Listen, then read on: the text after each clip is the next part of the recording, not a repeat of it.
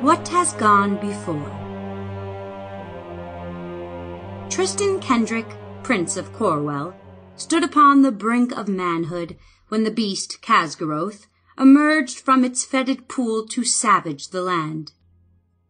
The insidious monster, often disguised in the flesh of a man, engaged the help of Firbolg giants and savage Northmen to attack the folk of Corwell.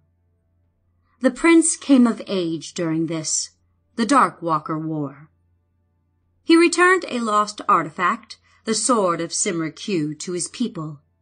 He led them to ultimate victory against the beast. And he found his life's love in the person of Robin, a maiden who had been raised with him as the king's ward. Also during the war, Robin discovered her own deep powers as a druid, harnessing the forces of the earth to work magic and miracles. She loved the prince, but faced a deeper calling after the war.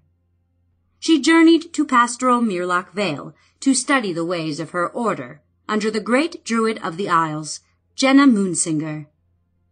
But there she found that the influence of Kazgoroth was not altogether banished. An unnatural army of corpses invaded the vale, and Robin alone of the Druids escaped. The others were imprisoned as stone statues around the scene of their last stand, and as Robin departed, the vale was turned into a wasteland behind her. His father murdered, Tristan journeyed to the neighboring island of Callidyrr to confront the High King of all the folk. Caught in a rebellion and finally joined by Robin, Tristan found himself once more victorious, receiving the royal crown of the Isles. He was crowned High King by the folk, then prepared to return to Corwell. But still, the evil lurked in Myrloch Vale. Prelude The goddess Earth Mother wept, her wound a gaping slash across her flesh. The cut was deep, perhaps mortal, but there were none to know her suffering. She cried out in pain from the scar of black magic, where her body lay torn and ripped from the assault of evil.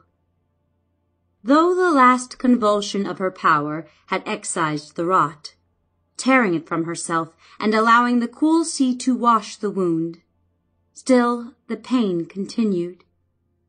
The goddess cried out for her servants, her devoted druids. These human caretakers were trapped in a prison of the mother's own invention. They stood frozen as stone statues around the blasted scene of their final defeat. The protection of the goddess had imprisoned them thus, saving them at least from death. One druid and one alone had escaped petrification. And the goddess wept for the folk, her people.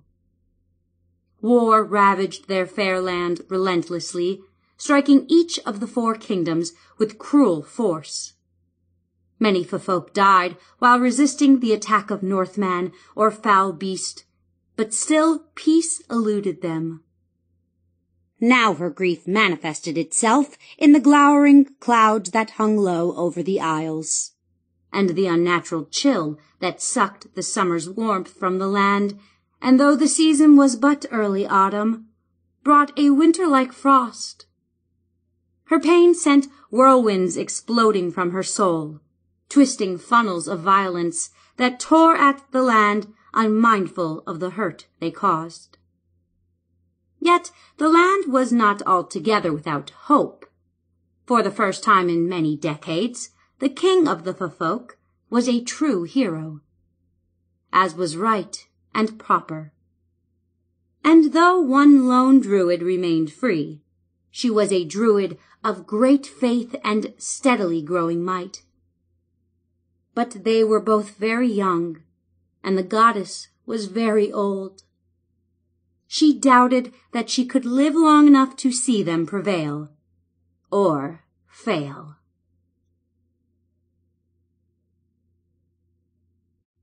Chapter 1 The Obscene heavy breakers assaulted the stone barrier protecting Llewellyn harbor. They crashed against the rocky rampart, sending clouds of spray through the air, roaring in frustration as the eternal power of the sea dispersed against the fundamental strength of stone. A lone figure stood near the end of the breakwater. The man was heavily wrapped in oilskins and ignored the salty shower that doused him each time a fresh wave expended itself. If anything, he relished the bracing cold of the water. The man was young, but he was a king of many lands. He had bested creatures foul and wizards of might, yet he felt unsure of his own strength. He held the love of a strong woman in his heart, but still his future remained a muddled blur before him. Tristan Kendrick claimed as ancestors a long line of kings, but for two centuries the Kendricks ruled only the small, sparsely populated land of Corwell. Now, as High King of the Folk, King Kendrick accepted fealty also from Moray, Snowdown, and mighty Callidyrr.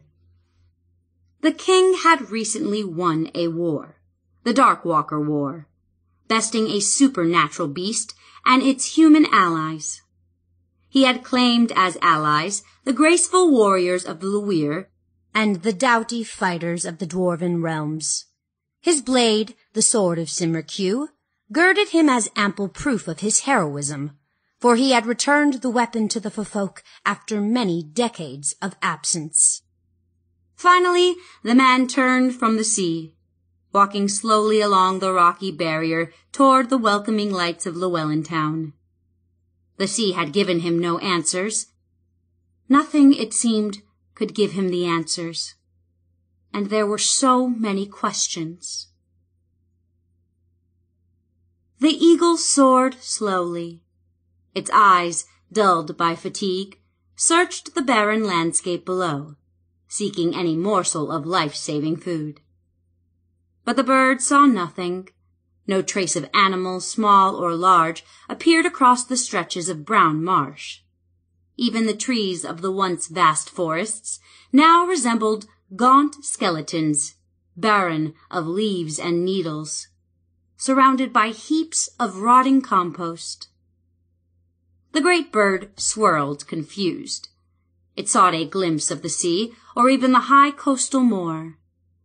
But everywhere the view yielded scenes of rot and corruption.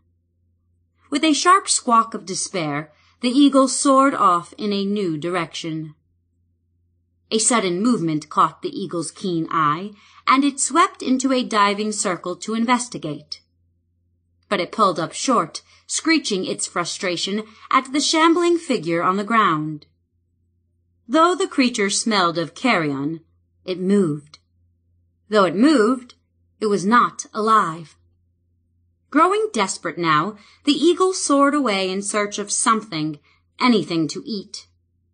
It came upon a region of utter desolation, a place that made the past reaches of barren land seem fertile.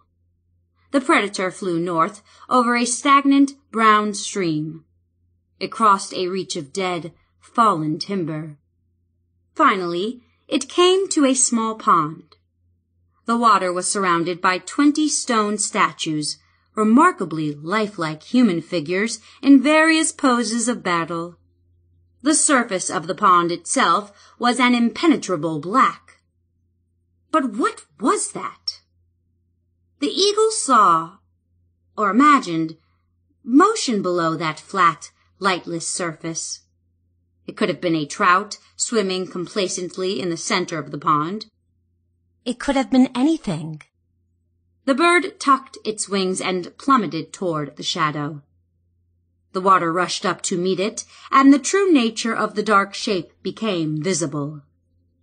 The eagle shrieked and struck outward with its wings slowing but not halting its descent.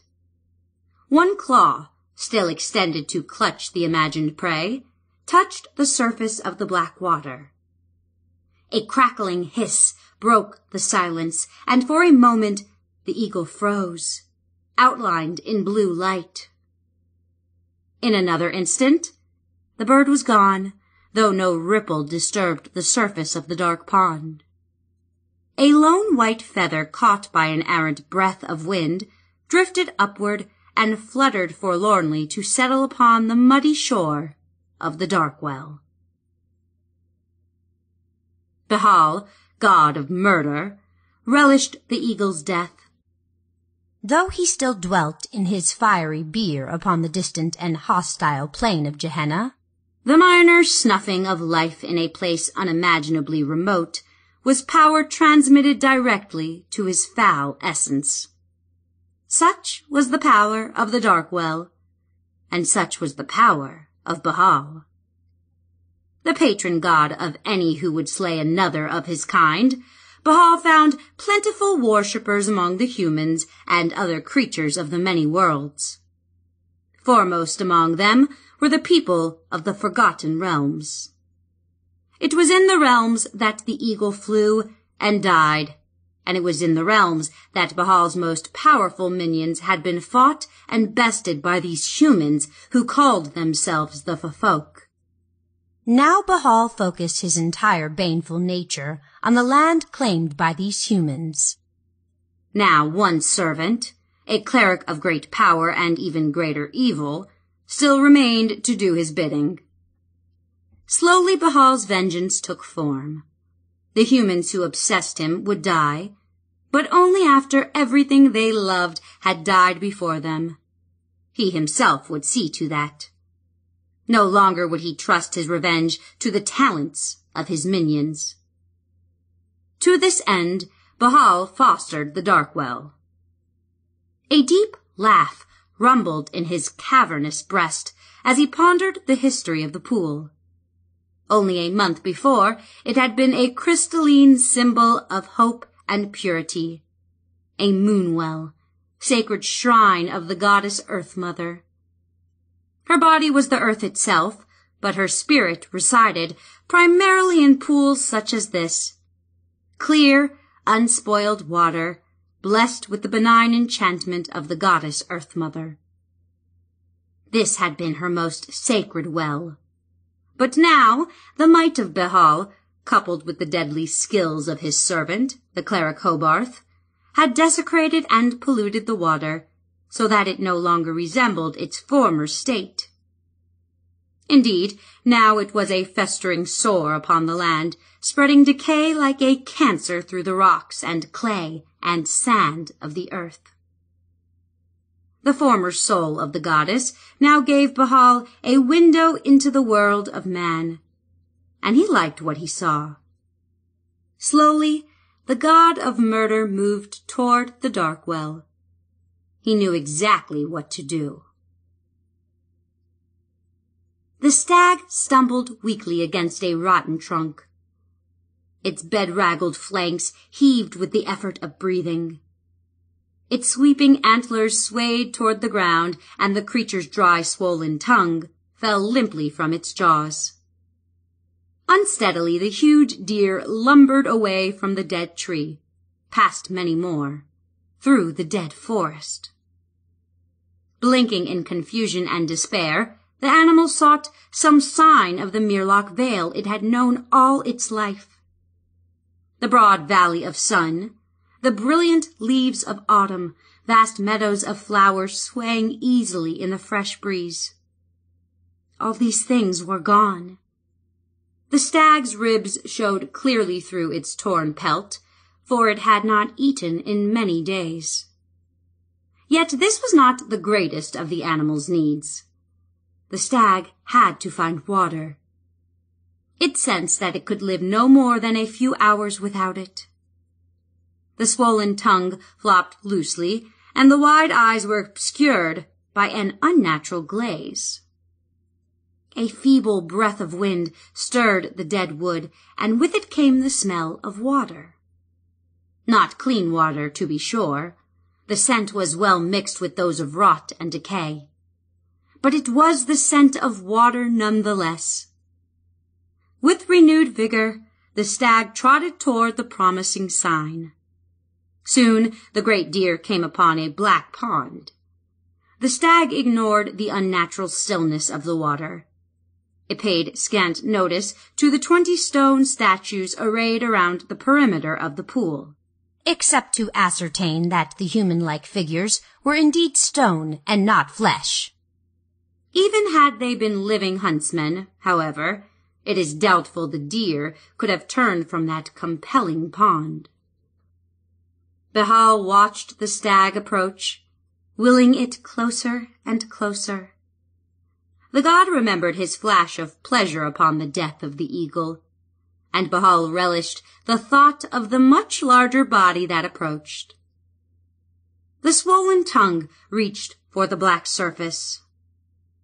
At the last moment, the stag sensed the wrongness of the water. It tried to pull back, to raise its broad antlers away from this awful thing. But it was too late. The neck bent pulled by a force far greater than the stag's own muscles, and its muzzle struck the surface of the dark well. A crackling blaze of blue light illuminated the stag's body, casting an intense glow across the pond for an instant. Then the deer was gone. As with the eagle, its body had caused no ripple to mar the inky surface of the well. Only the skull remained, resting on the muddy bottom in several inches of water. Its empty eye sockets stared skyward, while overhead spread the massive rack of antlers like a ghastly tombstone. Robin of Gwynedd lay in the hold of the lunging ship and prayed for a word from her goddess. The wooden timbers around her seemed to thrum softly with the power of her prayer. But that was all she sensed.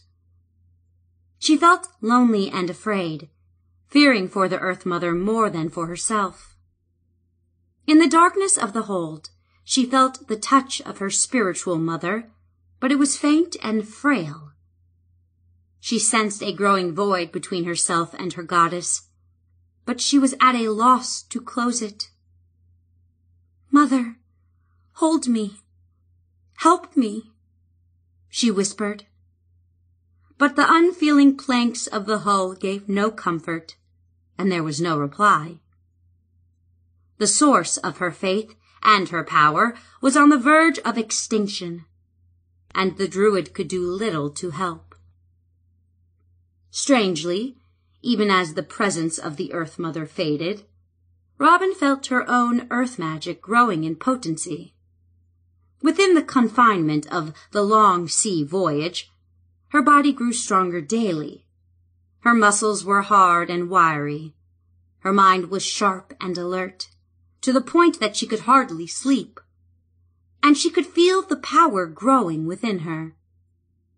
But when she prayed, or on those rare nights when she slept deeply enough to dream, there was no word, barely the faintest image to suggest that the mother was near.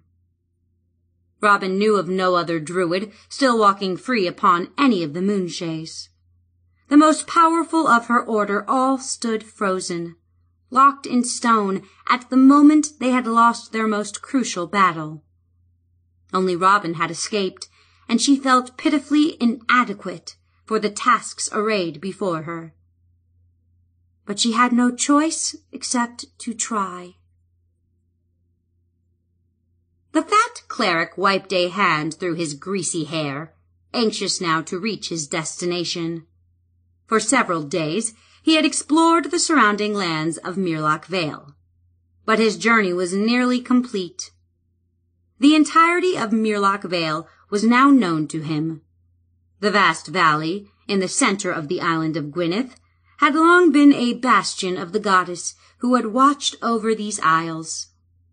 Now, however, it had become a land of death, a monumental wasteland in testament to the awesome power of the cleric's god. And he had ventured to northern Gwynedd, beyond the Vale, and into the lands of the Northmen along the fur coast. These invaders had claimed the land from the native folk, establishing a number of villages and even one good-sized town, but had nothing resembling a separate state there. Bhaal had wondered about these humans, and so the cleric had investigated. The southern land of Gwynedd, occupying nearly half the isle, was the kingdom of Corwell, of the people known as the Ffolk. This land the cleric had not visited, but that mattered little, for Corwell was already well known to the minions of Bhaal. Now Hobarth, cleric of Bhaal, returned to the Darkwell with good news for his foul master. Decay spread rapidly across the vale. Everywhere he went, Hobarth found death and rot, as whole forests died and placid lakes shriveled into festering swamps. The area around the well was particularly barren. The corpses of the many zombies he had raised from death were gone now, as Hobarth had ordered them into the well. Their presence, in fact, had been a prime source of the pollution that had so effectively corrupted the Moonwell and the decay seemed to be spreading rapidly. Bhaal, Hobarth knew, would be pleased. As he neared the dark well, he sensed a difference around him. It was not a difference in the land or even the air, but a subtle presence on a deeper level. Something was here that had not been here when he left. He saw the well before him, its slick, black surface barely reflecting the white outlines of the statues. The dark well had, since its creation a month before, been a center of power for his god. But now Hobarth sensed something mightier, more dynamic than the gate connecting his god's world to his own. In a flash of understanding, he understood and as he understood, he dropped to his knees. Bhaal was here. Hobarth shivered, a strange mixture of ecstasy and fear. He knelt, closed his eyes, and prayed with all his heart. O mighty Bhaal, reveler in blood, master of my destiny. The cleric moaned his prayer softly, wondering at the presence of his god. Was Bhaal angry? Was he pleased? What was the purpose of this visitation? Approach the well. Hobarth froze for a moment as the god's command grasped his heart. He felt cold fingers engulf his soul, only to let it free again after a glimpse of something awesome and terrible. Numb, he stood and stepped slowly toward the dark well. The great Druid. Hobarth understood the command instantly and stopped beside the great Druid. Or rather, the statue that had been Genna Moonsinger, the mistress of Myrloch Vale and great Druid of the Isles. Now she stood frozen as a white stone sculpture, lifelike in every detail. Many times had Hobarth stood before her and cursed her defiant expression. He saw the challenge still lurking in her eyes and in the firm set of her jaw. Her wrinkled skin and tightly wrapped hair might have given her a grandmotherly look, but instead she looked more like a warrior. The heart this command brought a glimmer of defiance, for just a brief moment to the cleric. Hobarth kept the heart of Kazgoroth in a pouch at his side, and he was most reluctant to remove it for anyone or anything. The stone was black, shaped more like a lump of coal than a heart, but it was a talisman of great evil. In the cleric's hands, the heart of Kazgoroth had brought death and decay to the formerly pastoral vale. But Hobarth overcame his reluctance instantly and hastened to obey the word of his god. He removed the stone from its pouch and held it out before him. It seemed to absorb the rays of the sun, already dimmed by the pale haze. In its own shadow, the cleric reached forward to touch the heart against the cold stone of the statue. Bhaal must be very near, Hobarth thought, for it seemed to the cleric that the god leered over his shoulder. Hobarth acted as if by instinct, performing a ritual he had never seen, yet one that he knew without question or doubt. He sensed that Bhaal was pleased, and his god's pleasure was a thrill unlike any the cleric had ever known. The black surface of the heart touched the white stone of Genna's breast. Yellow smoke hissed at contact, and trickles of clear liquid ran down the statue's stony robe. Where the stone was wet, it became a bright red, like freshly spilled blood. Hobarth stared into the statue's eyes, and he saw the defiance that had been etched there begin to fade. He pressed his hand against her, and was gratified to feel the heart of Kazgoroth sink into the stone. More smoke spewed, nearly blinding him, but he kept his gaze fastened upon the statue's eyes. His own eyes watered. The statue grew soft, and Hobarth's hand, together with the black stone, passed directly into the cold body. Quickly he drew forth his hand empty, and the surface of the statue closed behind it. He looked again into those stone eyes. Only it was no longer a statue, and the eyes burned with a far from stone-like fire. The low green mass of Corwell loomed to starboard. To port, invisible in the grey haze of sea miles, lay the island of Moray. And below the keel of the sleek longship rolled the grey swells of the Strait of the Leviathan. But Grunark the Red knew that the Leviathan was dead. Had not the Red King played a role in its demise only a short year earlier? He found the memory vaguely disquieting. Now the ruler of the Northmen stood boldly on the deck of his ship, the Northwind, and stared into the distance. Not north, toward Norland and home, but east toward Corwell. Why did that land hold such fascination for him? The Red King himself did not know, though certainly the roots of the answer lay in the disastrous invasion and his army's subsequent defeat. Grunark had been fortunate to escape with half of his ships and men, while many of his allies had suffered worse. The men of Oman's Isle, of the kingdom of Iron Hand, had been virtually annihilated.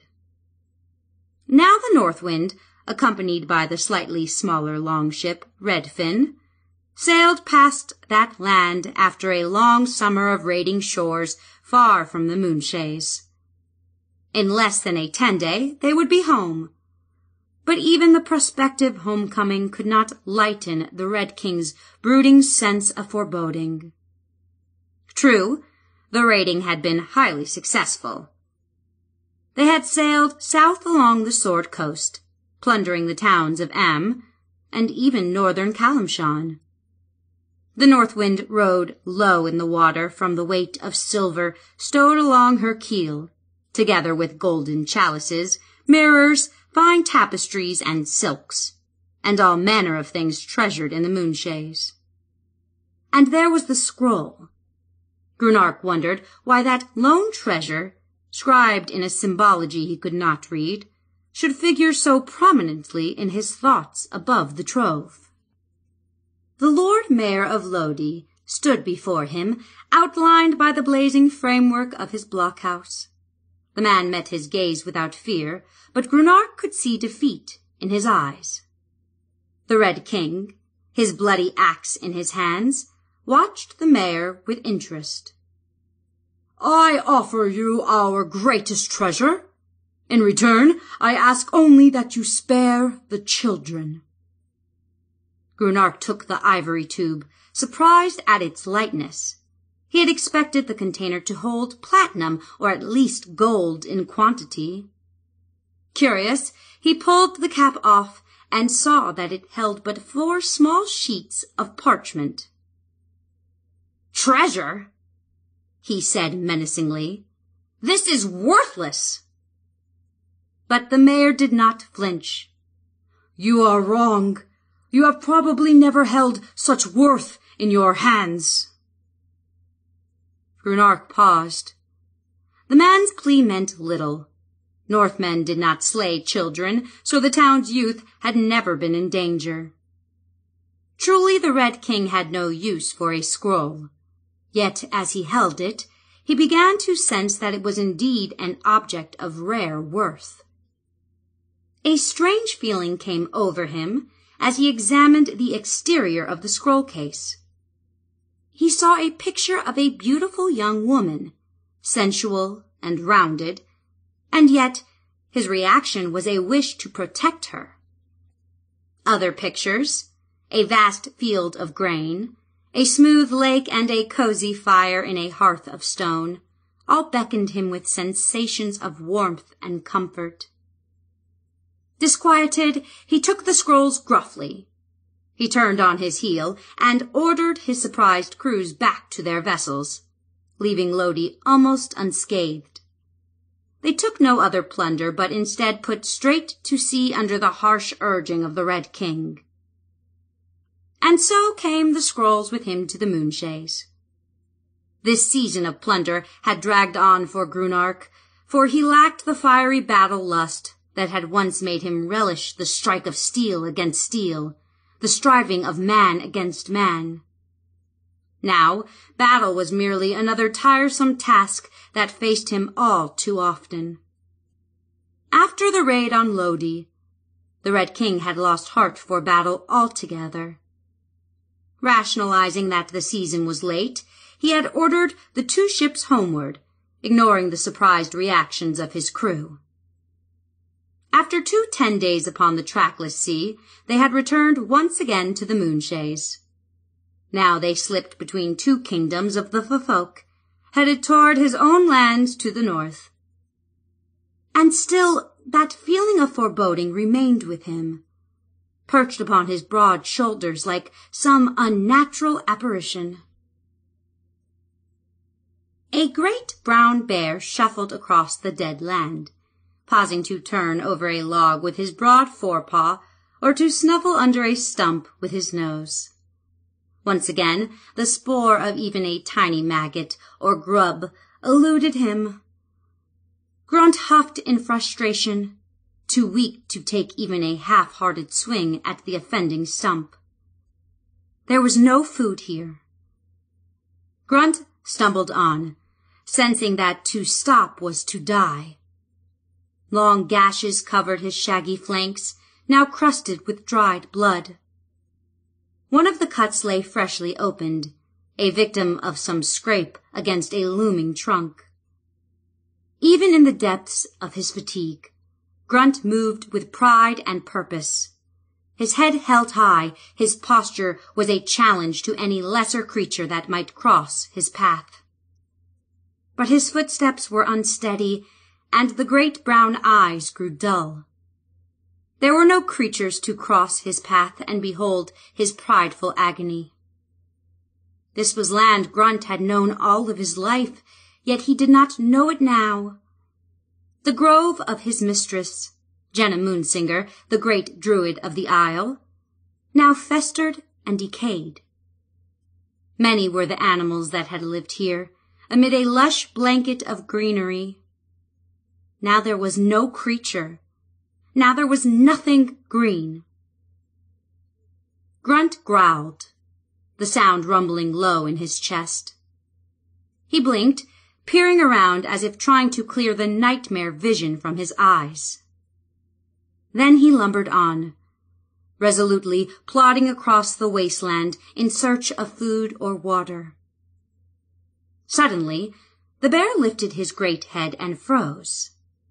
His only motion was the twitching of his broad nostrils as they searched the air. Whatever it was, a scent excited the bear like nothing else in many days. Grunt started forward faster now, breaking into a clumsy trot. He uttered one cough-like grunt, then another. Before him lay the former heart of the grove. Recently, the bear had somehow sensed that this was the center of its corruption and had thus avoided it. But even the suspicion of the exciting spore in the wind was enough to compel him there. Genna? Hope swelled within the bear's breast. Was that not his mistress, standing there in the distance, staring at him? He sniffed at the air lumbering closer. The scent was that of the great druid, he thought, but somehow different. Blinking in confusion, Grunt struggled to focus his dim eyesight. He saw the short, rounded body, recognized the gray hair pulled tightly back from the face. He saw no smile upon that face, and the human's posture seemed stiff and unnatural. Yet his eyes could not be wrong. He slowed as he reached the woman and grunted happily, leaning into her expectantly. The bear was surprised when she did not scratch his ears. What was wrong? Grunt looked at the round, wrinkled face curiously. And in an instant he recoiled in fear. Cringing low, the bear looked up at her like a whipped puppy, puzzled and pained by the look in her eyes. She raised her arm, pointing, and Grunt obeyed. His huge body moved toward the black water, where once the crystalline moon well had reflected the blessing of the goddess. Quivering, he approached the water. The bear turned once to look back at his mistress, his eyes pleading. She pointed again, and he dropped his head obediently. His muzzle touched the surface of the dark well, and then his life was gone as he gave it unwittingly to Bhaal. Chauntea, as a goddess, was close in spirit to the Earth Mother, though far removed in aspect. While the Great Mother's life lay in the earth itself, in the hollowed ground of the Moonshaes, Chauntea's being dwelled upon the joyous plain of Elysium, far removed from the world of mortals. The Earth Mother's followers were the folk of the Moonshae Isles, led by their druids. Chauntea's believers came from across the plains, and even in the Forgotten Realms were spread among the many nations of the world. The tenets of the Earth Mother's faith held that nature was sacred, and maintaining the balance of all things became the Druidical creed. Followers of Chauntea held that the land should be farmed, that the growth provided by nature should be harnessed for the greater good of man. Yet, despite their differences, the goddesses both were beings of health and growth, cherishing the plants and animals, working to protect the humans who held to their faith. Now Chauntea sensed the power of the Earth Mother waning. She also felt the looming presence of Bhaal, as that dark god moved into the power vacuum being created, Chauntea also began to move. Though she lacked Bhaal's awesome might and implacable evil, she was a being of great resource in her own right. Now, those resources would be tested. Chapter 2 Long live the king! For the first time, the wind seemed to be against them. It blustered from this direction and that in capricious gusts. To all sides stretched the sea, a gray mass of rolling swells, broken only by the foaming crests of the waves. The sky matched the water, a gray blanket of cold pressing heavily from horizon to horizon. Overhead, the sail filled with air, spurring the ship across white caps and through deep troughs. Then the wind shifted, and the sail fell limp. The vessel slid crazily to the side, dropping between two rolling swells. A line drew taut as the boom swung across the stern. Two sailors dropped prone, while others hauled on a heavy rope until the sail once again billowed. The bow of the boat swung to port, angling across the waves on a slightly altered course. Tristan Kendrick, heir to the throne of Corwell, stood in the bow of the Defiant and relished the cool spray against his face. It ran through his beard and soaked his heavy wool cloak. His feet were planted in a wide stance, and he swayed evenly with the rolling deck beneath his feet. The ship lunged eagerly through the next swell, and the one after that. Each wave brought him and his companions closer to Corwell Firth and the castle on the little knoll, Caer Corwell. Home. Just a few short ten days ago, Tristan reflected. His first ocean voyage had carried him across the same water. Then he had embarked on a mission of politics to seek his coronation from the High King. Now he carried the crown of that same king, the crown of the Isles, and he returned in triumph to his home. He knew he should be feeling joy and anticipation, but he could not. He felt, rather than saw, a warm presence beside him and turned to see Robin. Though she had slept little and eaten less during the past ten days, she had never looked so vibrant and alive. Her black hair, long and falling loosely around her shoulders and back, glowed with an ebony sheen, and her green eyes flashed with vitality. Her beauty increased every day, or so thought the king. The druid joined him in the bow, but avoided his eyes. He wanted to reach out, to put his arm around her, but he feared her rebuff. We'll be there soon. No more than two days, three at the most. He tried to offer encouragement, sensing her despair. But what will we find when we get there? What if we're too late? We won't be, and whatever we find, we can best it. Together, with my sword and your faith, we can rid Gwynneth of any shade of evil. I hope so. Robin leaned against him, and he held her, sensing the deep and spiritual fear that haunted her. He felt a vague sense of guilt for the time they had remained on the island of Callidyrr. He had known that she wanted to leave immediately following the defeat of the High King. Robin feared deeply for the fate of her fellow druids, imprisoned as stone statues around the scene of their final battle. Yet he could not have left then, and she had chosen to remain with him rather than embark for home alone or with Lord Pontswain, who had taken the first available ship back to Corwell. I'm glad you stayed with me, he said. I can't imagine facing the kingship without you beside me. He thought of the many problems he had solved during his ten day in Callidyrr. He had settled an old dispute on fishing rights between the Cantrevs of Llewellyn and Crithis. He had pardoned the bandits of Durnall Forest good men and women who had been forced to become outlaws because of the injustices of the former king.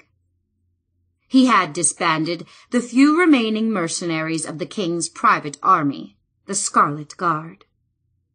The battles of the Ffolk, he had declared, would from now on be fought by the Ffolk. With his ascension to the throne had come the discovery of the vast surplus in the High King's treasury piles of silver coins and some gold, which he had been able to return to the overtaxed lords of the land. This act alone would have done much to assure his popularity with the lords, but his wisdom and good judgment in settling the other disputes had ensured their loyalty to his name. I'm glad I stayed too, she sighed. I know it was important to you and to all the Isles. You will make a splendid king. But all the while, I could not help wondering about the Druids. Are they suffering? Are they dead? I wish I could have been both places at once. I know I cannot rest easily until I have seen evil excised from Myrloch Vale. Suddenly, Tristan stiffened, lifting himself to the balls of his feet to peer in the distance. He squinted against the spray and saw it again, a flash of crimson against the all-encompassing grey of sea and sky. Robin sensed his change in mood, and she followed his gaze, staring a few degrees to starboard of the bow. A foot shorter than the young king, she could not see what had alarmed him. Northmen, he grunted, pointing. She saw the flicker of color now. It could only be the square sail of a raiding longship, and it was facing them. Keep an eye on it. I'll inform the captain. Turning and sprinting like a seasoned sailor down the pitching deck, the new High King of the Moonshaes barked a warning to the laboring crewmen. Robin turned back to the south as the longship drew closer. She could now make out a second sail beside the first, veering to the side. The sleek vessels spread apart to block the Defiant's path at either side. Some voice inside her said that she should be afraid, that these were dangerous and bloodthirsty foes. But instead, she felt only a quiet anger as she faced another obstacle on the road to rescue Genna Moonsinger, the great druid of all the Moonshaes. But this was an obstacle she could counter. By the time Tristan returned to the bow, she had unlashed her staff from its mount on the gunwale. Captain Dansforth, the taciturn master of the Defiant, regarded the approaching vessels through his long spying tube. The crew, two dozen steadfast folk of Callidyrr, turned as a man to regard the raiders, but maintained the course and sail of the Defiant without a hitch. She was called the stoutest vessel, with the ablest crew, among the four kingdoms of the Folk. The proof had come when they sailed into the late stages of an autumn gale that would have kept any other vessel of the Folk in port. Racing through the Sea of Moonshae around the northern tip of Gwynneth, the Defiant had coursed through the Strait of Oman. Now they sailed south toward Corwell itself. These Northmen were obviously returning home. It was already later than the usual raiding season, but they would doubtless welcome one last prize before making port for the winter. The Standard of Norland, grunted Dansforth. That one, to starboard, would be the king's own vessel. Grunark the Red. I have fought him before, mused Tristan. So, the stories say, and bested him. The captain looked at the king with just a hint of amusement in his grey eyes. Dansforth was not yet middle-aged, though his hair and beard had silvered until they matched his eyes. Yet he had an enigmatic manner of speaking that reminded Tristan of an old but very smug man. Can we alter course? asked Robin quickly. To there? She pointed straight toward one of the advancing longships. Why? Dansforth was mildly incredulous. They're cutting too wide. They underestimate our speed, I think. With a little luck, we can dash between them. We won't need luck if you can get close to one of those ships. Robin spoke quietly, but there was a hint of great power in her voice. Do as she says. said Tristan.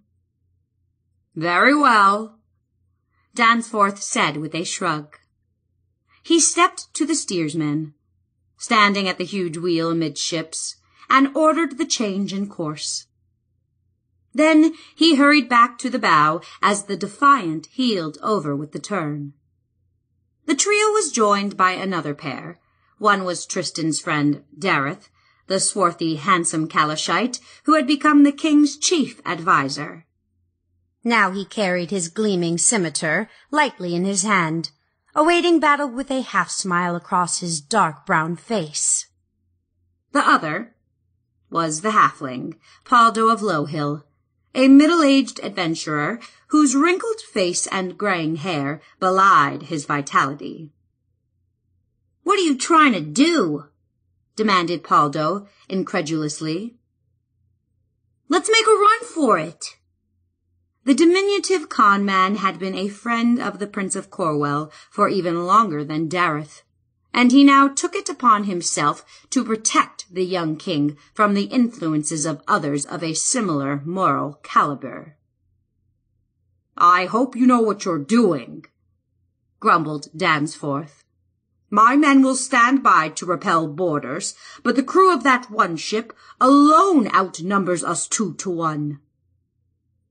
Robin did not turn to look at the captain. They'll not get near enough to throw a line. Still skeptical, the captain turned to his crew, while Daryth, Tristan, and Pawldo stood protectively around the druid. She closed her eyes in concentration and calmly caressed the smooth wood of her staff. The others held their swords ready. Tristan's own blade gleamed in his hand. The legendary sword of Cymrych Hugh was a symbol of the ancient glory of the Ffolk. The fact that Tristan had discovered the potent blade after it had been missing for centuries explained to a great extent why the lords of Callidyrr had been so willing to extend to him the kingship. The longships raced toward them with startling rapidity. One came head-on, closing rapidly.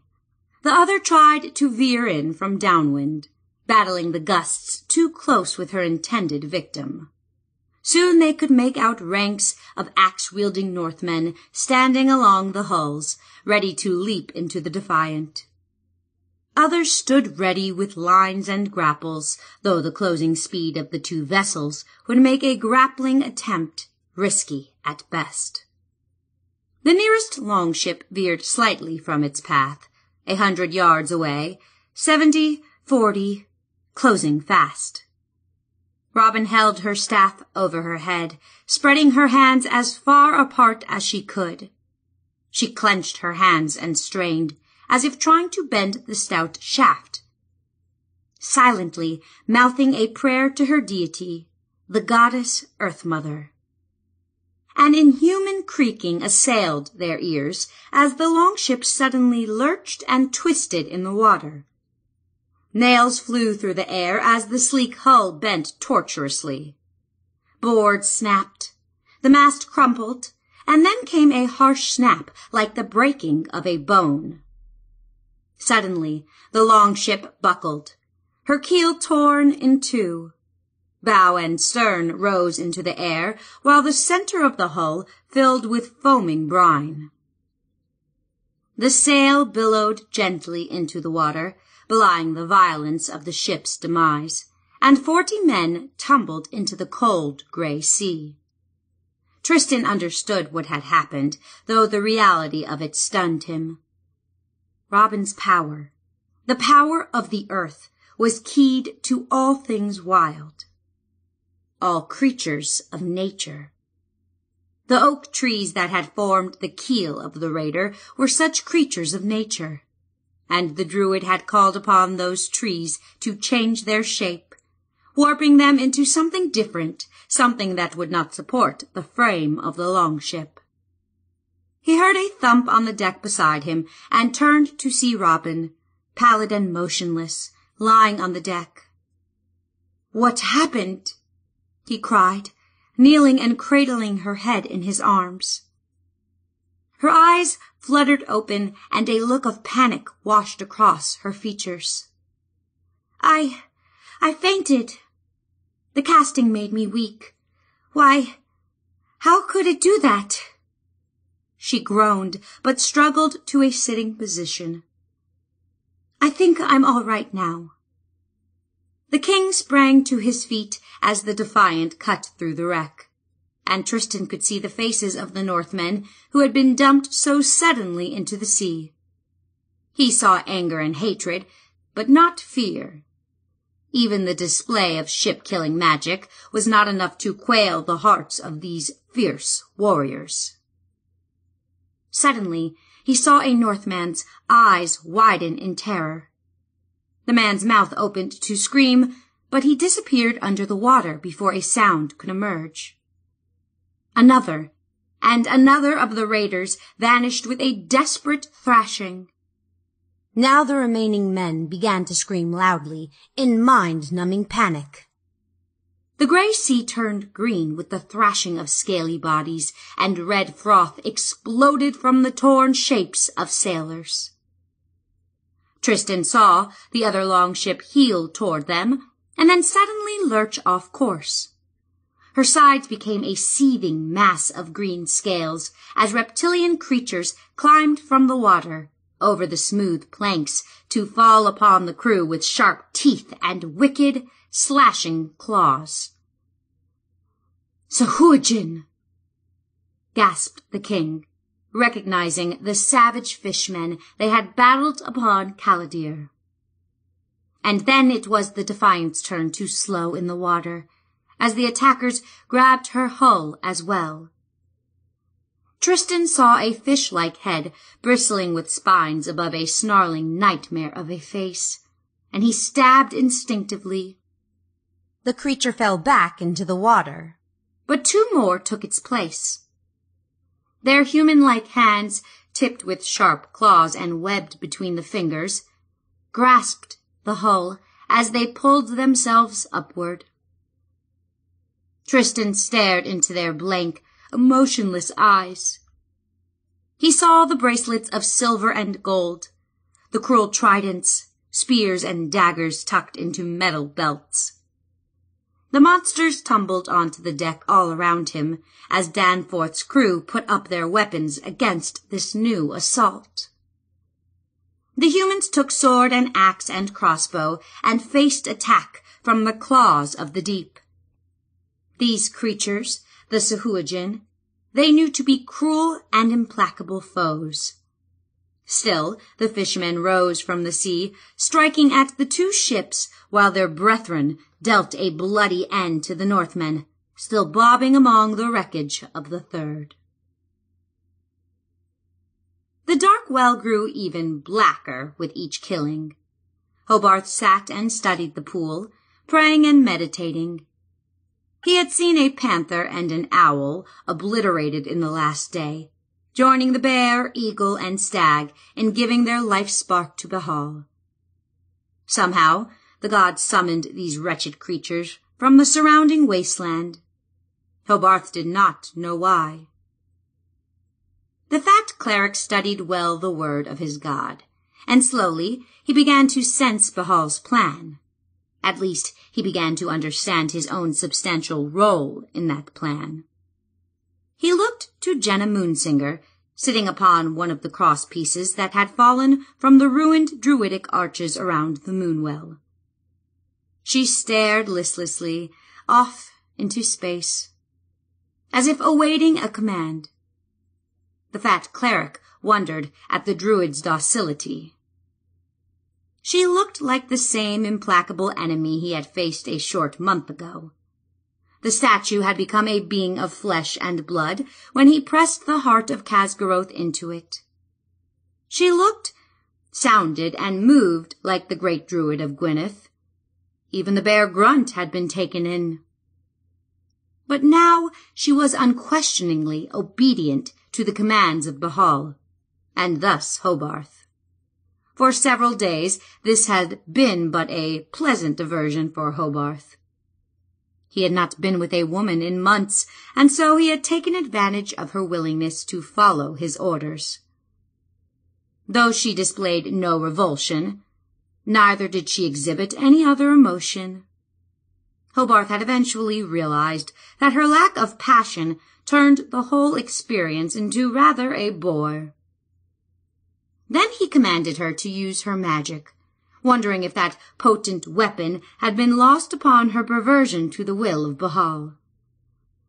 The cleric was delighted when she called forth an inferno of fire from the ground itself, surrounding them with greedy flames. However, he noted a difference from her previous castings of the firewall.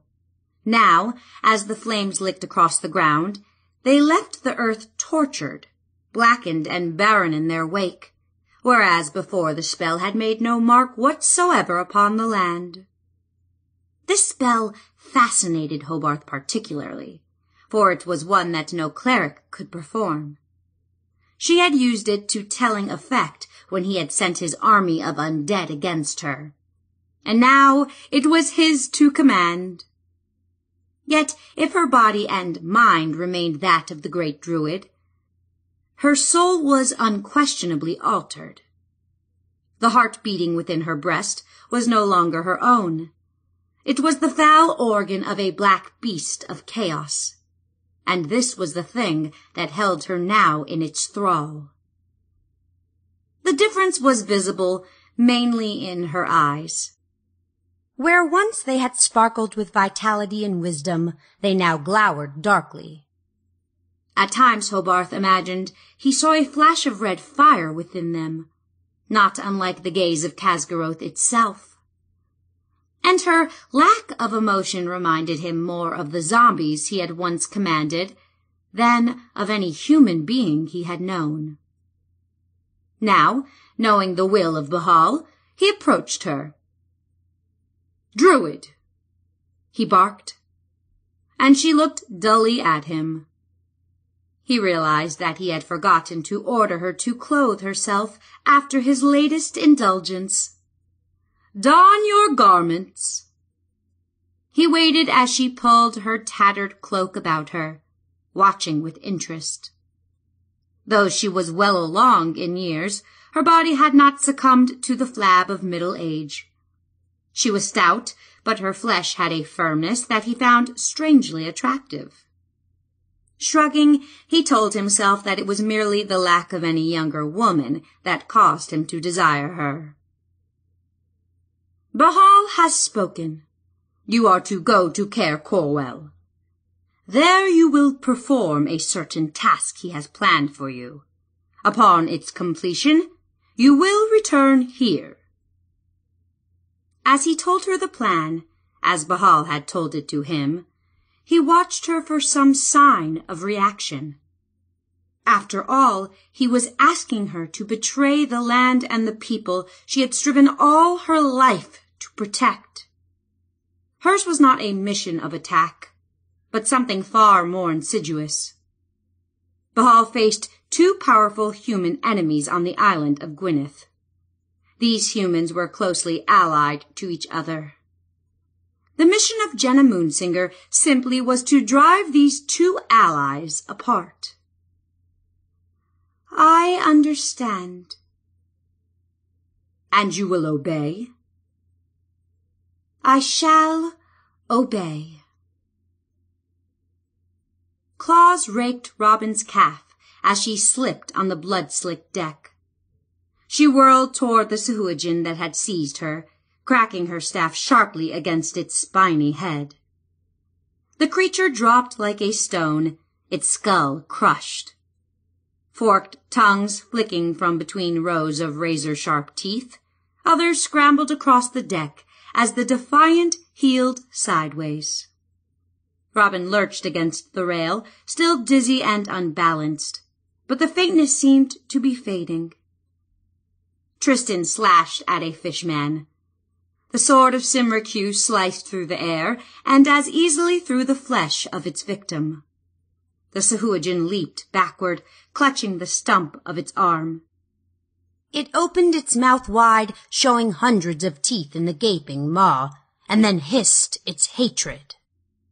The king leaped forward, and the monster dived cleanly into the sea. Tristan stopped at the rail and stabbed another creature, just as it tried to scramble over the gunwale into the boat. It fell back into the water, dead, and he looked about the deck. He saw Daryth behead one of the monsters as it lunged toward Robin's back, and Pawldo's keen dagger disemboweled another as the nimble halfling ducked beneath the monster's grasping claws. And then as suddenly as it had begun, the killing ended. The bodies of a score of Sahuagin and several sailors lay in chaotic disorder across the deck. Red human blood and the pinkish froth from Sahuagin veins mingled on the planks. But there was not a moving Sahuagin to be seen. Captain Dansforth stood with a knot of his sailors amidships, while Daryth, Pawldo and Robin were near Tristan on the foredeck. Tristan's great moorhound, Canthus, stood beside the druid. The dog's back was higher than her waist, and its shaggy brown muzzle was stained with Sahuagin blood. More than once this day he had saved the lives of his master and mistress. They still fight, said Robin, pointing at the longship where the battle still raged. Tristan smiled grimly at the sight. He could see the Northman chief, Grunnarch the Red, poised before the mast of his graceful ship. His men stood with him in a circle, facing outward, while twice their number of Sahuagin slashed toward the kill. Make sail! cried Captain Dansforth, sending his men to line and beam. He nodded at the king. We can make a break for it before they finish him off. The Defiant had placed her port side to the wind as she drifted during the melee. In another second, the sail came taut, and the Defiant heeled sharply into the wind. As her nose passed the drifting longship, Tristan saw another Northman dragged into the mass of Sahuagin. Come alongside, he called, noting the shock in Dansforth's eyes. To the rescue! You're... The captain was about to call him mad, Tristan realized. The thought startled him, and he realized that his order must seem mad by most logical arguments. Why should they help the raiders who had minutes earlier been bent on their destruction? Hurry and send your bowmen forward, man. Dansforth only hesitated for a fraction of a second. Then he curtly gestured to four of his men who held heavy crossbows. You heard the king. Move! The Defiant crashed against the waves again, slicing a path that would take her just past the longship. The distance closed rapidly while the bowmen knelt at the rail and took aim. Oh, good! Tristan was startled by the shrill voice behind him. Come on, Yaz. We didn't miss the whole battle. I'm scared, scared. But we better get below, answered another equally shrill voice. The bright orange shape of a tiny dragon, its butterfly wings fluttering excitedly, suddenly appeared beside the king, popping from invisibility as fairy dragons are fond of doing. The little serpent darted past the king to perch on the rail. Oh boy, Northmen! Come on, let's get 'em! Nanute, don't! Stay back here with me, with me! Without turning around, Tristan pictured the tiny sprite Yazilliclick, cautiously peering from the hatch to the hold, his antenna no doubt quivering anxiously. The two fairy creatures had spent most of the voyage below decks, but now the chaos of the battle had aroused them. Newt, why don't you keep watch on the waters off the stern? suggested the king. See that they don't sneak up on us from behind. And incidentally, he added silently, stay out of the way. Well, all right, the fairy dragon agreed, with a suspicious look at Tristan. Quickly Newt buzzed away, and Yaz popped out of the hatch to follow him. The sprite was a small human-like creature, about two feet tall and distinguished by a small pair of gossamer wings and two antennae that sprouted from his forehead. The young king turned his attention back to the battle to see that the longship was very close now. He could clearly make out several Northmen in desperate combat with the monsters, while other Sahuagin held back from the fight. Shoot those farthest from the humans, said Tristan. Now!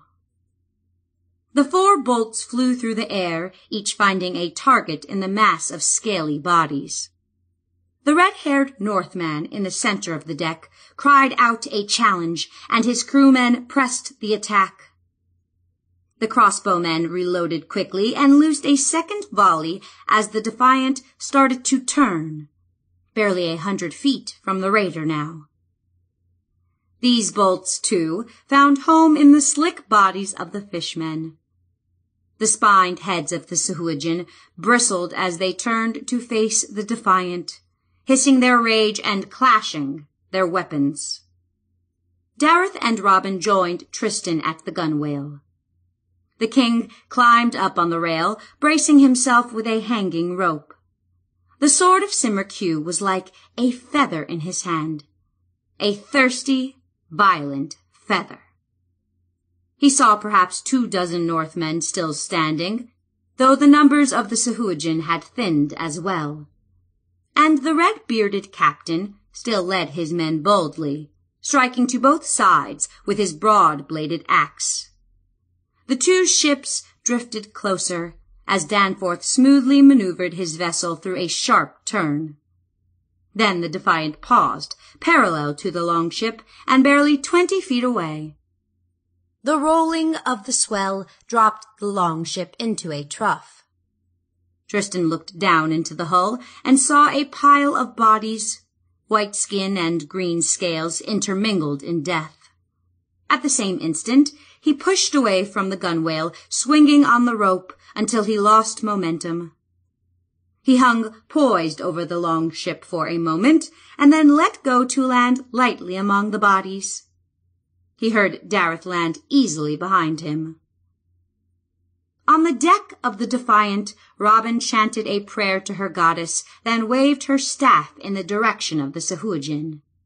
Suddenly, the outline of fishmen bodies glowed white, outlined in cool, magical fire. The reptiles hissed their rage, though several cowered back in fear. They slapped and struck at the flames without success, though the fire did not appear to cause them harm. The red-bearded Northman bellowed a challenge of brute violence, cleaving a Sahuagin to the waist with his axe. His comrades let loose a shout and attacked. A great green Sahuagin lunged at the High King. Its toothy jaws gaped, and the spiny ridge along its backbone stood erect as sharp claws clutched at Tristan's throat. The white fire flickered and flared around the creature's ghastly shape, making a clear target.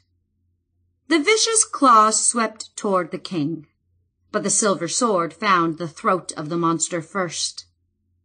Pink blood sprayed Tristan as the reptilian attacker clutched the lethal wound, still staggering toward him as it died.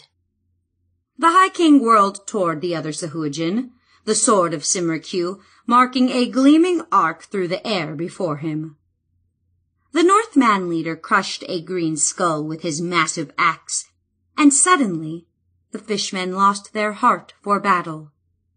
In one motion, still outlined in eerie flame, the remaining attacker slipped over the side of the longship and disappeared beneath the waves.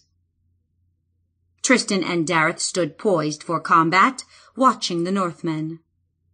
They saw tall, proud seafarers. The one called Grunnarch stepped forward. His red hair and beard flowed freely across his chest and shoulders, and his pale blue eyes stared warily back at the pair. His chest was broad, and strapping muscles rippled beneath the skin of his arms. The Northman wore only a short wool tunic of plain grey and high-laced leather sandals. He looked every inch the sailor, taking no note of the rolling deck beneath his feet as he advanced, studying his rescuers. Grunnarch the Red saw two men facing him, one fair and one swarthy. The fair one stood easily before him, holding that dazzling sword. He held himself proudly, like a ruler of men. His brown beard and hair were shorter than the Northman's, but still long and full, as a man should be.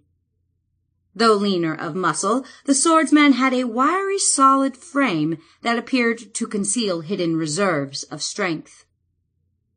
The other man, the swarthier of the pair, was clean-shaven. His skin was a rich brown, his hair as black as night.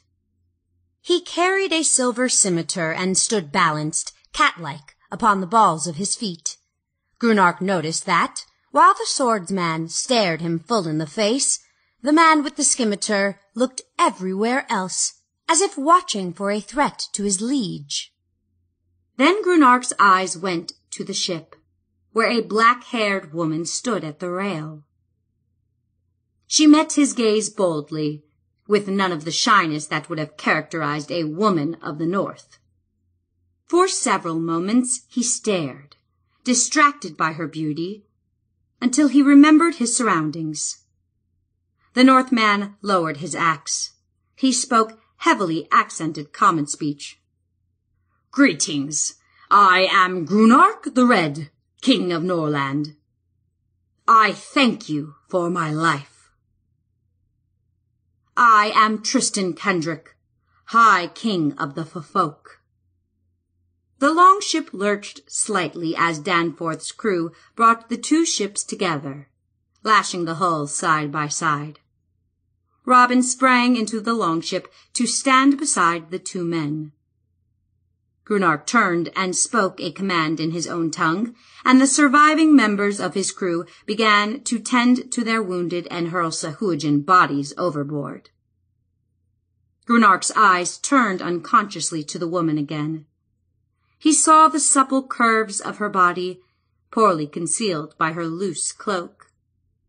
She stood easily in the rocking hull, moving like a fighter, with balance and grace.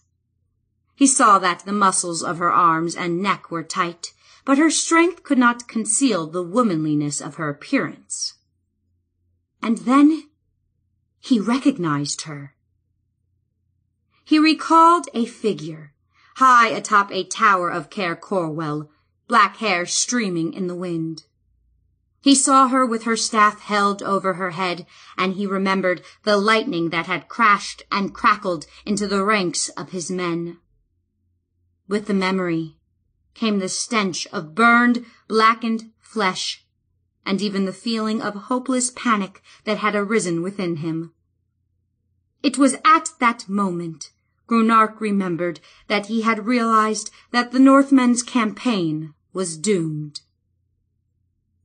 He shook his head suddenly, turning back to the young king, who stood looking at him curiously, and he wondered at the oddity that brought the two of them sworn enemies a year ago, standing face to face over the dead Sahuagin.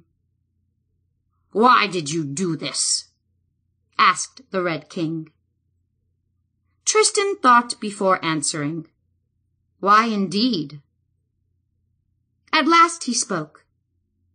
I'm not quite certain. Our first instinct was to sail away once we had secured our own ship. Your people and mine have fought for centuries, and in truth, it seemed we should fight for centuries to come. But must it be this way? You are Kendrick of Corwell, and of Freeman's Down? The same. We have fought ourselves scarce more than a year since. You have great skill and fortune. And you, lady, asked the Red King, turning to Robin. You too fought well. Your sorcery helped break the spell of evil that bound us. Mine is the magic of faith, not sorcery. There is a great difference. She smiled at him faintly, her eyes inscrutable. He nodded, not understanding the distinction. Suddenly he remembered the scrolls and the promise they seemed to offer. He bent and retrieved the long tube from beneath the deck, offering it mutely to her. He was not sure why, but it seemed right that she should have. Perhaps it was a way of repaying the debt he owed these folk for saving his life, though it was more than his sense of obligation that caused him to give the scroll to the beautiful druid. It was claimed as a thing of great value, he explained awkwardly. Is it of use to you? Robin took the ivory tube, barely stifling a gasp. She stroked the elaborate carvings reverently before looking at the Northman. His face was taut with tension, she saw, as if he desperately hoped that she would value the gift. She looked again at the runes. They were strange, not druidic in nature, but at the same time almost identical to a series of carvings her teacher had made along a short piece of wood, a rune stick that Genna had given Robin as a gift. This was obviously a talisman of great power, sacred to some god not very different from her own. It's very precious, a thing of power. Where did you get it? From the look of sudden anguish on the fierce raider's face, she knew she had hurt him with her question. She guessed that the tube was the plunder of some raid, though why Grunnarch should be troubled by that fact, she couldn't begin to guess. Never mind, she added quickly. It is a thing of tremendous value. I thank you for giving it to me. It is a small reward for the gift of my life and my ship, replied Grunnarch solemnly. The Red King turned back to Tristan. Your actions are more puzzling. As you must know, I was with the army that would have put your home to the torch. How can you forgive one who has done you such evil? For one thing, you're no longer accompanied by your powerful ally, remarked Tristan. The vision of the beast Kazgoroth, growing from the body of a man into a monster towering over a castle wall, came quickly into Tristan's mind. He remembered the terror and awe of that moment as if it had occurred yesterday. Grunnarch's face flushed. Ally, he spat. It was a thing of great evil. It slew one of our greatest kings and took his body for its own foul purposes. We were little more than mindless weapons in its hands. Perhaps that can explain why we aided you. Evil such as that still haunts the Moonshaes. As long as we strive to destroy each other, we make the task of that evil so much easier. I ask you, Grunnarch, King of Norland, would we not do better to join forces to combat this evil? The Red King looked Tristan full in the face, then nodded slowly. You speak with the wisdom of a much older king. But what of this evil you speak of? It still threatens our lands. Where and how shall we fight it? Come with me to Corwell said the High King. We will talk of it there. The histories of lands, peoples, and nations are made of many tiny events. Most are insignificant, their impact gone with the moment of their passing. But some of these events have an impact extending far beyond their occurrence. These events are things that can shape and change history for countless years into the future. Grunnarch the Red extended his broad hand, and Tristan Kendrick took it in his firm clasp. Their eyes met, bold and frank. An event of the latter type had just occurred. The corruption of Genna Moonsinger struck the goddess like a physical blow. It fell all the more heavily since the great druid had not even been granted the dignified defeat of death, but had instead become a tool of the very evil she had striven to defeat. The Earth Mother felt the presence of her servant's body, but could not reach out to her soul. Genna had been freed from her prison of stone, only to be entrapped in a spiritual corruption more vile than any form of death. For a time it seemed as if the land itself would wither and die in sympathy with the mother's grief. Indeed, winter hastened its approach, reaching frosty fingers across the Moonshaes, eagerly striking the last leaves from those trees still carrying vestiges of foliage. And then, briefly, the goddess looked up from her misery, away from the dark depths of the earth to the world of sky and air and sun. She felt a small tingle of vitality, and with it came renewed hope. The Earth Mother knew that her lone druid, Robin of Gwynneth, still lived. Now she sensed that Robin had come into contact with a talisman of great power and faith. A vessel of wisdom that could invigorate and vitalize her. The scrolls of Arcanus were not of the mother's own essence, but they were clerical scrolls of great antiquity, born of a faith not so different from her own. The clerics, like her druids, held that the balance of all things made the fulcrum of life. Two, the scrolls contained teachings of that balance and its fundamental principles that held keys to great power. They offered Robin some semblance of knowledge and might, even though the Earth Mother herself could no longer offer the same. Perhaps it was not much, but she could fasten her hopes to nothing else. Chapter 3 Seduction With a shrill cry, the vulture sensed the nearness of the sea. The bird hastened its flight, and soon the blue waters of Corwell Firth came into view to the west. The bulk of Caer Corwell stood dominating the foreground, and soon the bird was flying over the castle. It circled above the stone keep, following the line of the wooden palisade that protected the compound. Caer Corwell stood, perched upon its rocky knoll, commanding the ground around the compact fishing town and its sheltered harbor. The surrounding moor had browned with the approach of winter, but the bright afternoon sun of this day gave the place a warm spring-like look, especially as it reflected the brilliant azure hue of the firth. The vulture, a dirty black bird with streaks of brown and gray across its wings, finally settled upon the parapet of the highest tower of the castle. It was an oddly formed bird, with great misshapen claws and a twisted crooked neck, as if it were an imperfect rendering of the real thing. Now the bird perched there, staring intently at the activity on the waterfront.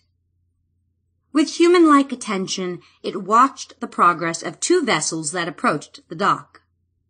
To a human, the sight would have indeed seemed odd.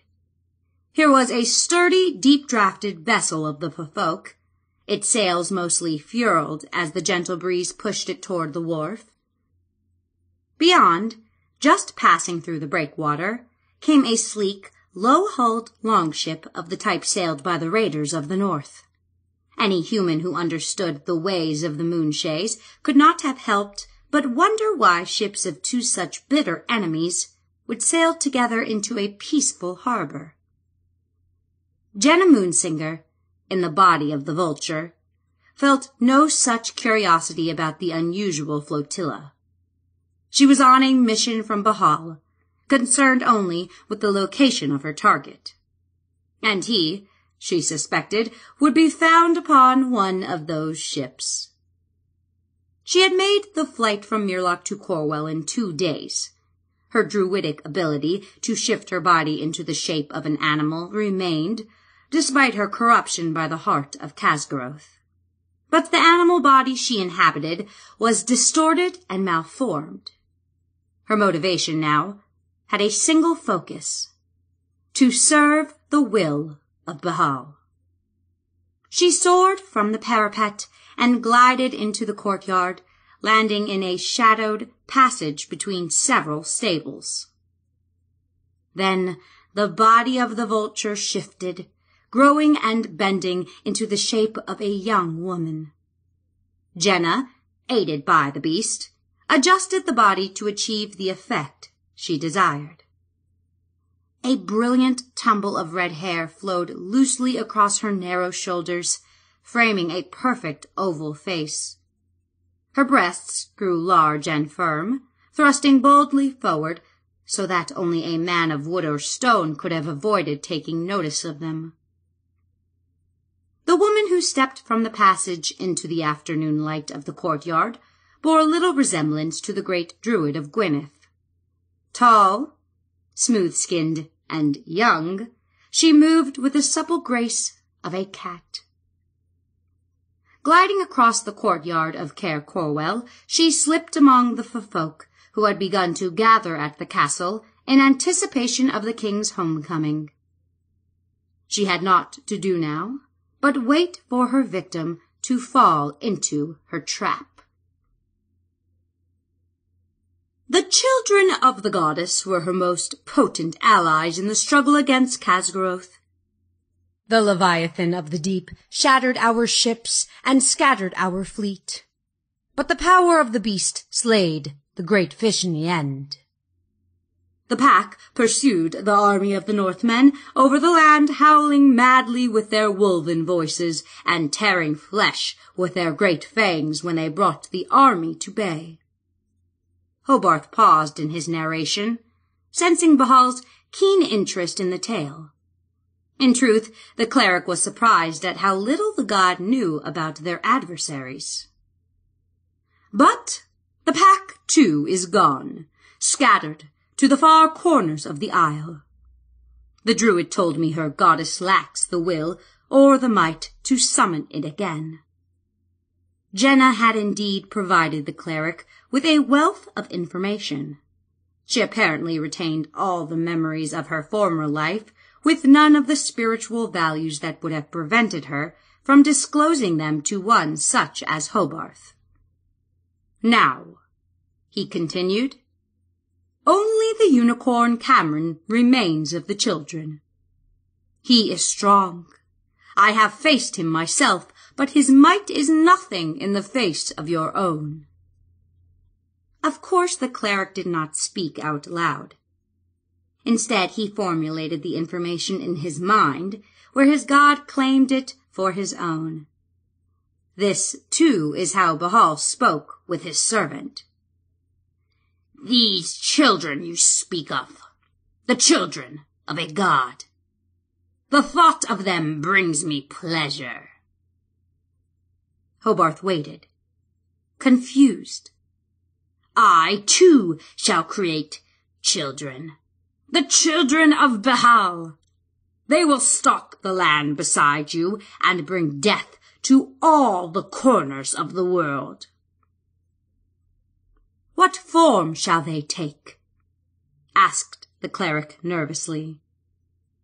His answer came in the form of a bubbling maelstrom forming in the center of the dark well. The black water foamed upward, releasing a stench of foul gas into the air. Then the froth moved across the surface as rings of ripples spread outward from the turbulence. The surface of the water parted in a soft eruption and a figure emerged.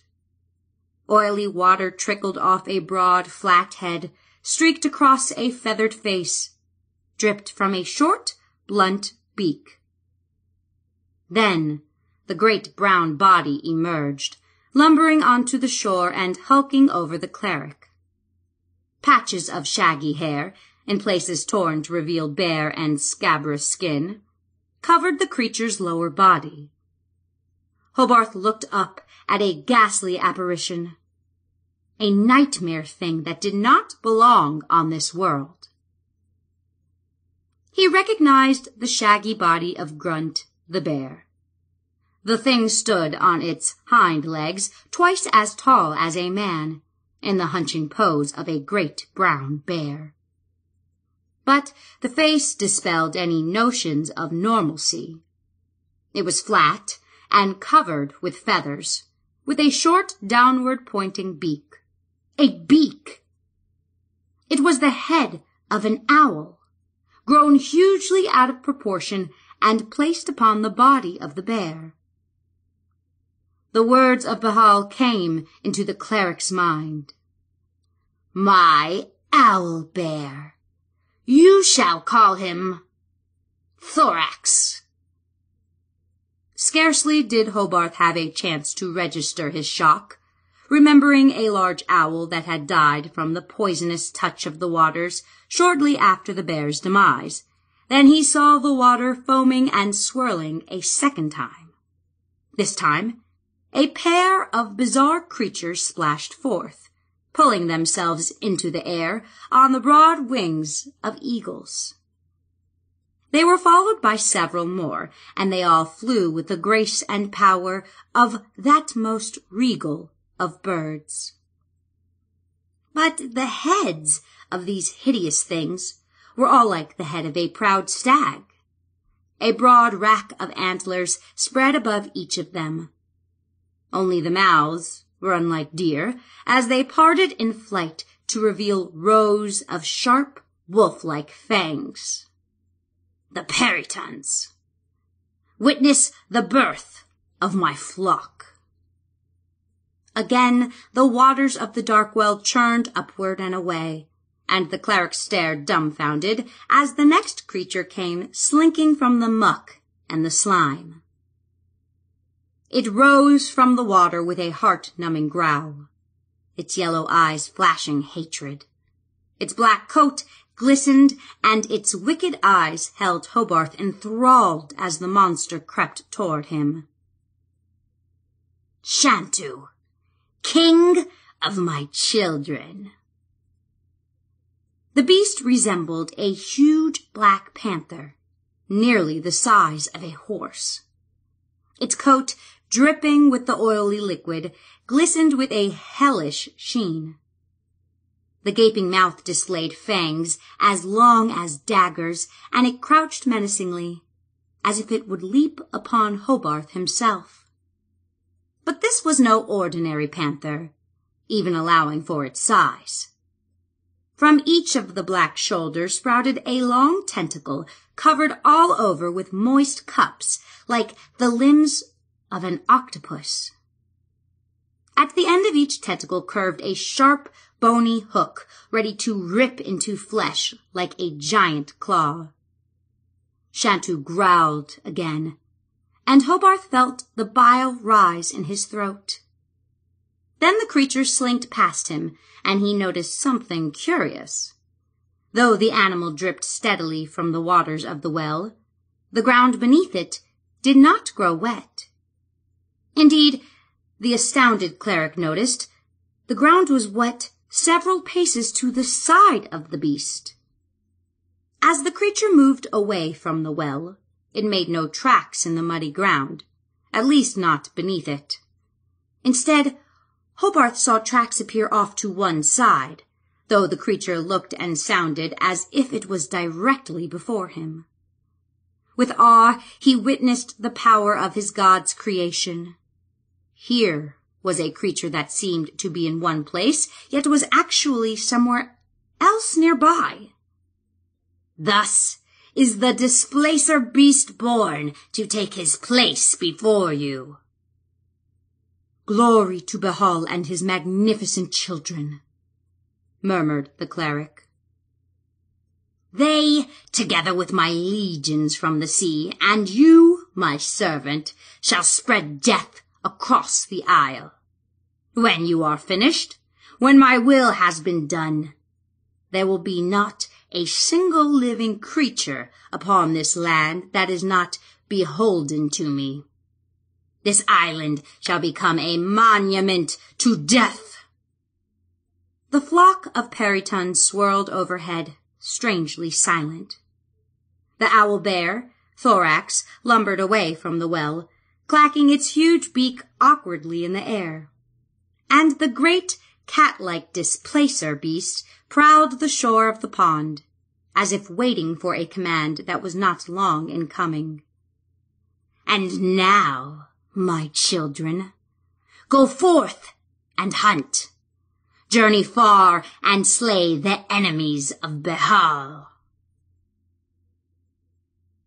The homecoming was all the young king could have desired.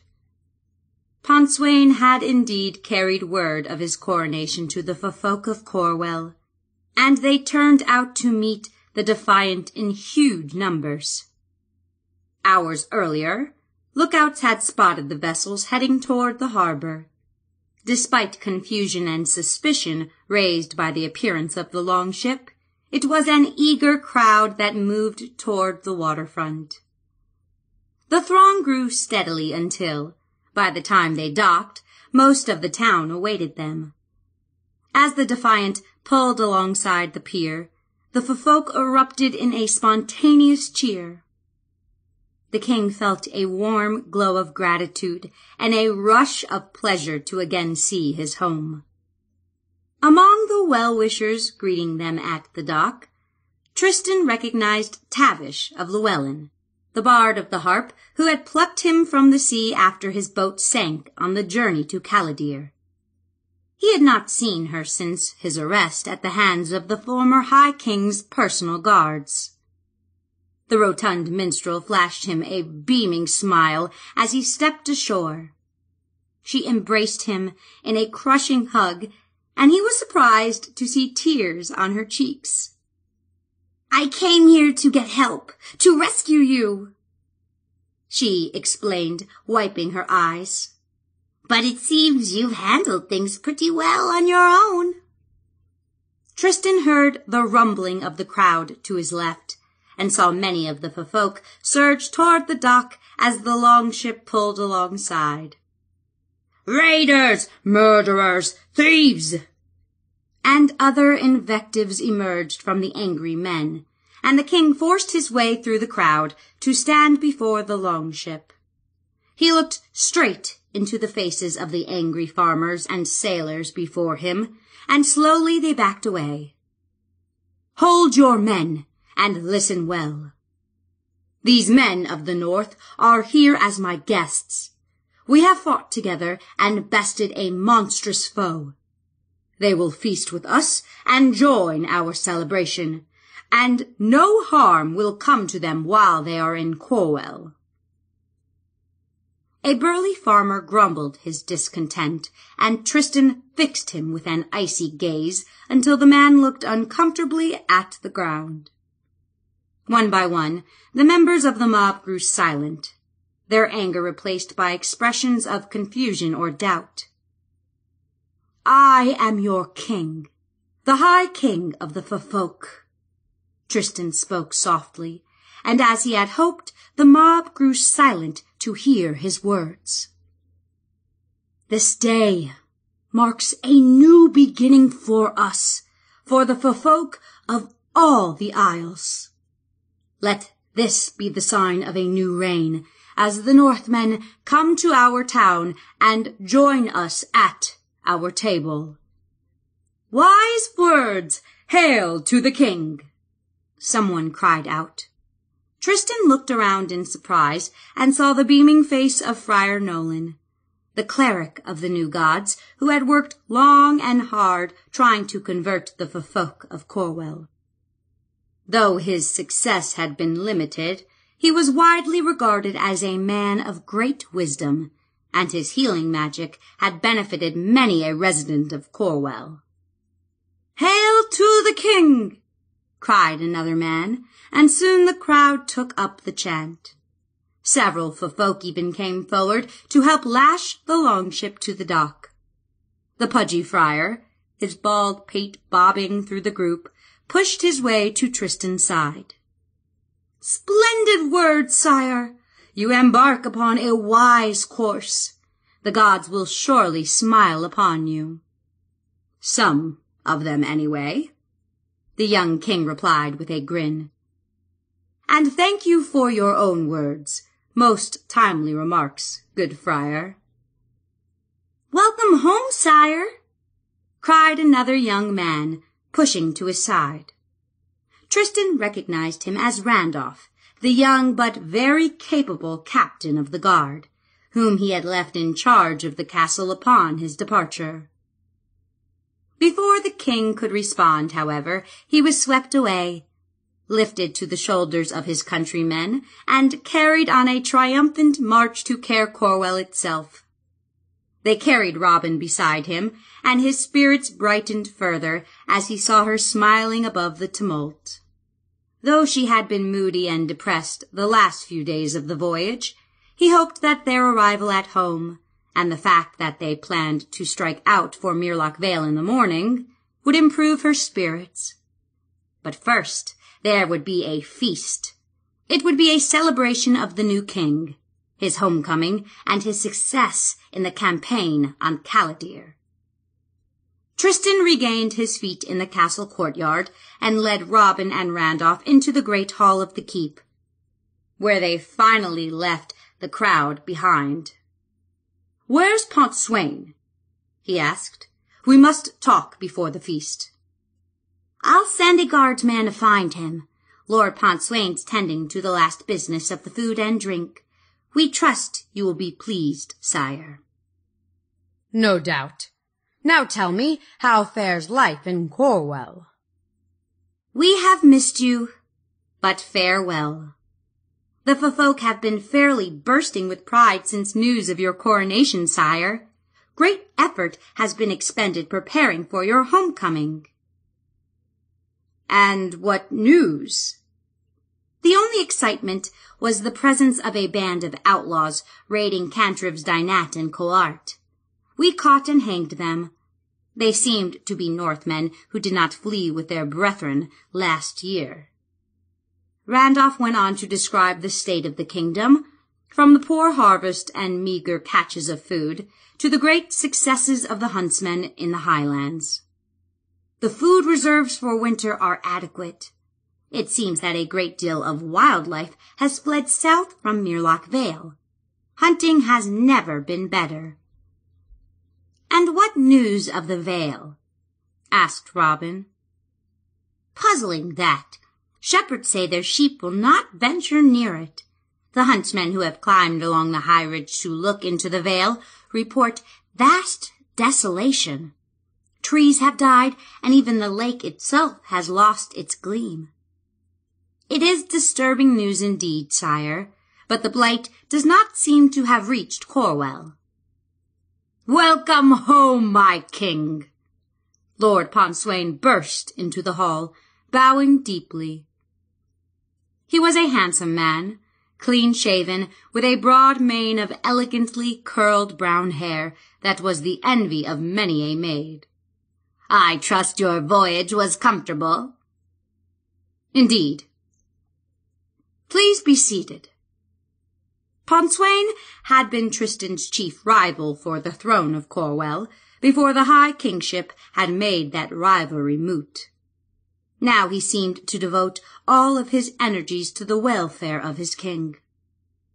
The transition had been so sudden and so dramatic that Tristan still didn't quite trust him.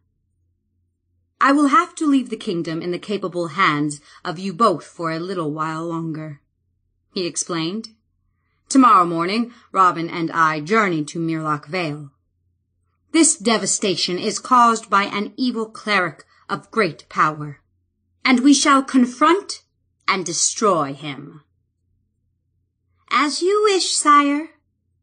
Randolph asked several more questions about the governance of the realm, while Pontswain sat quietly, a distant look upon his features.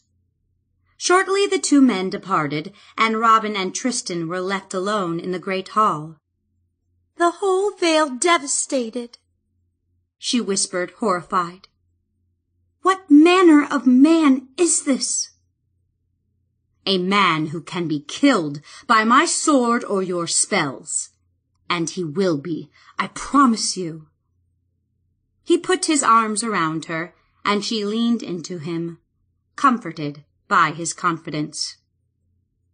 Will you join me in our celebration tonight? he asked. We can do nothing more until the morning. We should enjoy our homecoming. She forced a smile.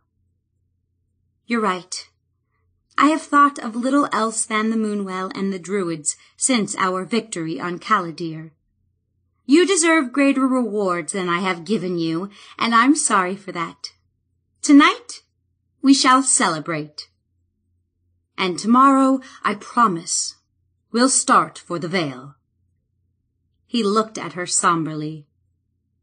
Yes. Robin's voice grew more animated. The scrolls that Grunnarch gave me, I've been looking them over.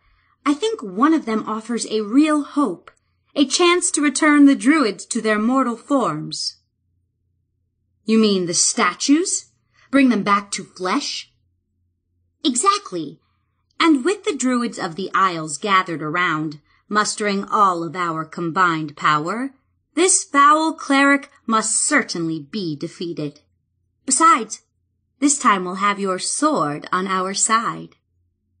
But tonight, Tristan interrupted, we feast. He kissed her, and she met his lips with the full force of her own embrace. For a minute they relished the touch, the holding of each other. Tonight, as we celebrate, Tristan began slowly, hesitantly. May I announce to our people the naming of their queen? Will you be my wife? She smiled softly and kissed him again. He realized in surprise that her cheeks were wet. Then she pulled away to look him full in the face, and the love shining from her eyes brought a fiery warmth to his heart. I do want to marry you. And I shall, I hope. But I cannot make this promise now. But why not? I can't make that commitment until we have rid the Vale of its scourge. You see, I believe I am the only druid left now. I hope that, with the help of the goddess, we can free Genna and the others from their stone prisons. And then I can marry you. I will tell Genna that I cannot take her place as great druid. But if we do not succeed, then I shall be the only hope of the continuance of my order. Tristan, I love you, but that would be a calling I could not refuse. But could we not still marry? I'm certain I could help you with. She silenced him with a finger to his lips. The great druid, and such I must then become, must be chaste. She cannot marry. Tristan was silent, understanding her calling. The knowledge only fueled his determination to succeed. I shall love you either way, and I you, my king. This time their kiss was longer, lingering until the maids entered the hall to begin preparing for the feast. Perhaps we should bathe, he said with a smile, and prepare for the feast. They returned to their separate quarters, relishing the familiarity of their surroundings and each of them dressed in linens unstained by travel for the first time in many ten days. Pontswain had acquitted himself well in preparing for the celebration. In anticipation of the king's arrival, the lord had ordered pigs and a cow slaughtered, kegs of ale iced, Tristan, in defiance of local custom, enjoyed his beer cold, and a multitude of cakes and pies baked. Tristan quickly found himself seated at the head of a huge banquet table in the great hall of Caer Corwell. Also at the table sat Daryth, Robin, Pawldo, Pontswain, Friar Nolan, Captain Dansforth, Tavish, and Randolph. Robin sat to his right, and at his left hand sat Grunnarch the Red. A score of other tables filled the hall, each with benches and chairs for a dozen or more for folk. This, the largest room in the castle, was warmed by four great fireplaces, one on each wall, and illuminated by innumerable torches set in sconces along the walls. It felt good, Tristan decided, to dress in a fine tunic and sit at the head of such a grand table. The aromas of pork and meat puddings mixed with the smoke of the fires causing his stomach to rumble eagerly. When do we eat? Newt demanded indignantly, suddenly popping into view on Tristan's plate. I've been waiting for hours. The king laughed, even as the kitchen doors burst open and kitchen maids carrying heaping platters of food and foaming pitchers of ale emerged. Newt buzzed delightedly into the air and disappeared again. Yazilliclick presumably was resting somewhere. Sprites are notoriously nervous among crowds. Tristan took no notice at the time of the young woman in a peasant garb who took the last seat at the king's table. No one seemed to know who she was, but her appearance was stunning, and since most of the occupants of the table were male, no objection was raised. With a toss of her red hair, she sat among them. Soon Randolph laughed at some humorous remark she made, and shortly thereafter Tristan forgot about her. Robin looked up suddenly, disturbed by a vague disquiet. She looked around the table uneasily, though her gaze passed by the strange woman without noticing her, as if the woman were invisible. Events were moving too quickly for the king to fully accept that his long voyage had finally ended. Everyone talked at once. His mug seemed to fill of its own accord whenever the level of foam dipped more than an inch below the brim.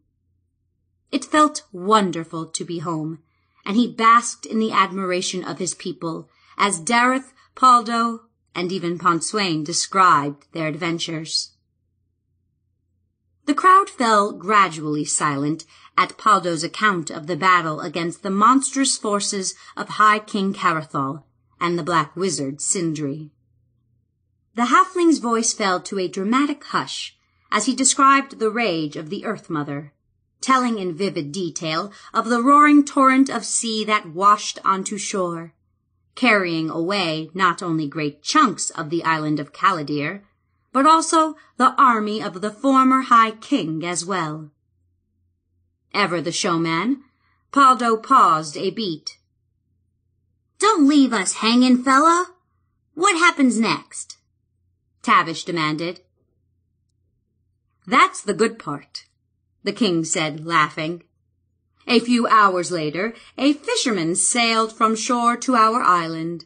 He wanted to know what had happened to his bay. All we could tell him was that it had gotten a lot bigger. And he brought you home to Corwell? Oh, it wasn't that simple, interjected Pawldo again. First, we had to go to Llewellyn. The lord there had a feast for us all and summoned all the lords of Callidyrr to attend the official coronation. He looked at Tristan with pride, as if he personally was responsible for his old friend's ascent to the throne. The celebration went on for a ten-day. Of course, Pontswain took the first ship out to bring word to Corwell. But those Caladirians, Caladites, couldn't get enough of our hero. Tristan stole a guilty look at Robin as Pawldo continued, and she smiled back at him. Newt swooped back onto Tristan's plate, lighting among clean-picked bones, and looked around for a snack. Here, Tristan joked, tilting his mug toward the dragon. To his surprise, Newt stuck his muzzle into the foamy ale and slurped loudly, smacking his lips as Pawldo continued the tale. Finellen and the dwarves decided to walk home, though how you walk from one island to another, I'm sure I don't know. Then the storm hit, and we had to stay in Llewellyn even longer. Not that we minded, of course. But finally, Captain Dansforth and the Defiant were ready to sail, and here we are. This black wizard, asked Grunnarch as the guests turned again to their own conversations. Is he an aspect of the evil you spoke of? I am certain of it. Tristan frowned at the memory. The beast that corrupted your own leader and the foul sorcerer at his command both conspired to destroy the peoples of the Isles. But did they serve the same master? The wizard was but a pawn like we are, stated Robin bluntly. Tristan looked at her in surprise as she continued. The true nature of the threat we face is a chaotic force of evil, far greater than magic, and even greater than the beast. How do you know? asked the Northman. I have seen the corruption strike at the very soul of the land. My teacher and the druids who fought beside her, with all the faith of the balance and the land behind them, were not enough to stop it. Neither Robin nor anyone else noticed the bright gleam in the eyes of the red-headed woman as she leaned forward to catch every word of the young druid's explanation. The power behind this evil is greater than could be wielded by any man, even a sorcerer such as Sindri. The power is served by a cleric of incalculable evil, but even that cleric is but a pawn. There is only one answer. Our islands are threatened by one of the dark gods. Robin spoke softly, but all of those at the table looked furtively toward her as she spoke. All except Newt, that is, who took the opportunity to steal another and then a third sip from Tristan's mug. The red-haired woman licked her lips, while the others stared with expressions of apprehension or disbelief. Grunnarch frowned. Why should one of the dark gods desire the Moonshaes when there are rich empires? Calimshan, Thay, Waterdeep, all across the realms. What do we have here? Robin bit her tongue, holding back an angry reply. She realized that he really did not understand. These islands have a life of their own. Perhaps that is one reason our people make war on each other with such regularity. The Ffolk have always felt that the men of the North do not treat our land with the reverence it deserves.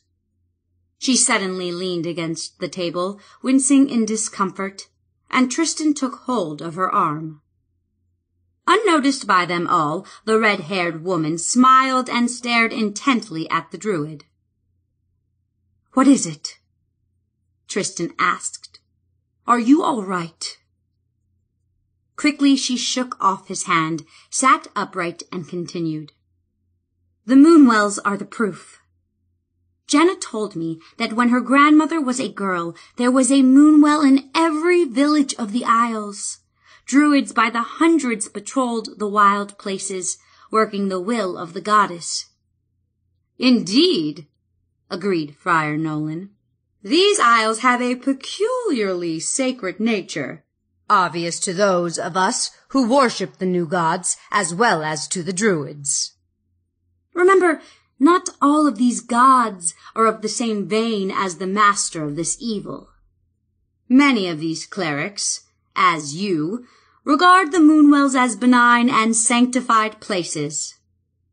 But there are no moonwells on Norland, protested the Red King. And then he looked thoughtful. Precisely. And as the faith of the people wanes, as more of the lands are taken from the Ffolk, the power of the goddess grows weaker. Suddenly Robin shook her head violently, and the color drained from her face. But the enchantment of the land remains?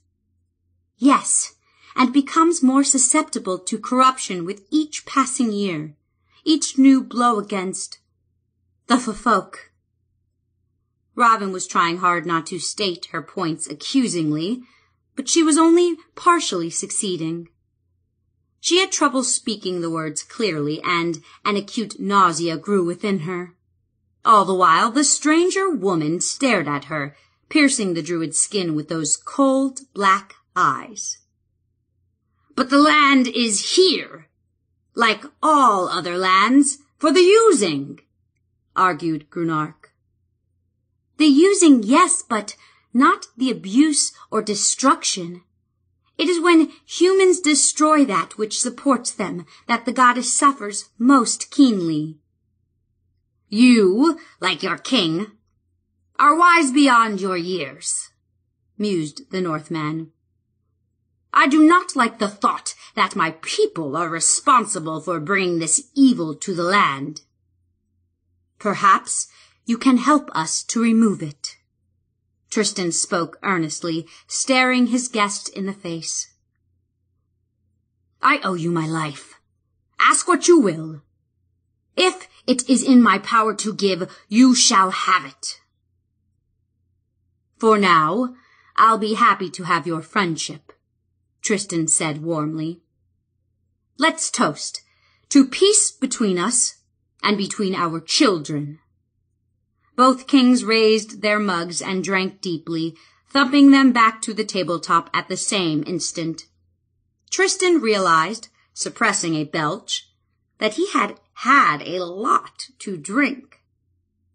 Time for some dancing, proclaimed Tavish suddenly. She rose and unstrapped her lute, checking the tunings of a few errant strings. Eager for folk pushed some of the tables aside, and Tristan turned to Robin, ready to kick up his feet. She shook her head in confusion, and he leaned over toward her, again concerned. I'm sorry, she said weakly. I'm not feeling well at all. I think I'd better go to bed. He offered to walk her to her room, but she declined. Well, Wake me at first light, he offered. We'll ride at dawn. She looked at him skeptically.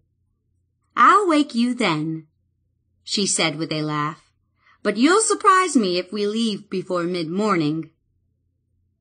With a forced smile, she left the hall. Tristan turned back to the table and bumped someone who had not been there a moment earlier. With surprise, he saw the red-haired woman wiping the contents of a spilled mug from her apron. Excuse me, he said. Let me... That's all right, she interrupted. She smiled at him, a rich glowing look that caused his blood to race. He had not noticed earlier just how attractive she was. Satyr he said, not knowing why he offered the seat Robin had just vacated. Move, Newt! He pushed the fairy dragon aside, and Newt, with an indignant humph, disappeared. The woman handed him another mug as he sat heavily beside her.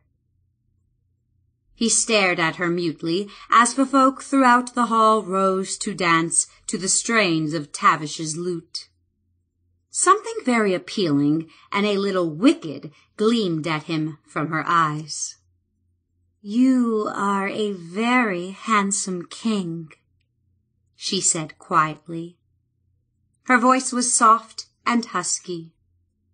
His head swirled and lust rose unbidden within him. Her hand fell softly on his leg, and the pressure of her fingers burned into his flesh. Who are you? He realized as he asked the question that her answer would mean nothing to him. It didn't matter who she was. He did know that he wanted her with a physical yearning beyond anything he had ever felt. Tristan was unaware, or chose to ignore, the uncomfortable looks of Pawldo and Randolph as his two friends cast sideways glances at their king.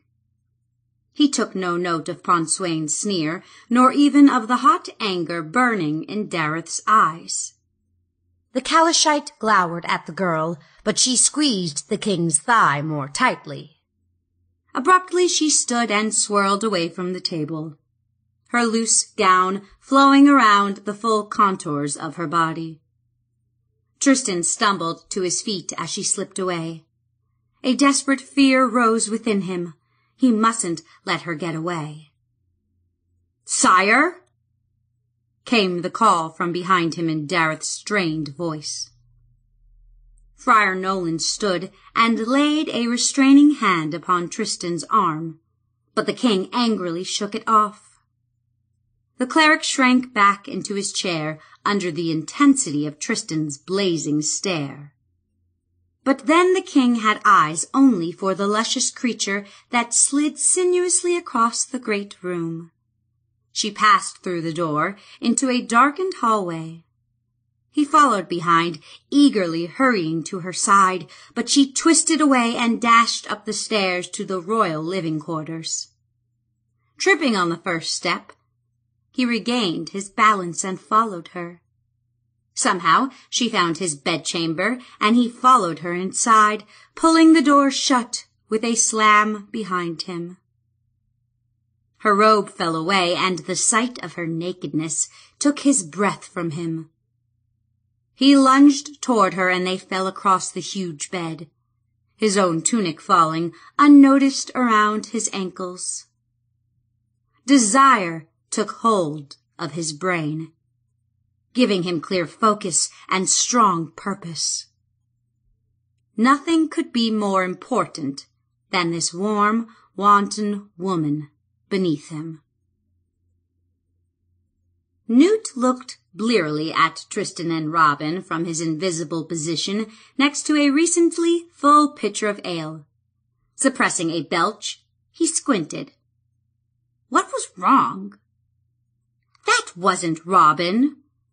Sitting up in shock, the little dragon watched the woman, that floozy, lead the unfortunate Tristan toward the door.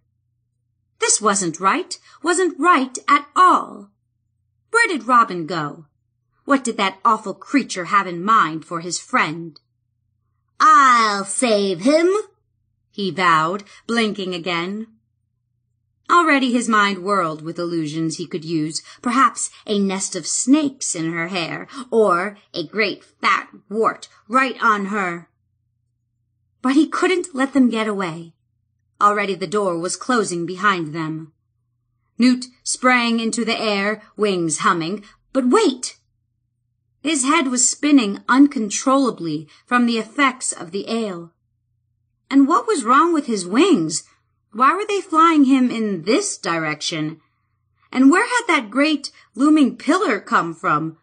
The one right in front of his nose. No one in the hall heard the tiny thunk as the dragon crashed, and Newt knew only blackness as he fell lightly to the floor. Once behind the solid oaken door to her room, Robin began to feel better almost immediately. The sudden queasiness passed, and she decided it must have been a combination of excitement and too much food and wine. She lay on her familiar down mattress and dwelled for a moment on her glowing pride in Tristan.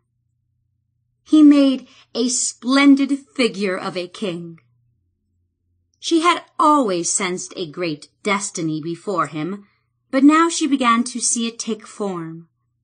Would that he could end the centuries of strife between Northmen and Ffolk. And after that accomplishment, where would he go next?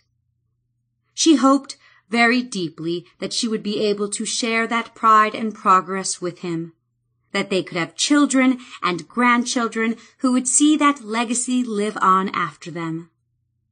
And with him at her side, she felt confident that they could conquer the evil cleric and his legions in Myrloch Vale. Suddenly she sat up, thinking of the celebration in the hall below. Her illness had passed. There was no reason she shouldn't go back and enjoy herself. And Tristan had been disappointed, she could tell, when she had left.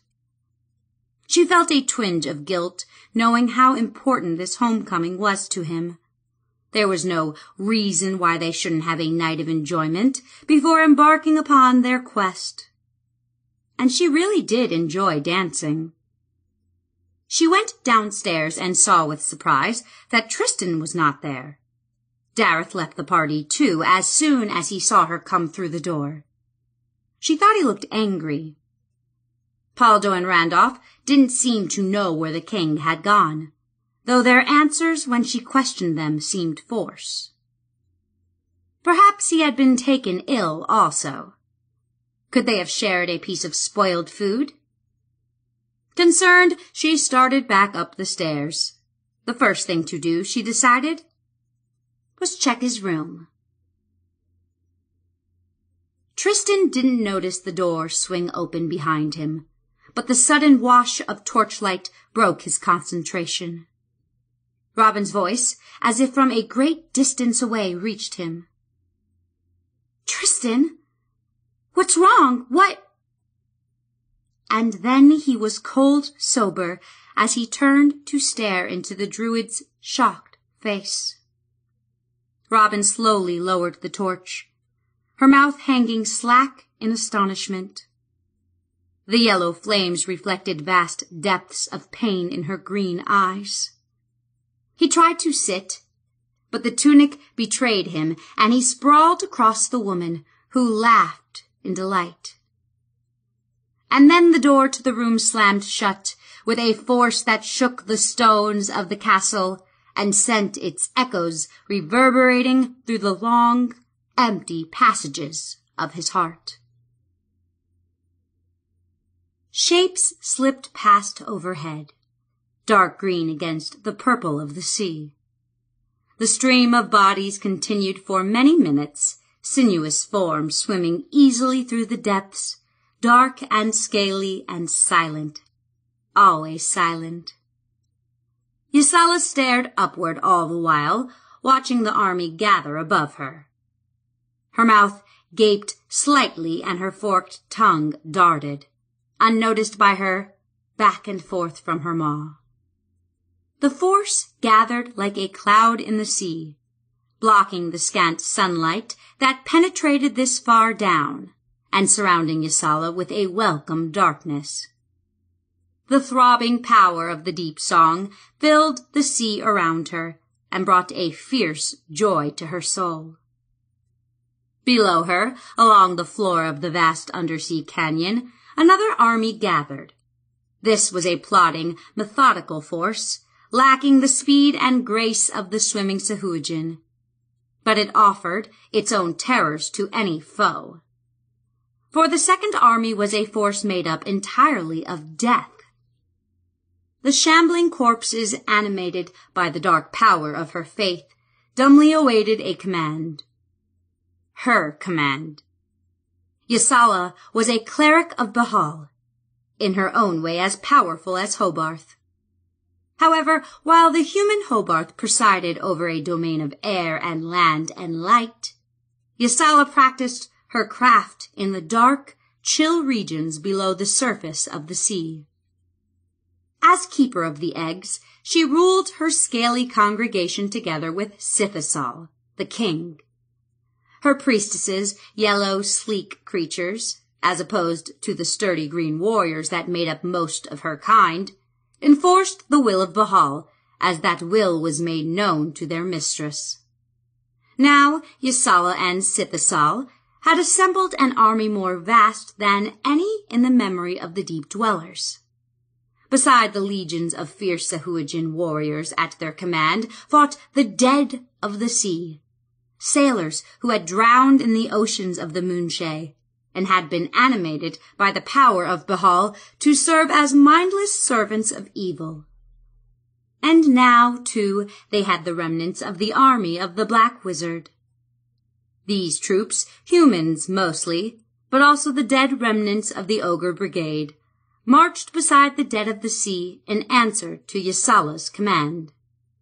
And over them all swam the sleek legions of Sahuagin, ready to burst forth from the surf to lay waste to the lands of Northmen and Ffolk alike. They awaited but the command to march. Summoned by the thrumming cadence of the deep song, the army massed in the city of Kresolak, deep beneath the narrow realm of men.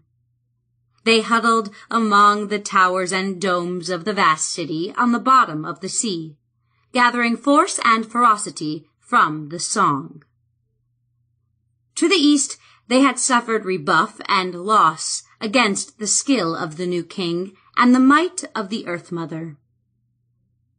Yasala sensed that the goddess was not the threat she had been, and the new king was now a hated enemy. The king gave focus to Bhaal's hatred in a new direction, and so he directed his priestess toward the west, toward Corwell. Yasala keened sharply from her temple, high on the canyon wall of Kresolak, summoning her priestesses to the sword. Sithasel called his legions together, and they started on the march to the west. Propelled by the command of Bhaal, they would march to land and lay waste to all the settlements of man they found there. Northmen of the Ffolk, it mattered not. The claws of the deep would slay regardless. The god of murder dangled a tempting prize before them. Should they slay the humans along the shore and destroy the ports of Gwynneth? Bhaal would reward them in a way Yasala could only dream about. For if they emerged victorious, Bhaal had promised to sink the island. Gwynneth and the kingdom of Corwell itself would fall beneath the waves to become the permanent realm of the Sahuagin. The Earth Mother had reigned over the Moonshae Islands far longer than any of the men who had made their homes there. Even the graceful Llewyrr, the elves who had once claimed the islands as their own, had come to a land where the goddess already ruled unchallenged.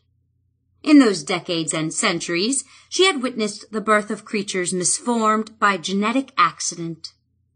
She had beheld the cruel ravages of disease, often deforming and crippling the animals that roamed her lands. All too often, she had been forced to bear the scars of war, the cruelest of such crimes, for it was the most avoidable.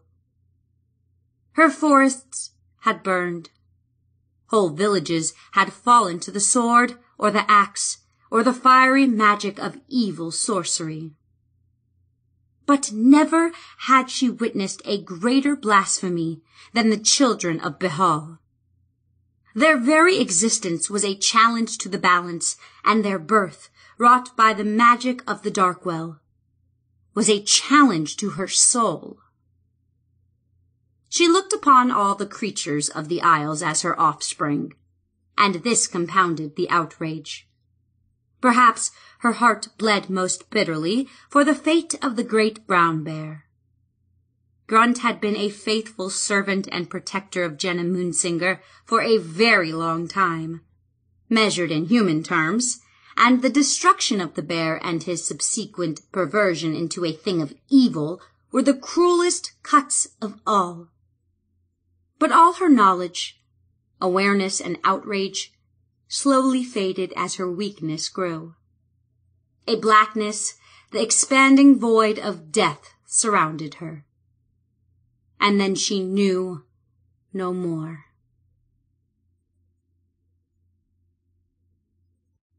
Chapter 4 On Wings of Wind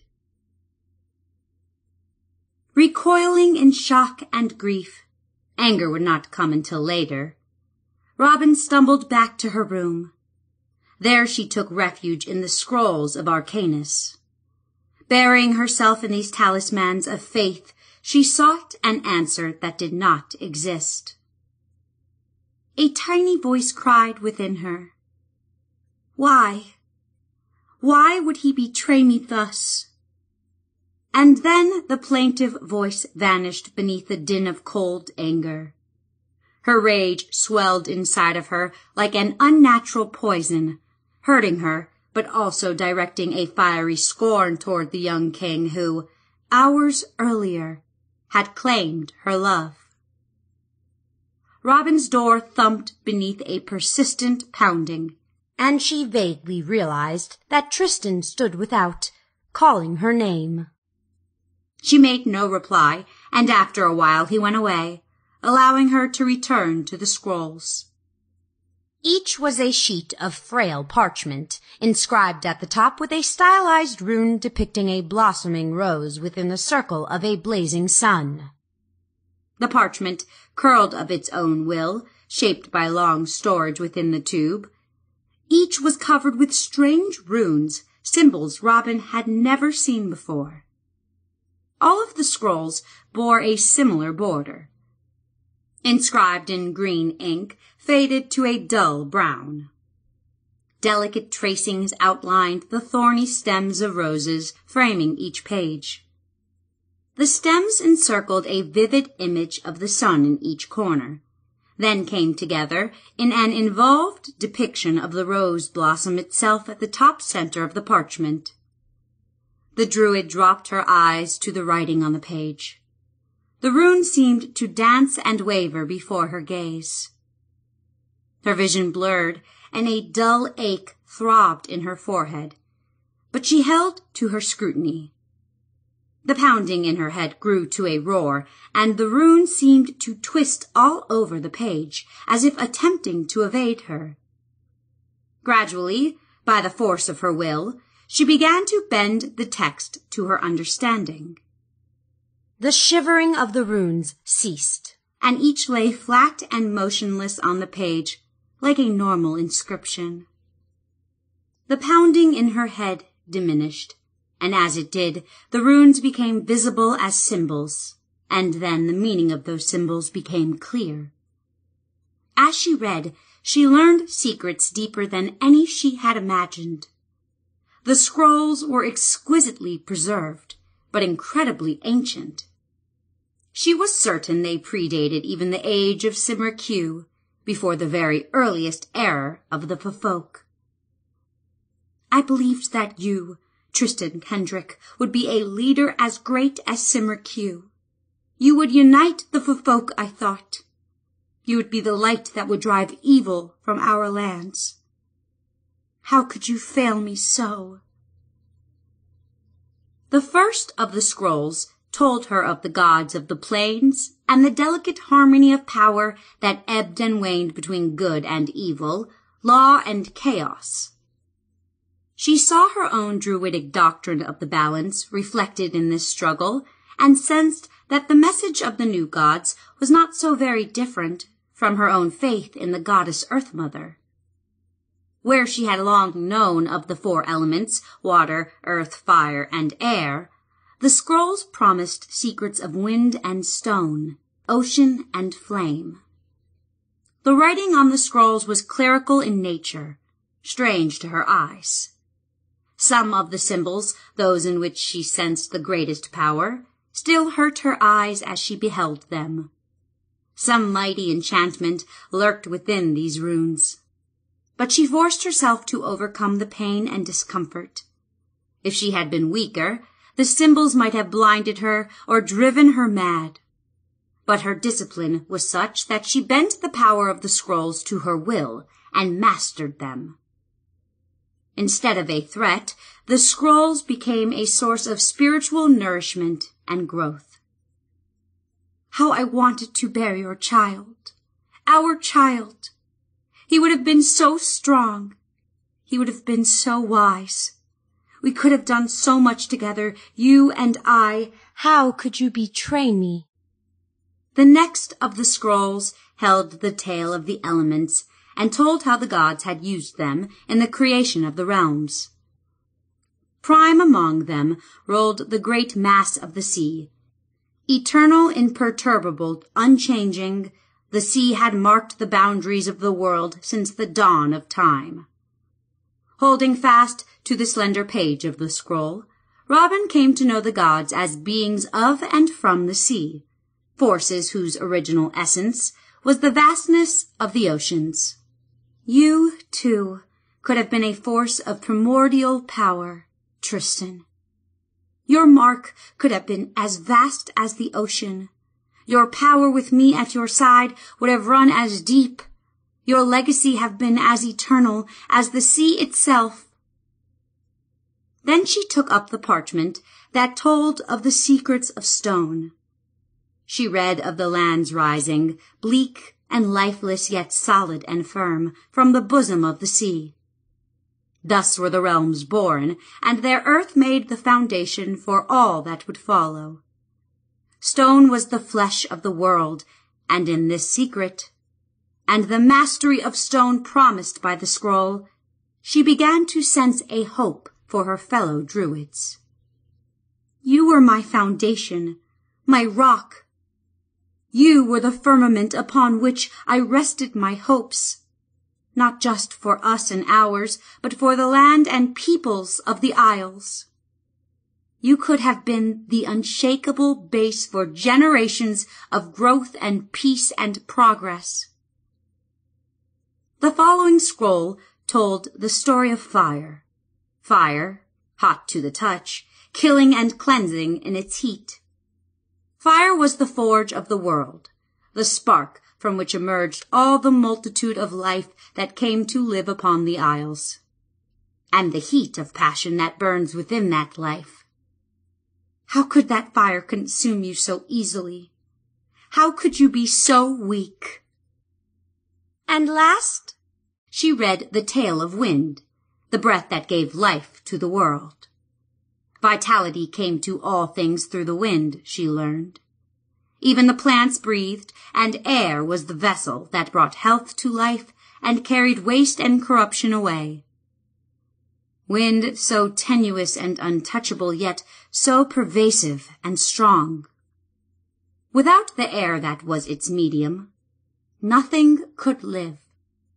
Was our love so tenuous, so weak, could you be so frail that the touch of a strange woman's hand was enough to draw you from me?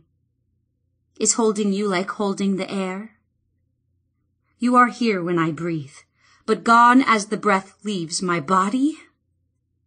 As dawn colored the eastern sky, her grief dimmed, only to be replaced by the cold fire of anger. She confronted the reality of Tristan's betrayal, and she found she could not forgive him.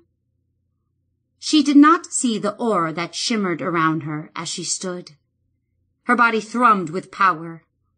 The enchantment of the scrolls possessed her soul.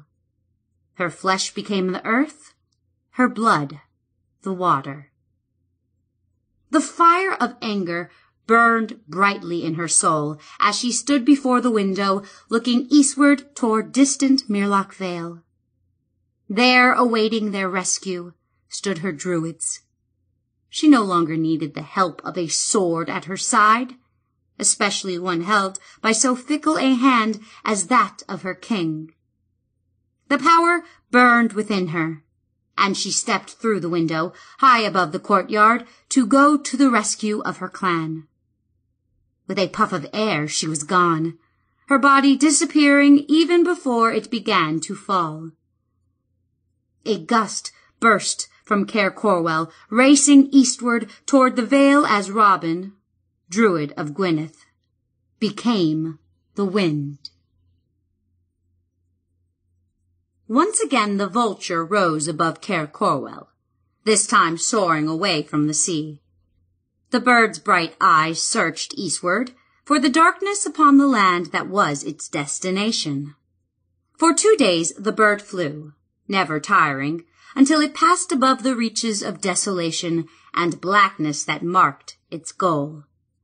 Genna the Druid, but also Kazgoroth, the minion of Bhaal, arrived at her master's lair in the Darkwell. Her body shifted easily back to that of the Druid, and she quietly informed her master that her task was done.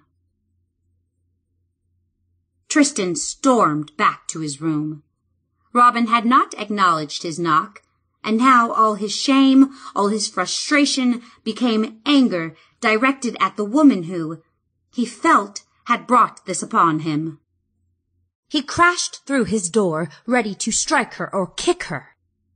He would drive her from his castle. But she was already gone.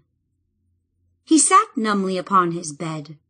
The haze of drink had fallen from his brain, and now he thought about the woman. It didn't strike him as odd that he had never seen her before. Even as prince, he had never traveled across all of Corwell. Yet she had seemed to know him, and the effect of her eyes and her body upon him had been like a powerful drug. Slowly he convinced himself of a lie that she had bewitched him somehow into betraying his beloved. His mind would not accept the reality that the betrayal occurred because his own will was weak. He thought of the celebration still proceeding in the hall. As midnight approached, the revelry would be reaching its height. The bitter knowledge of his shame held him to a seat. He could not bear the looks that would fall upon him from his friends, his subjects. Daryth's burning look of accusation as he had left the hall came unbidden into his mind's eye. The longer he sat and brooded, the blacker his mood became. He leaped to his feet and paced the length of the large bedroom, raging silently. He would make it up to Robin, he vowed. He would go to Myrloch Vale and confront the evil there with the sword of Cymrych Hugh. Then she would know the depths of his love for her. Somehow, this made his shame bearable. He walked from the room, passing slowly by Robin's door. Tempted to knock, instead he listened softly for a moment, but heard nothing. Then he went down the wide stairway and re-entered the great hall. Tavish still played her lute, and most of those present sat quietly, enthralled by a ballad of young lovers. Carefully, the king returned to the head table. The others turned as he sat. Pawldo quickly avoided his gaze, and he saw the look of disappointment, even anger on Daryth's face. More annoying to him was the leer of amusement with which Pontswain regarded him. Grunnarch the Red smiled pleasantly, apparently unaware of anything untoward. The king looked boldly at his companions, but he felt the red blush of his shame rise into his face. Never mind. His friends would forgive him when he explained his plan of action, and Tristan cared very little what Pontswain thought. Tavish returned to the table as Tristan leaned forward to speak to his friends gathered at the table. The folk at the other tables paid no attention as they joined again in their own conversations. He saw no sign of the red-headed woman, and for this he felt great relief. In the morning, Robin and I embark for Myrloch Vale. There we will confront this foul cleric and destroy him. And when we return, the celebration can truly begin. Daryth's eyebrows rose in surprise, but his face remained masked by a scowl. Pawldo nodded, and Tavish, who arrived at the table as he made his announcement, beamed. This time I'll be there with you, declared the bard, There'll be a song in this that'll last for the ages, to be sure. I, too, shall place my axe at your side, declared Grunnarch solemnly, surprising the young king. Thank you, Grunnarch, but I cannot, will not, ask you to accompany us on this mission. We will fight a battle for Corwell's heart, but it is a battle that must be waged by the Ffolk. The Red King scowled, and Tristan wondered if he had offended his guest. There is a greater task you can perform, Grunnarch, if I can ask it of you. He hastened to continue. Can you go to your people and tell them of our peace? Tell them that the time of war between Ffolk and Northman is over. That is no task for a fighting king. Perhaps not. But I ask you, can you do it? The enemies of our islands lie not just in the heartland of Gwynneth. The Sahuagin who attacked our ships are ample proof of that.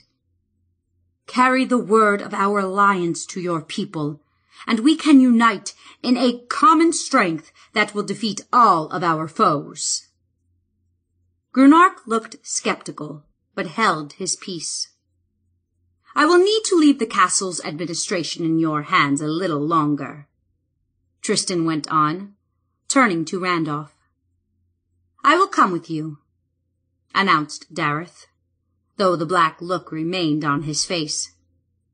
Someone'll have to keep you two alive, grumbled Pawldo. As usual, it might as well be me. Tristan felt a burst of relief as his two old comrades declared their intentions. He had not previously realized how much their support meant to him. The memory of his shame fell to the rear of his thoughts now, as planning for the expedition accelerated. But then he noticed the crown of the Isles gleaming in its place at the center of the table, where he had placed it at the start of the banquet. Its purity seemed to mock him, its brightness causing a physical pain to his eyes. Impulsively, he stood up.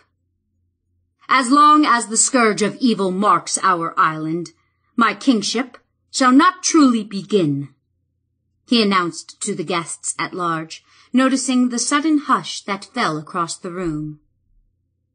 I shall leave the crown, the symbol of my past victories, here at Corwell, awaiting my triumphant return. Then, and only then, it shall be placed upon my brow in my own castle, and here before you all I shall take my place as High King of the Ffolk. A thunderous volley of applause exploded from the people, warming the king and seeming to wash his guilt away. That would truly be a grand event, he imagined, with Robin at his side and evil vanquished from the land. In the excitement, he failed to notice Tavish's look of alarm following his announcement. She studied the crown with concern, then looked back to the king. She admired and even loved him, but now she feared he was embarking on an act of folly. Tristan sat again, and planning for the excursion continued. Tavish, he learned, had returned to Corwell upon the king's powerful stallion Avalon from the stable at Kings Bay, where Tristan had left him months earlier. His spirits rose still further at the knowledge that this sturdy steed would carry him into the vale. Finally, the details had all been addressed. The revelers had left the hall. Virtually forgotten was his momentary dalliance with the red-headed woman. Perhaps it had all been a dream. Certainly it seemed logical that Robin would have forgotten about it as well. He had managed to convince himself of this. At dawn, he climbed the stairs to the living quarters. Before retiring, he would tell Robin of their plans. She would be delighted, he knew. But again there was no answer, and a sick feeling of worry gripped him. In panic, he smashed the door with his shoulder and then kicked it aside with his boot. He stumbled into her room, looking frantically around. He saw her window standing open, with its airy view high above the courtyard. But the druid, together with her staff and scrolls, was gone.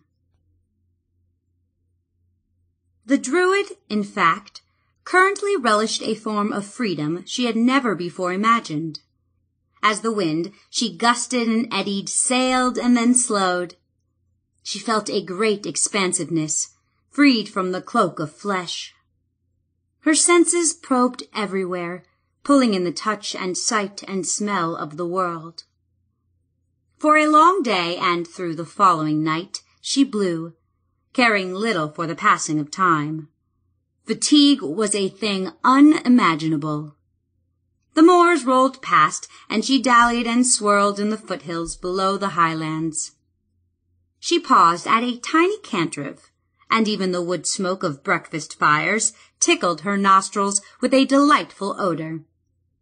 The white ribbon of Corwell Road meandered below her as she swirled toward the center of Gwynneth Island. Finally, she judged the time had come to turn northward, toward Myrloch Vale. The power of the scroll possessed her completely. The words, runes actually, had been vibrant with power. Now that magic, sanctified by the gods in a time long past, became Robin's tool she used it with skill and vigor, becoming a new element in pursuit of her goal. She hurled herself at the highlands, storming up a vale, roaring through a narrow defile. Now Robin was a wind of storm, gathering strength as she rose into the chill, barren reaches. The forested hills of Corwell still glowed green, as the fir trees cloaking them retained their foliage even after the approach of winter. She sensed little wildlife, as the deer and badger and rabbit had all migrated to the lower reaches for the cold season. As she rose higher, the trees gave way to rocky, barren slopes. Great patches of snow lay in drifts along many of the ridges. Deep ravines fell into chasms, and then valleys that trailed to the warm, green country behind. She did not sense the waning of her enchantment, but the spell had begun to lose its potency. Though mighty, it could last for but a limited time. Snowflakes pranced around her as she crested the great ridge, the summit that separated the human realms of Corwell from the wilderness of Myrloch Vale. And here the storm broke into chaos. Robin crashed into a barrier of evil so potent, so pervasive, that her soaring momentum vanished into nothingness. Where the land behind her had been clean and healthful, full of nature's vitality, she recoiled now faced with a vision of death, decay, and corruption. The devastation began at the crest and trailed into the vastness of Myrloch Vale.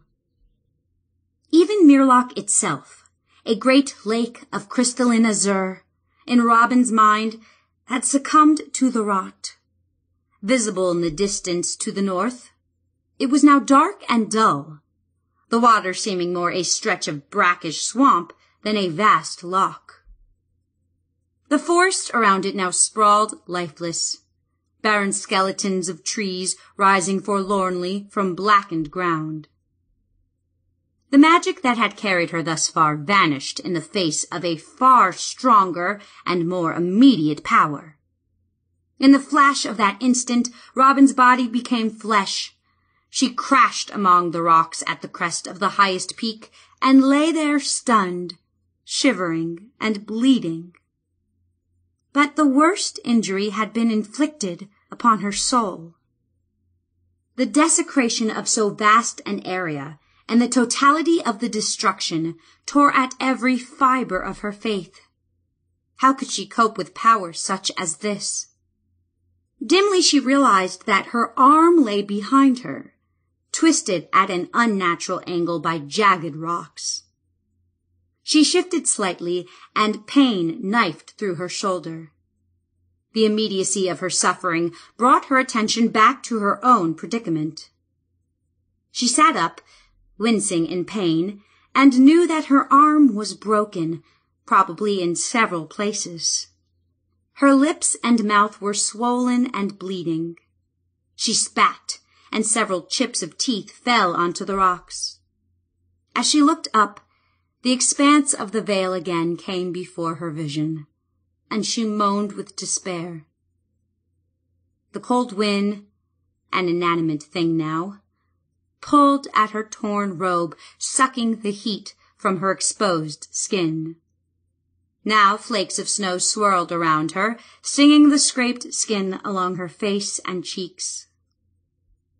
Mother, I have failed you, she thought in despair. She did not know if she spoke to her spiritual mother, the goddess, mother of all the isles, or to her true mother, the druid she had never known. It didn't matter, really. I shall die on this rock. My anger has sent me on a fool's quest, but must the punishment be so harsh? Slowly the pain disappeared from most of her body, though her arm and shoulder continued to throb. Was the chill numbing her senses, or had the pain indeed eased? She twisted again among the rocks, trying to avoid a root she felt jabbing into her back, and then her mind began to work. There could be no root where there were no plants. The plainly wooden surface annoying her must be something else. Biting her lip to keep from crying out, she turned to see her staff pinned between two rocks. Awkwardly, with her good hand, she pulled it out and laid it across her lap. She had no strength to call for its magic, but its mere presence comforted her none the less. Another unnatural thing caught her eye, and she gasped with relief as she saw the ivory tube containing the scrolls of Arcanus. The container lay below her feet, in a shadowy crack beneath an overhanging boulder. With relief, she confirmed that she had carried her talismans with her. The accoutrements of faith brought hope back once again. Perhaps she would not die here. It would take more than a few bruises to break the will of a druid of the Vale. She closed her eyes and slowly, carefully, rehearsed the words to a simple spell. She was weak, and her mouth was wounded. She could not take a chance on misstating the incantation. Matro Caerleus Doniti Harum. She whispered the words to her spell, and the healing magic spread through her shoulder, into the length of her arm. She felt the torn muscles mend, and even sensed the bonding as the shattered ends of bone fused again into one. For precious seconds the curing spell tingled within her. But then the magic faded, dying away in a last flutter of healing. She grew weak and dizzy, finally slumping against her rocky seat. For a moment her world went black, and then she awakened with a start. She moved her arm experimentally, and pain again lanced through her shoulder but it was more bearable now, and the arm answered the commands of her brain in its movement, however begrudgingly. The healing spell of a druid was not potent, but it did help. And after a brief period of prayer, she could use it again. Closing her eyes and forcing herself to ignore her pain, Robin relaxed. The familiar sensation of peace came over her, and she called upon the mother to restore her spell to her. She awaited the smooth flow of power that would be the answer to her prayer, but there was nothing. Again and a third time she prayed for her spell, but she could get no response from her goddess. A chill sensation of fright and loneliness closed about her and she found it impossible to concentrate any longer on prayer. Grim and afraid, she tried to move. She found that she could stand up and did so, Carefully lifting the scrolls, she looked for a pouch or pocket in which to place them. Settling for her apron, Robin carefully wrapped the tube in cloth, binding it against her back.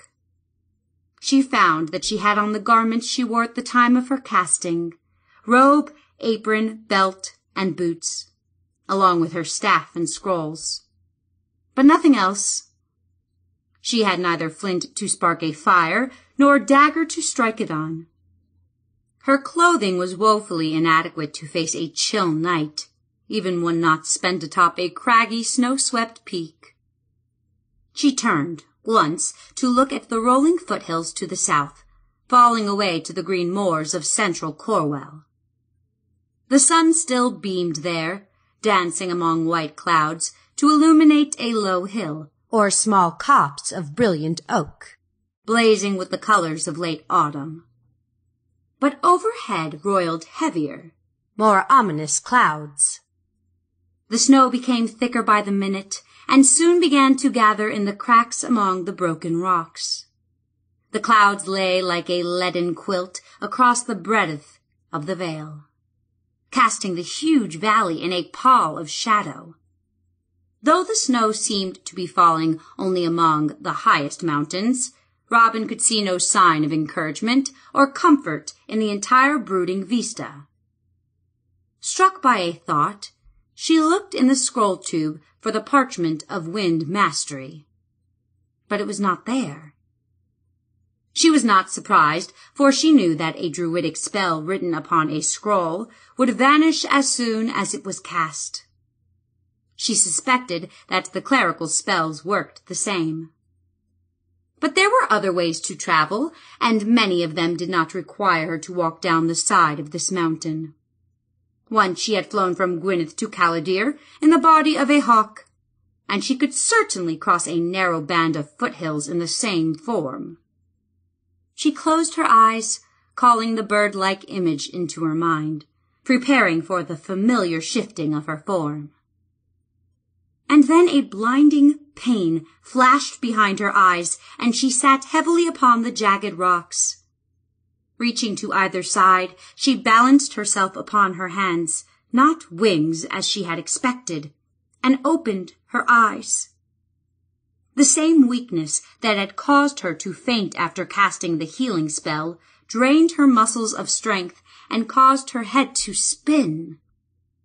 For an awful moment she felt a horrible surge of panic rising in her stomach.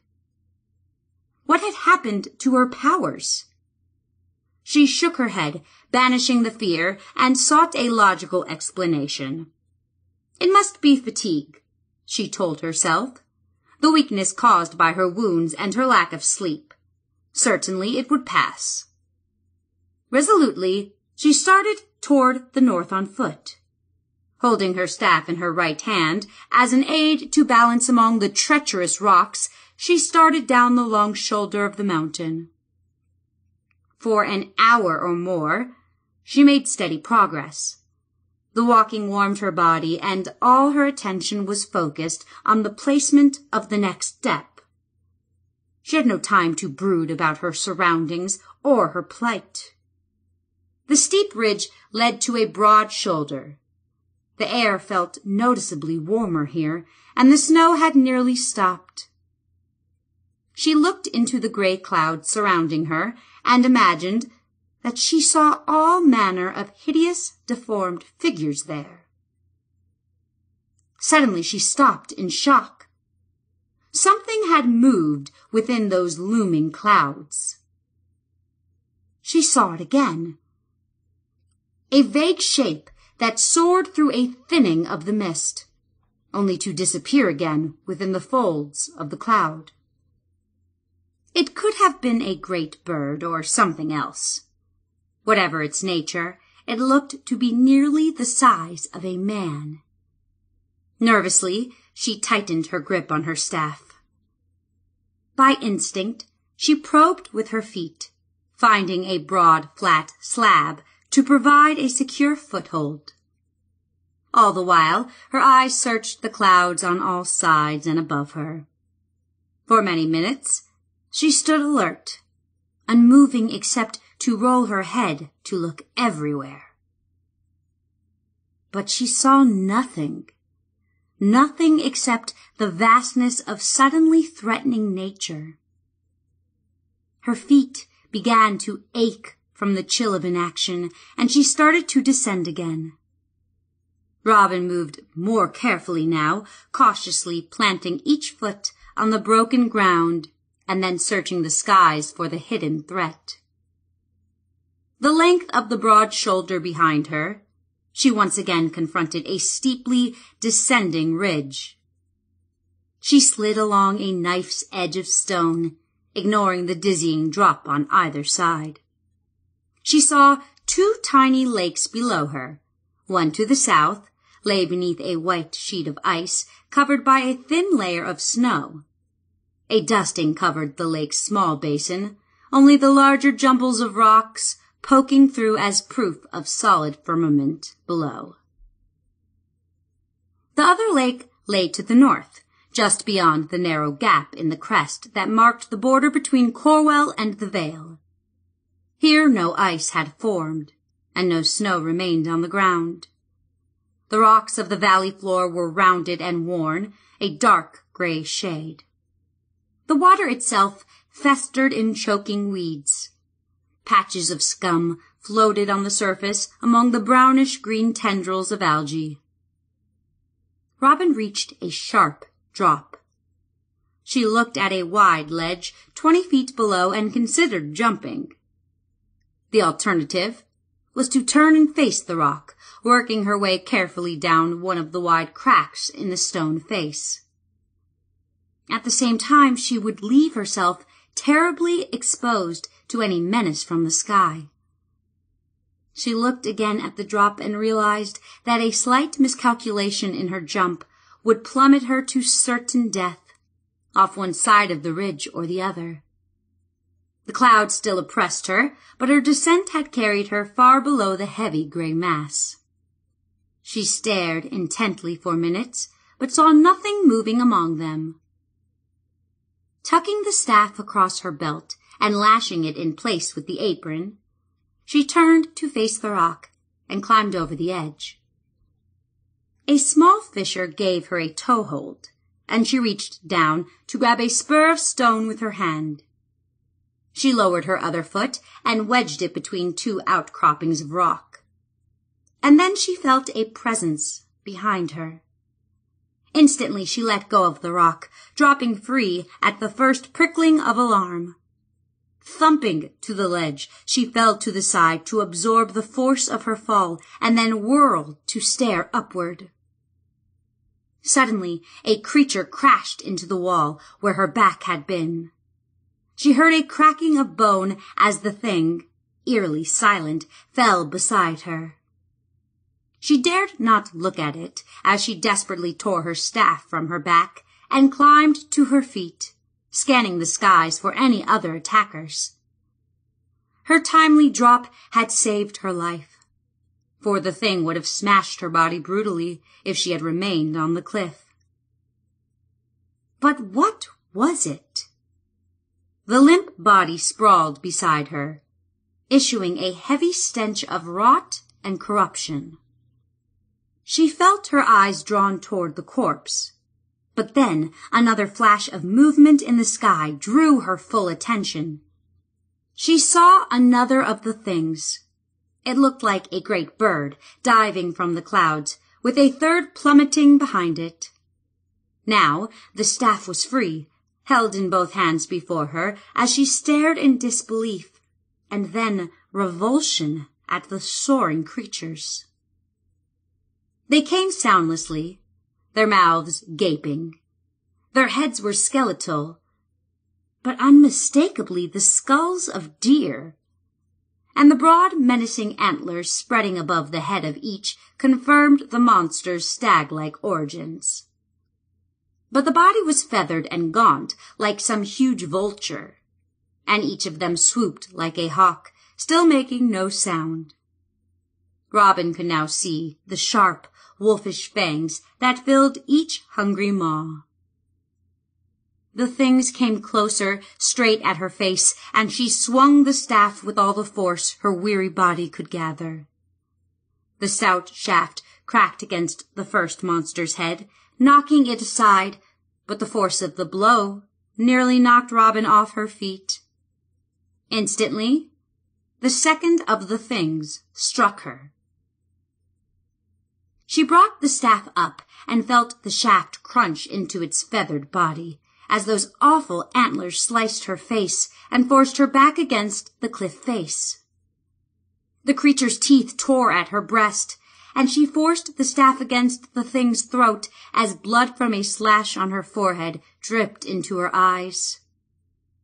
The creature snapped at her again, but she pushed it away. The monster had black, soulless eyes, or maybe they were just empty sockets staring from that rotted skull. Robin could not be sure. The teeth snapped again at her left breast. Suddenly, she was acutely conscious of her pounding heart, thumping almost audibly from her exertions. The beast lunged forward again, and this time she crushed its throat with the force of her resistance, and she understood its lust as it died. It hungered for her heart. The body fell lifeless at her feet, and she stumbled back in horror as she saw the beast clearly for the first time. The stag's skull, framed by a proud rack of antlers, could have been taken from the body of a deer and transplanted onto the headless corpse of a great eagle for all its gory looks. But the thing had lived. And one other, at least, still did. The first monster, the one she had clubbed aside with her staff, suddenly swept upward from the valley. It had taken a long dive, but now it attacked with undiminished fury. Robin, through a bloody haze, saw it coming and staggered to the edge of the ledge. She could barely raise her staff, and the creature was soaring toward her with savage momentum. In that instant, she realized the futility of further combat. If she stayed to fight this thing, she would die, for she had no more strength.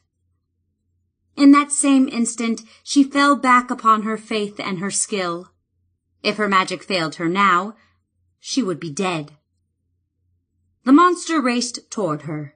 Its wicked antlers spread like a score of lances. But Robin no longer stood before the attacker. Instead, she dropped to all four of her feet and scuttled toward a crack in the rock. Her tail whisked out of sight as the creature thumped into the rock wall. Her tiny heart pounded many times a second as she turned to stare anxiously from her sheltered niche. She chittered and chirped nervously, unable to restrain her invective. The monster landed outside and slashed at the crack with its crooked claws. But the fury marmot that was Robin of Gwynneth drew farther back in the cave and chattered an angry challenge.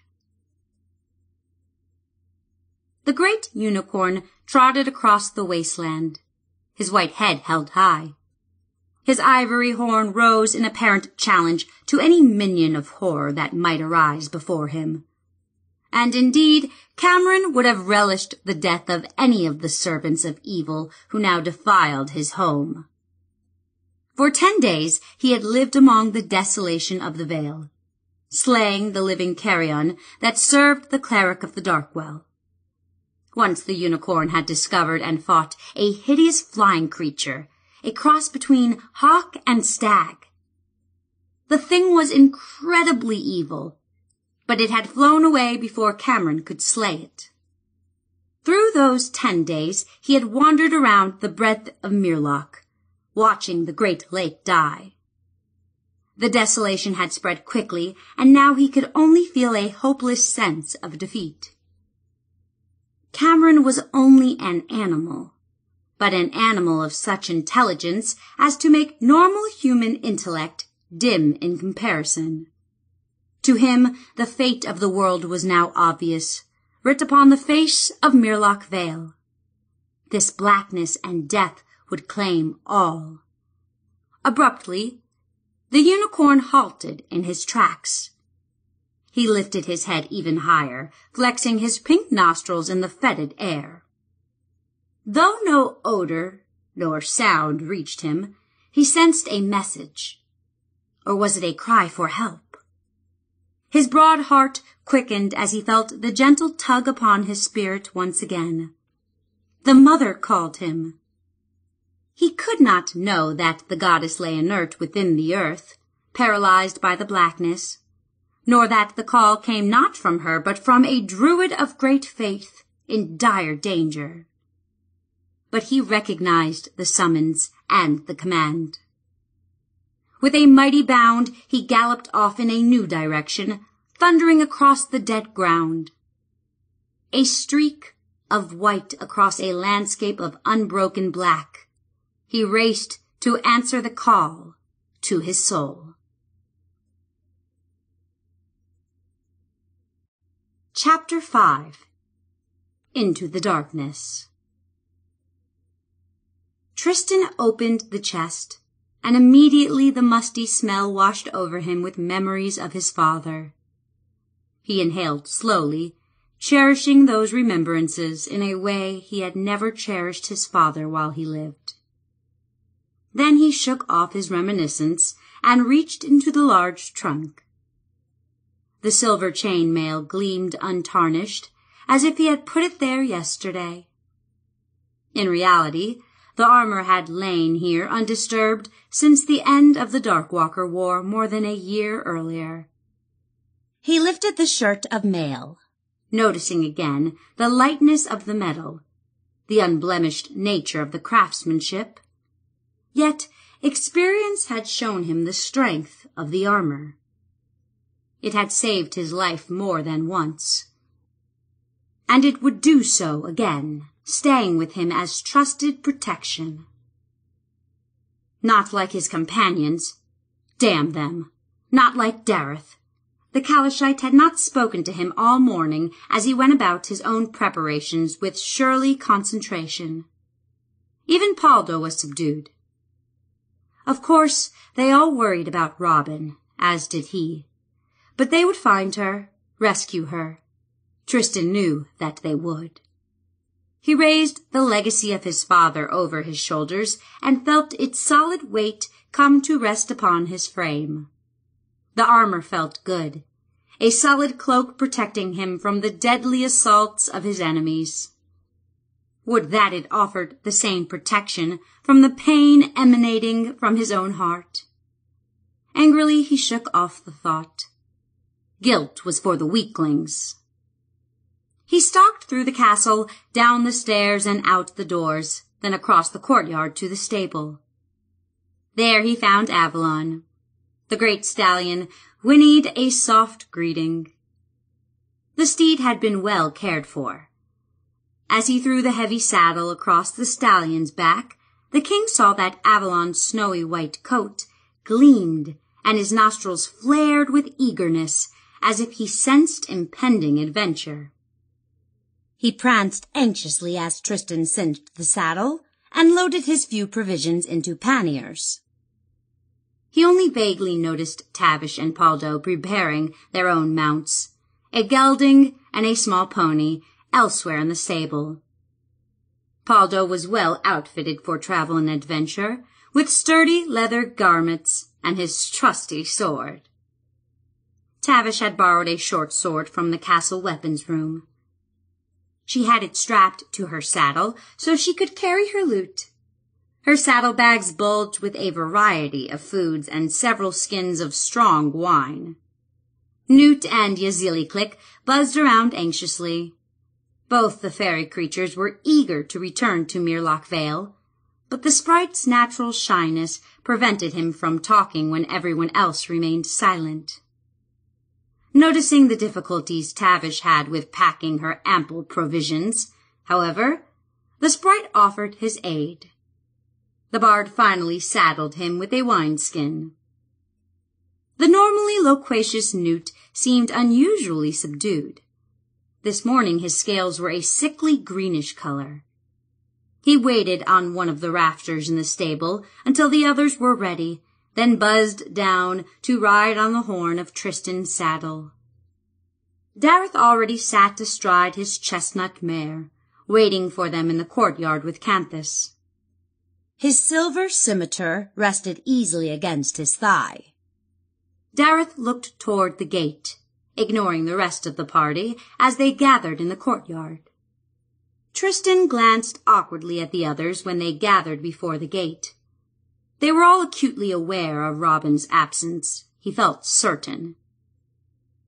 His embarrassment caused his voice to grow harsh as they started out. Robin's gone. I'm certain she's headed for Myrloch Vale, to the grove of the great druid. We will follow and find her.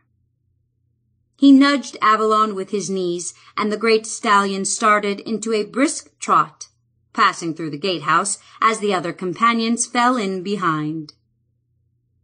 Tristan unwillingly recalled in vivid detail the events of the previous night.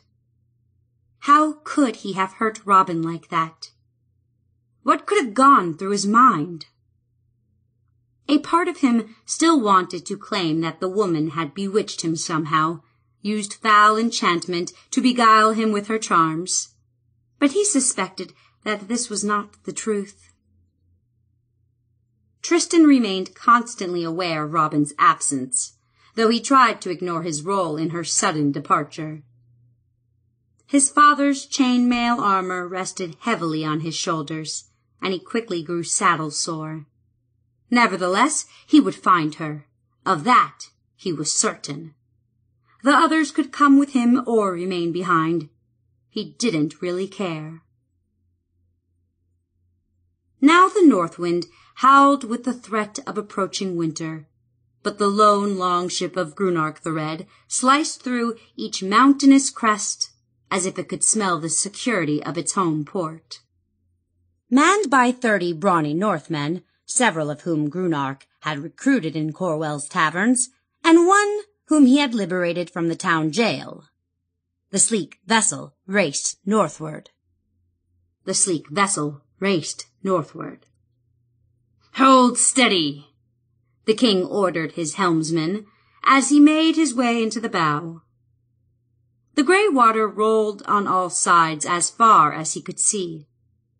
Dusk settled over the Sea of Moonshae, and the Red King's thoughts turned to the cook fires of home the great smoky council lodge near the shore, and the welcoming embrace of his woman. It would not be long before those things were his again, and this knowledge brought him a keen pleasure. Truly, homecoming was always sweet, but this one would be sweeter than most. Still his eyes fell, unbidden, on the grey swells that slowly turned to black with a vanishing light. He recalled the Sahuagin that had boiled upward from the mysterious depths to claim the lives of so many of his countrymen. The fishmen still lurked down there, he knew. He couldn't be certain, but he suspected that their depredations were not finished. Grunnarch did not even suspect that the horrors of the Sahuagin had barely begun. The great dog led the way unerringly, selecting the easiest path up the rocky defile. Tristan followed, leading Avalon by the great stallion's bridle. The wind picked up, and he pulled his cloak tightly about him with his free hand.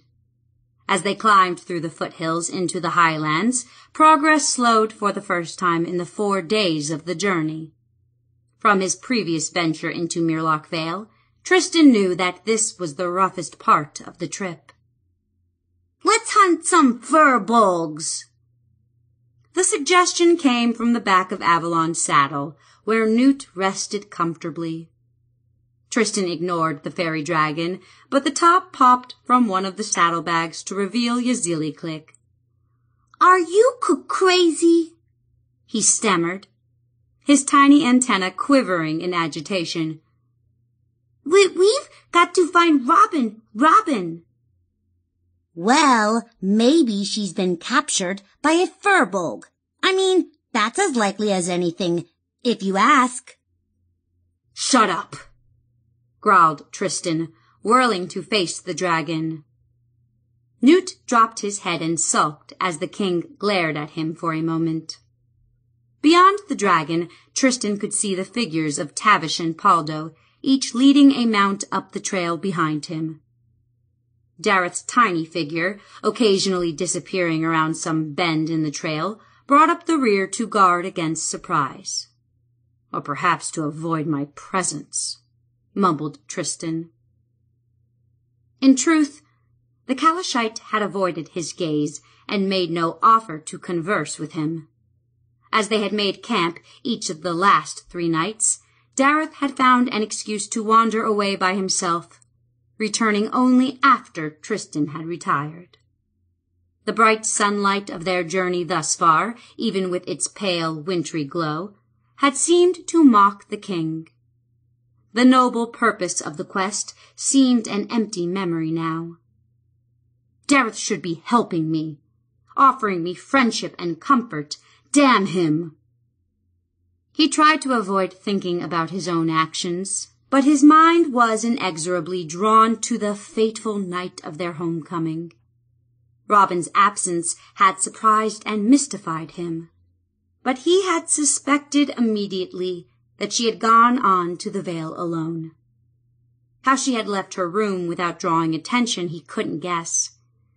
But now she must certainly be in great danger, and he was equally aware that his own lack of faith had sent her away.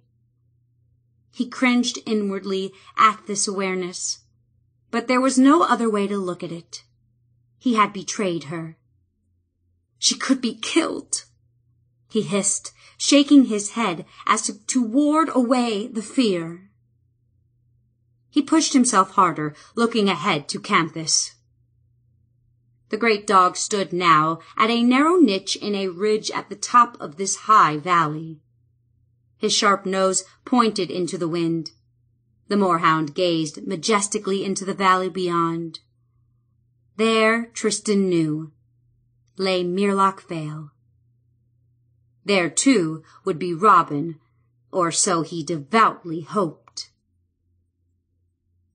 The marmot cowered within its niche, while the great predator, with apparently infinite patience, crouched just outside the crack. For three days it had remained motionless, like a statue of itself but it still was there, waiting only for the appearance of its prey. The strain of the shape change had exhausted Robin so much that she had slept for a day and a half.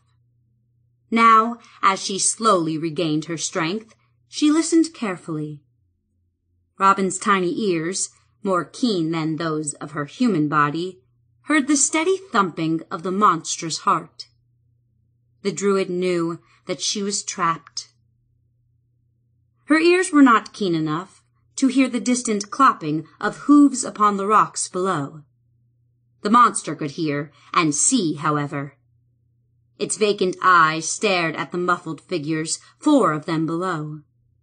The humans led their horses and were preceded by a great dog. The peryton watched them make their way through a high pass and descend into the broadening valley beyond. The peryton twitched anxiously, shaking its broad antlers. The commands of its maker had been clear. Guard the Vale. Attack strangers. Report large groups of intruders. But now it had a dual task, for was it not still engaged in the attacking of the stranger now trapped in the cave? Yet these were intruders below, as well, and didn't their numbers make them the greater threat? But the prey in the trap was an intruder close at hand, and as is the way of stupid beasts, to the peryton, the thing close at hand was the most important thing. So the monster kept its watch upon the tiny marmot, for sooner or later the creature would need to emerge and eat and all the while the four intruders, with their horses and dog, grew smaller and smaller in the north. Robin's senses had a new aspect now. She was no longer crippled with fear. Her wounds over the past three days of enforced rest had healed. She was hungry and eager to proceed with her mission. Now the fear of the monster that had driven her into the tiny cave was gone, replaced by an angry flame that slowly grew into a crackling rage. She reached a decision easily. Once she had decided to escape, she was satisfied. All that she needed now was a plan. She would attack the thing and drive it from her doorstep. First, though, she would need a new body. She considered the limitations of her cave, with an entrance less than a foot high and little wider. She would have to emerge with a small body, but one that was powerful and tough, equipped with weapons that could slay the hideous creature that lay in wait. She thought of the body of a great wolf, but she immediately discarded it as too large for the cave entrance. Then she considered that of a scaly serpent, but she realized that the cold weather would make her slow and lethargic. And then she thought of the creature she would become, and as quickly as she thought, she shifted. Her body crouched into the rodent's posture, but grew longer and broader. Her back widened, but did not rise much higher than the marmot's. Her tiny claws, however, stretched and grew hooked until they rested on the rocky floor, several inches ahead of her four paws. Her muzzle grew until wicked fangs protruded from her curling lip.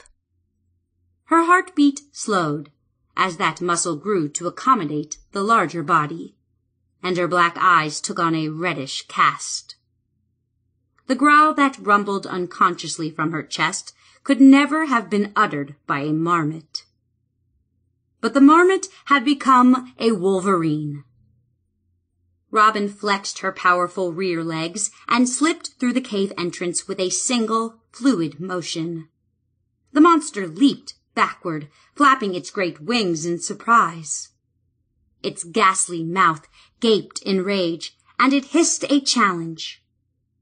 The wolverine's forepaws reached out and clutched the thing's body in a steely embrace. Robin's teeth sought its throat, and only the monster's desperate twisting prevented her from administering a fatal bite. The creature tumbled backward as the wolverine clung tightly to its breast. Her rear legs flexed and kicked as Robin used those sharp claws in an effort to disembowel her opponent all the while ignoring the pounding of its wings against her head. All of a sudden, the creature's twisting evasion took them over the ledge. Robin felt them both falling, bouncing against the rocky cliff. But now her animal instincts, instincts among the most savage in the natural world, compelled her to cling to her victim tenaciously. This tenacity saved her life as they suddenly crashed into the ground and she felt the creature's body break beneath her. The frenzy of the wolverine's attack did not abate, however. Robin slashed and bit and growled until the remains of the unnatural monster had been torn into shreds. Feathers covered a circle ten feet wide, and bits of cracked bone lay scattered over a similar distance. In the center of the circle, only the stag-like head, lying flat on the ground with its antlers spreading tree-like above, remained as mute evidence of the beast's nature.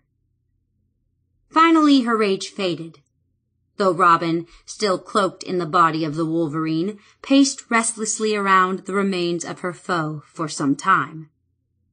Every so often she paused and glared at the sky, as if challenging another of the creatures to attack. Eventually, she sat up on her haunches and tried to concentrate to call up an image of her own human body. For several minutes, her mind whirled with a confused blur of pictures, none of them familiar. She found her attention wandering to thoughts of food. Instinctively she growled, and the sound shocked her back to awareness. I must think. I must shift now. A deep fear began to grow within her. Perhaps she had waited too long. Perhaps her powers had waned too much for her to change back. With a desperate strain, she pictured herself and called upon all the spiritual power gathered in her tiny muscular form. The world spun around her, and she gasped for air, feeling her windpipe contract. A sickening sense of nausea rose in her stomach, and then she lost consciousness. Robin awakened some time later. Dehydration swelled her tongue, and her lips cracked painfully as she struggled to open her mouth. But it was a human mouth, and a human tongue. Still, a great sense of lethargy lay upon her, as if the effort of the shape changing had drained more of her strength than she had to give. She sat weakly on the rocky ground as her world spun madly. Mother, what is happening to me? Where are you? But as before, when she had tried to pray, there was no answer to her question. It took her several minutes to regain her strength.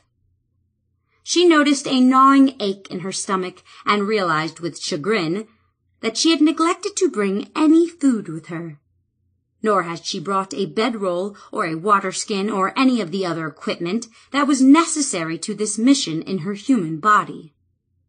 Somehow she had felt that she could reach the well and work her magic in the form of the wind with no mortal accoutrements.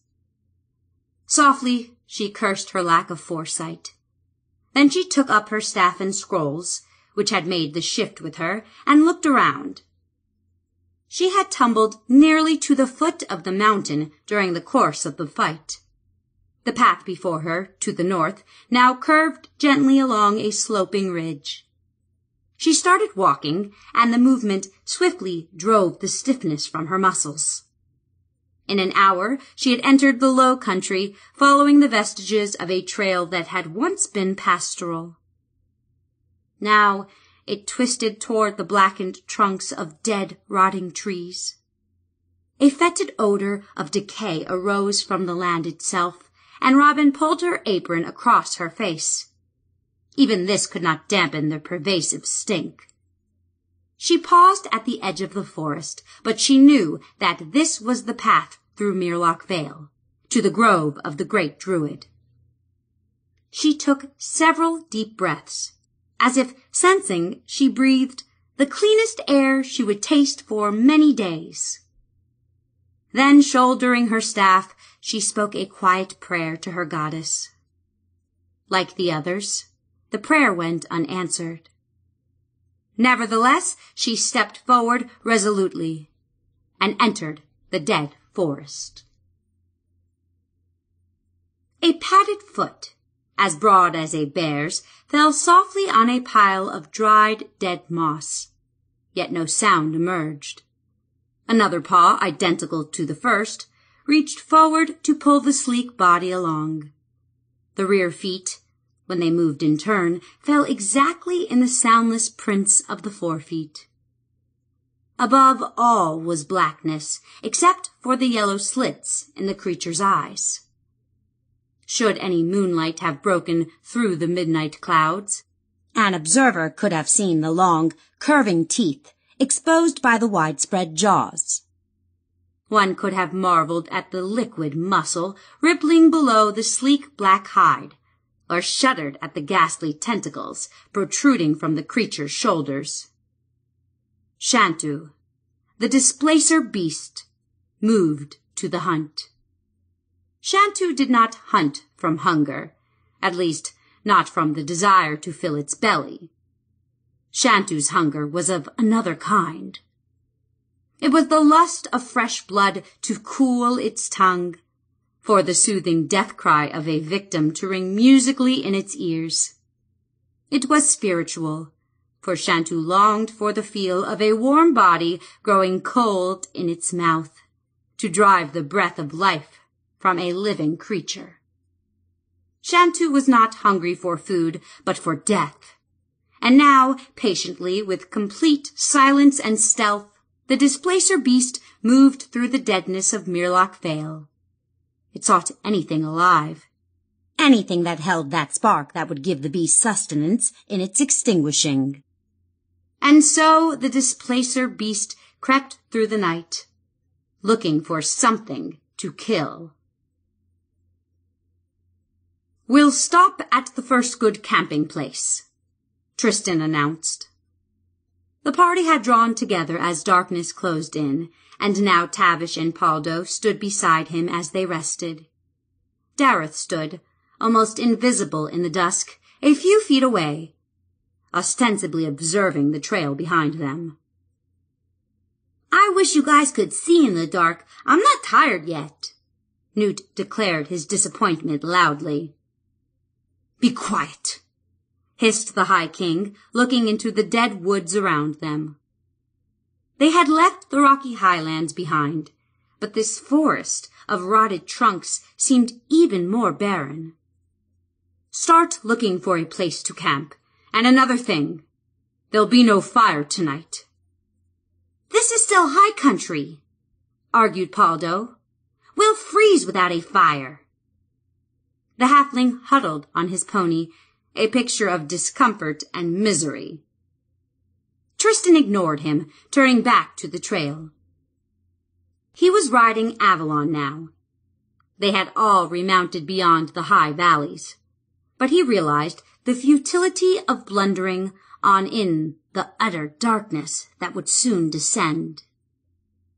There's a grove of sorts, announced Tavish, pointing to a stand of dead pines as her geldings skittered nervously to the side. The towering skeletal trees offered better shelter and softer bedding than the rocky ground, so they entered the grove and prepared to make camp. Unsaddling Avalon and watching the darkness close upon their camp, Tristan felt a sense of aloneness around him. The nearest community he knew lay beyond the rocky highlands two days hence. Where are you, Robin? His mind voiced the question that possessed him. His throat tightened and he shook his head angrily, but though he struggled to overlook his own role in the Druid's flight, guilt soon rode roughshod over his feelings. And following the guilt came self-pity, and then the anger he directed at his companions. Damn! He cursed at the darkness. He tried unsuccessfully to shake off his mood as he joined his companions over their cold bread and cheese. We'll have to send watches. I'll take the mid-watch. Tristan grabbed a large chunk of dark bread and chewed angrily. Have some wine, offered the bard, and the king gratefully took the wineskin. I'll take the first watch, Daryth said as he finally entered the camp. And the morning watch for me. We'll let the halfling sleep in, piped the bard, chuckling. I can stand watch too. How come I never get a turn? Newt was indignant. I can see in the dark better than any of you. Take the morning watch with me. I could use the extra pair of eyes. Tavish tried to humor the dragon, and Newt, satisfied, curled up to sleep. I can't but believe this is Myrloch Vale, Vale. Yazilliclick looked around nervously. Dark clouds pressed ominously overhead, and the lifeless forest stretched to the horizon on all sides. It's it's all so dead, so dead. Wait till Genna sees this, till Genna sees.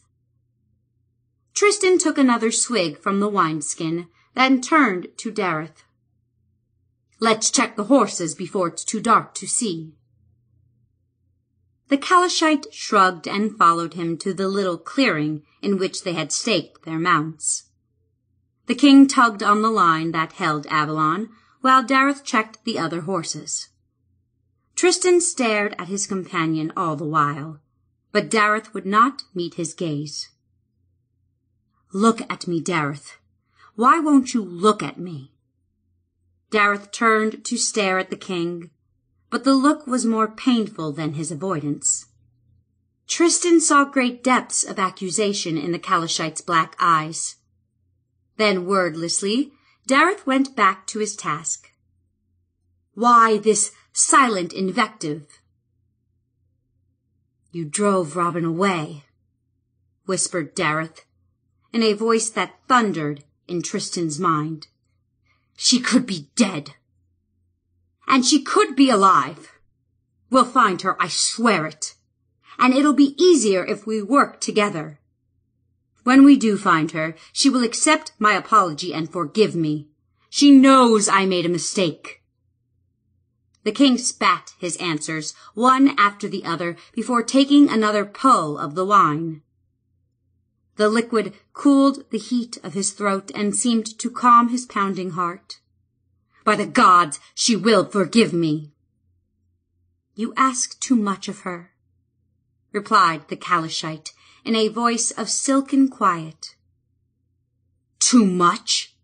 It's asking too much to forgive a simple mistake?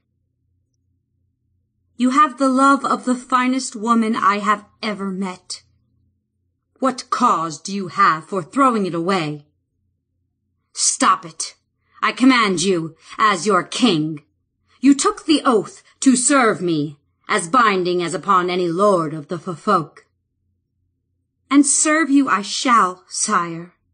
But you cannot command the feelings inside a man. Until now, I would not have thought you fool enough to try.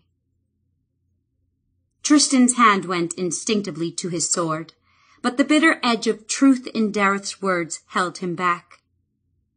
Instead of drawing his weapon, he stared in anger and pain at his friend.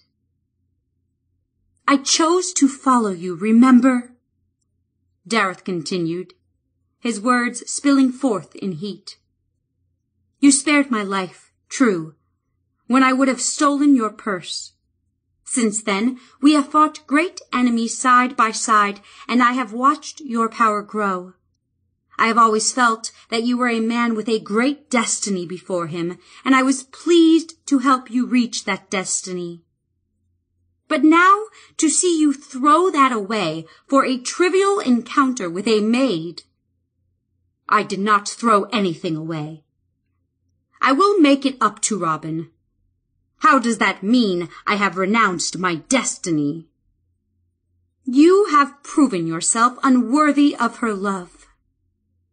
Tristan stepped back, as if he had been struck, but then he stopped and stared at his companion. He studied Daryth carefully and came to a startling realization. You love her too, don't you? Daryth flushed and turned away while the king took another drink. I don't know whether to cry out in rage or in laughter. Laughter? She could be dead right now, or in the gravest peril, and all because you drove her away, and now you talk of laughter? Get out of here, shouted the king. Leave me alone. I don't want your help or your presence. If this is the loyalty you offer. He stopped, jealous heat choking off any further words. Daryth spun on his heel and stalked into the night, away from the camp. After two steps, he disappeared from sight, and Tristan realized that the twilight had passed. Wait! The king cried out once, softly, though he knew Daryth would not stop. In truth, Tristan realized that he was relieved the confrontation was over. Daryth had awakened too much guilt within him, and each of the Calishite's words had seemed to drive another wicked dagger home.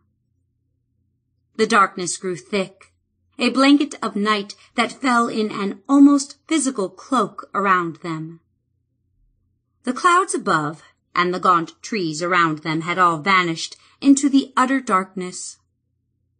Tristan stumbled back to his companions, stifling an angry curse as he tripped over a root. He sat against a tree trunk some distance away from Pawldo, Tavish, and the two fairies. The king noticed that his hands shook. Tension boiled within him, and he wanted to lash out against something, but he forced himself to remain still, and eventually heard the deep breathing of his companions. Canthus came to him, and with a soft whine curled up at his feet. He lifted the half-empty wineskin, but suddenly the wine tasted bitter, nearly gagging him. Spitting it out, he leaned back in disgust.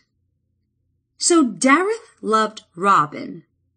How could his friend have kept a secret like that? How painful had it been for him to see Tristan and Robin together. As he reflected, he began to remember a look he had seen on the Calishite's face, occasionally at unguarded moments. He thought of the attentive way Daryth listened to Robin speak, the way he laughed when she laughed. I could have noticed it any time I wanted, I just never paid attention. And then Canthus growled, very softly, and every fibre of Tristan's being was jolted back to the present. He stood quickly, soundlessly, and listened, trying to project his senses into the surrounding night. Something was out there. Tristan heard a soft, scuffling sound, and he felt Canthus grow tense beside him. The noise came again, from the direction of the trail behind them. For a moment he wondered if it was Daryth returning but he remembered that the Calishite had gone to the north in the opposite direction. Even Daryth could not have circled the camp that quickly and soundlessly. Tristan let the sword of Cymrych rest in its scabbard, safe at his side. The brilliant blade would illuminate their camp if he drew it, but that would only serve to help whatever was out there to spot them.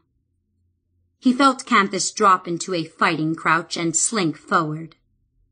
Tristan stepped carefully beside the great moorhound, trying to move silently and cursing the rasping of each footstep against the dry ground. The feeling that something approached them grew stronger. Once again he froze at full attention, desperately seeking any clue from the still dark night. He thought of waking his companions, but for what? He still couldn't be certain there was anything out there. Only his keyed nerves and the suspicious Canthus led him to suspect a threat. But then he heard a clear sound, a footfall, and he knew that something approached their camp. The sword, almost of its own will, leaped into his palm, and the clearing stood stark, washed in the magical light of the enchanted blade. With a low bark, Canthus sprang forward. Pawldo sat up in his bedroll as Newt darted into the air, buzzing anxiously toward the king.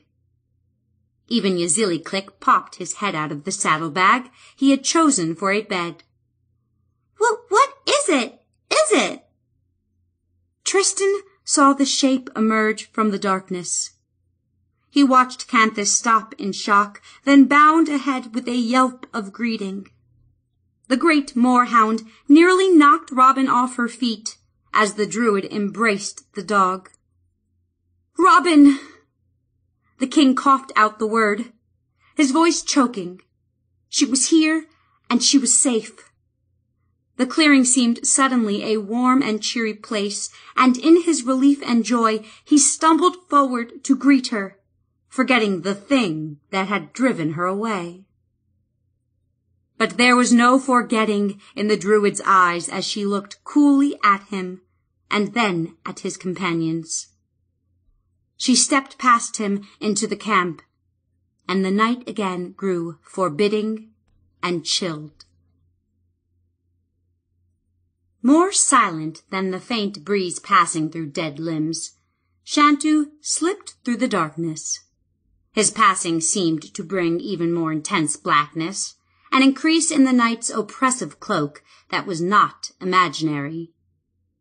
Ever southward the beast hunted. Not once had it noticed the spoor of a quarry worth its efforts. Most of the animal life had been driven from the vale, and the few pathetic creatures Shantu detected could not attract the beast's interest, though scarcely a creature that breathed escaped the stalker's keen senses. But the spoor of a rabbit, a squirrel, or even a deer did not interest the beast. It hungered for grander game, for prey whose killing would serve the dark purposes of Bhaal. At last Shantu found such a worthy quarry. The scent came faintly from the distance in the blackest part of the night. The beast did not pause to confirm the spoor as a normal hunter would. Instead, Shantu sprang to the south, toward the source of the signal that had triggered the displacer beast's hunt. Now Shantu became a black streak, a tireless shape slipping through the dead forest at startling speed, yet making no more sound than the flight of a night owl. And as the monster ran, its mouth gaped more broadly than ever.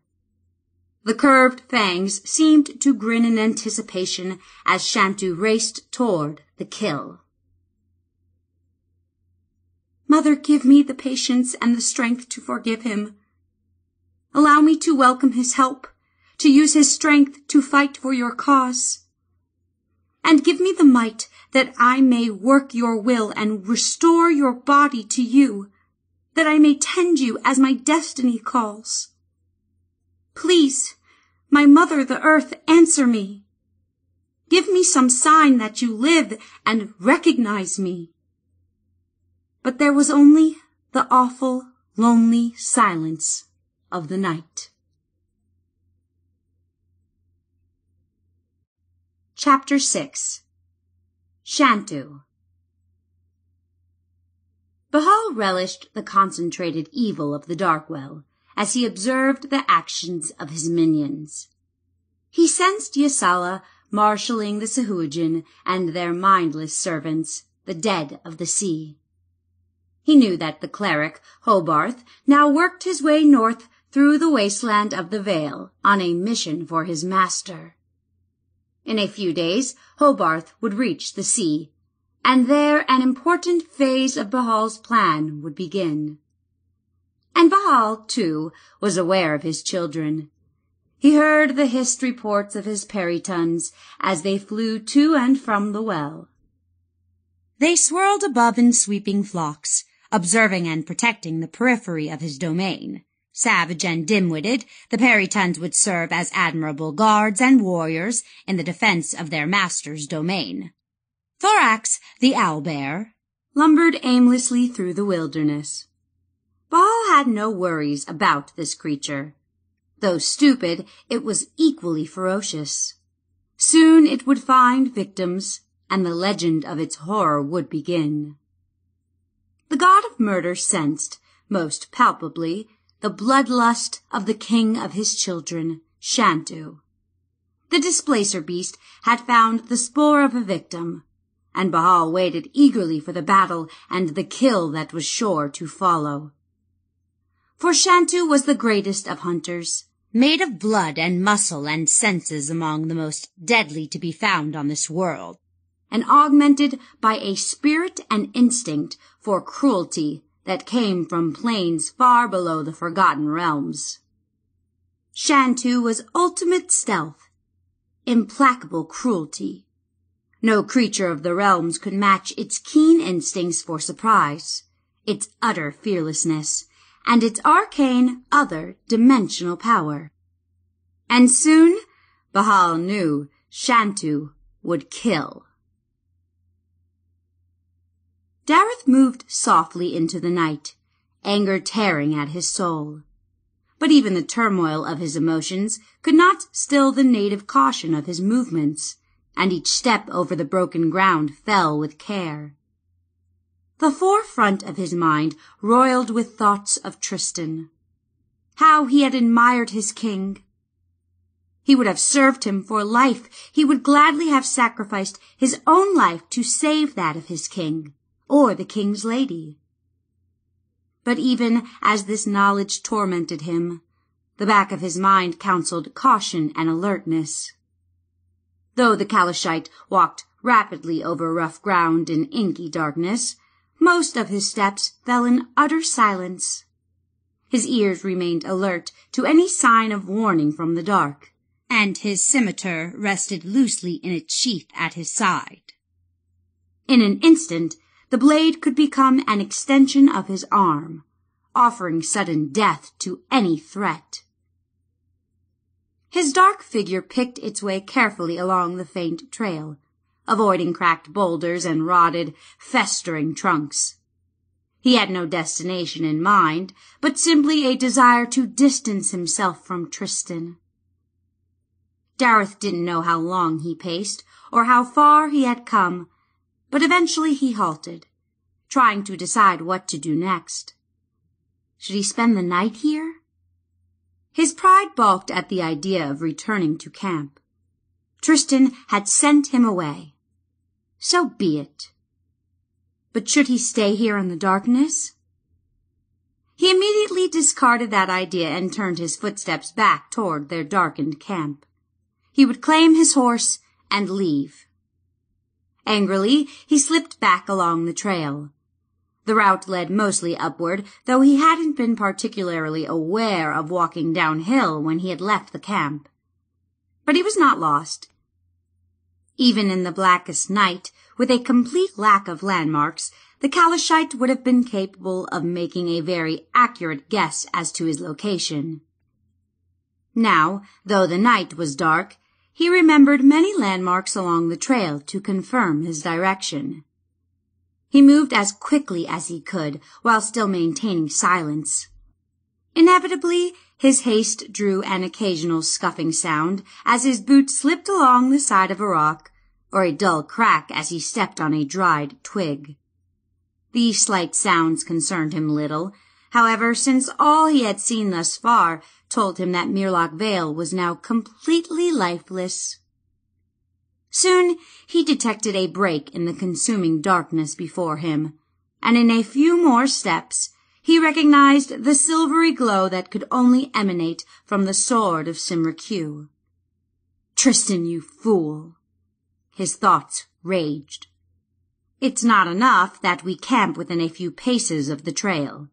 Now you have to announce our location with that confounded glow. And then as he came closer, he heard voices, though he saw Pawldo and Tavish curled in their bedrolls. Tristan was speaking, and someone else replied. Robin! She was safe! Somehow she had found their camp. Daryth stole closer, suddenly tentative. Where had she come from? How would she treat the king whose betrayal had sent her away in the first place?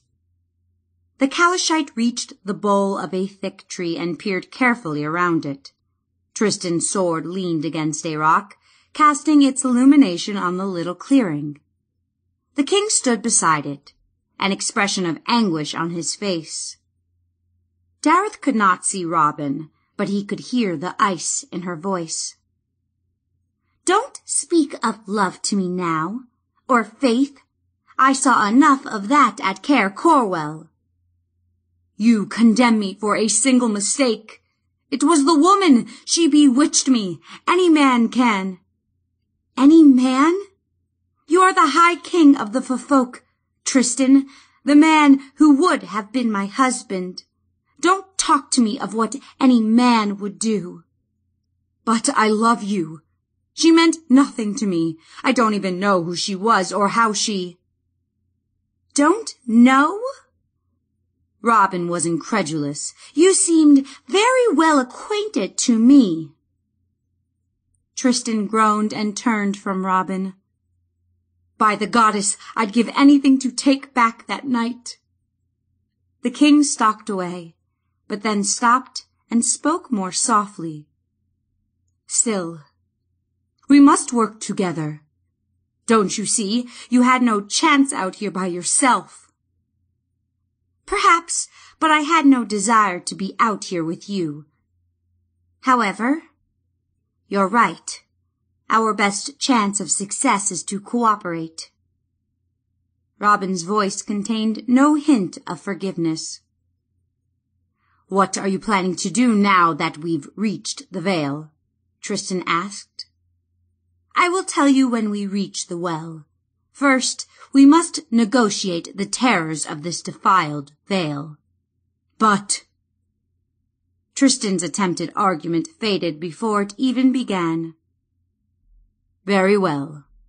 He sighed, defeat resounding in his tone. Daryth whirled away, disgusted by Tristan's voice. He leaned against the tree, breathing heavily. How could you have fallen so? He wondered.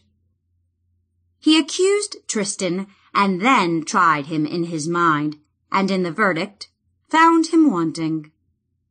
Clenching his jaw in suppressed anger, Daryth stumbled blindly away from the camp, back down the trail to the north, his horse forgotten. He could not bear the thought of confronting Tristan or facing Robin now. Perhaps in the morning he would feel differently. But in his heart, he suspected that something very fundamental to his life had changed. Once again this night, Daryth of Calimshan became a thing of the darkness, slipping cautiously and quietly through the dead forest. Pausing to listen for any sound, he searched the air with his nose, sniffing to see if he could discern any alarming scent among the overpowering odors of rot and decay. Then he moved again, with no destination save distance. He desired only to leave the couple that he loved, to leave them and their pain far behind. Occasionally he moved more quickly than caution warranted, but he caught himself at such moments. Then he would stand motionless in an open area and for several minutes listen and smell the woods around him. Once he climbed a rounded rock to stand solidly upon its smooth crown, watching and listening with the patience of a stalking predator. It was at this moment that he began to suspect he was not alone in the forest. He stood for nearly five minutes, like a frozen statue atop the boulder beside the trail. No scent came to his nostrils. No sound reached his ears. Yet the hair at the nape of his neck slowly prickled upward, and he found himself whirling around to stare into the impenetrable blackness. Something was out there. Daryth touched the haft of his scimitar, reassuring himself with its smooth feel. The keen blade carried its own enchantment, not as potent as the sword of Cymrych, but still sharp and deadly. He resisted the impulse to draw the weapon. He could have it in his hand the same moment he desired it, so quick were his reflexes. But it would serve him no purpose now, as he tried to discern the nature of the threat. Carefully, silently, the Calishite lowered himself to the ground and started again along the trail, moving farther into Myrloch Vale. Now he moved with utmost stealth, creeping slowly, not making the slightest whisper of sound. Yet he could not escape the disturbing suspicion, no, the knowledge he corrected himself, that something was out there in the darkness. After a hundred paces, Daryth froze again, but again no signal reached any of his senses to confirm the existence of a threat. Yet he needed no confirmation, so utterly convinced was he that some dire creature lurked in the darkness. And that dire creature was almost certainly stalking him. As he moved farther, the prickling on the back of his neck remained. He hastened his steps, ignoring the faint sounds he made as he broke into a trot, and still the feeling stayed with him.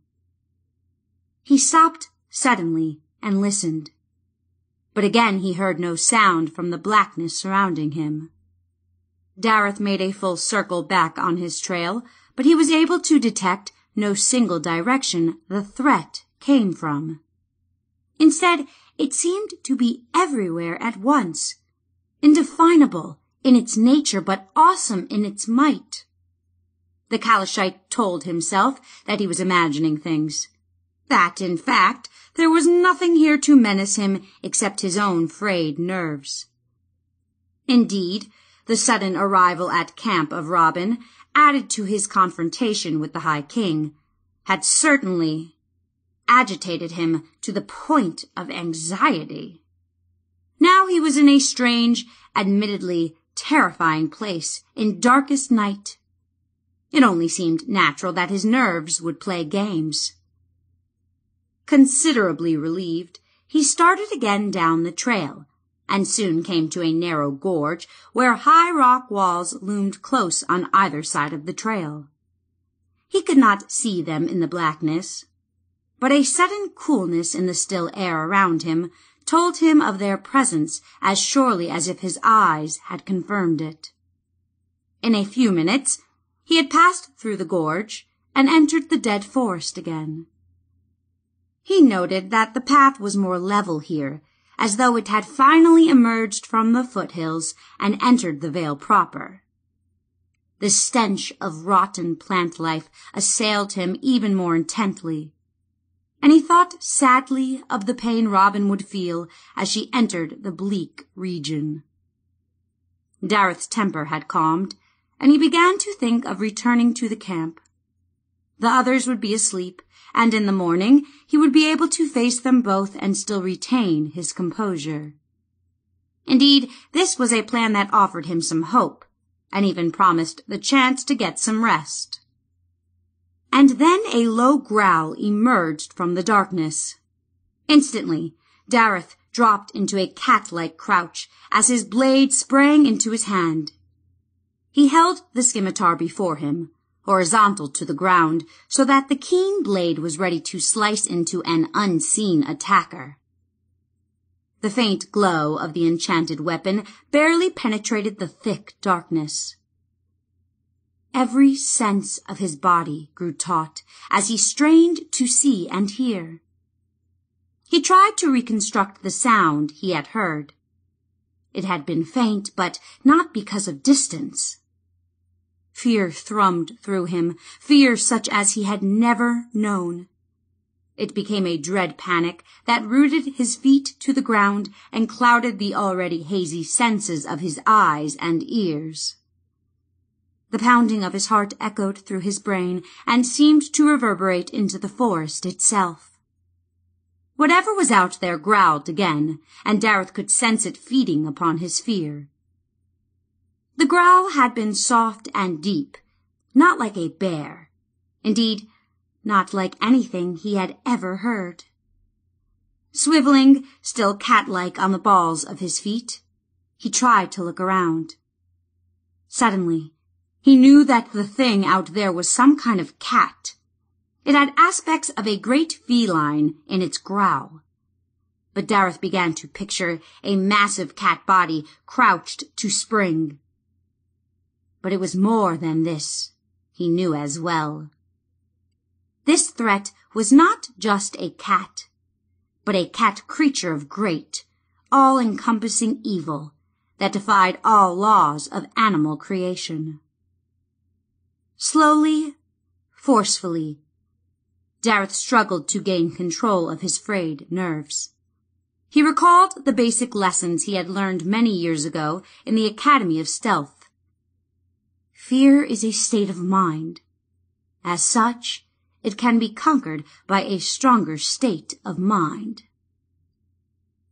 The Calishite suspected that the teacher of this lesson had never felt fear such as he now felt. Nonetheless, he concentrated on the discipline of that lesson and others that had helped him to master his body's more primitive urges. Slowly, he felt the pounding of his heart subside.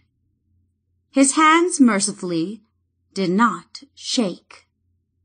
And most important of all, his mind began to free itself from the paralysis of terror. The thing would attack him, Daryth sensed, but it seemed to be in no hurry. Perhaps he could improve the odds by the time the assault came. The first order of business was to choose the ground for the fight. Daryth felt the presence of open woods on all sides, not by gaunt, barren trunks to protect his back. Slowly, carefully, he sheathed his weapon and reversed his direction, remembering the rocky walls that had loomed on either side of the trail. The narrow gorge lay close behind him.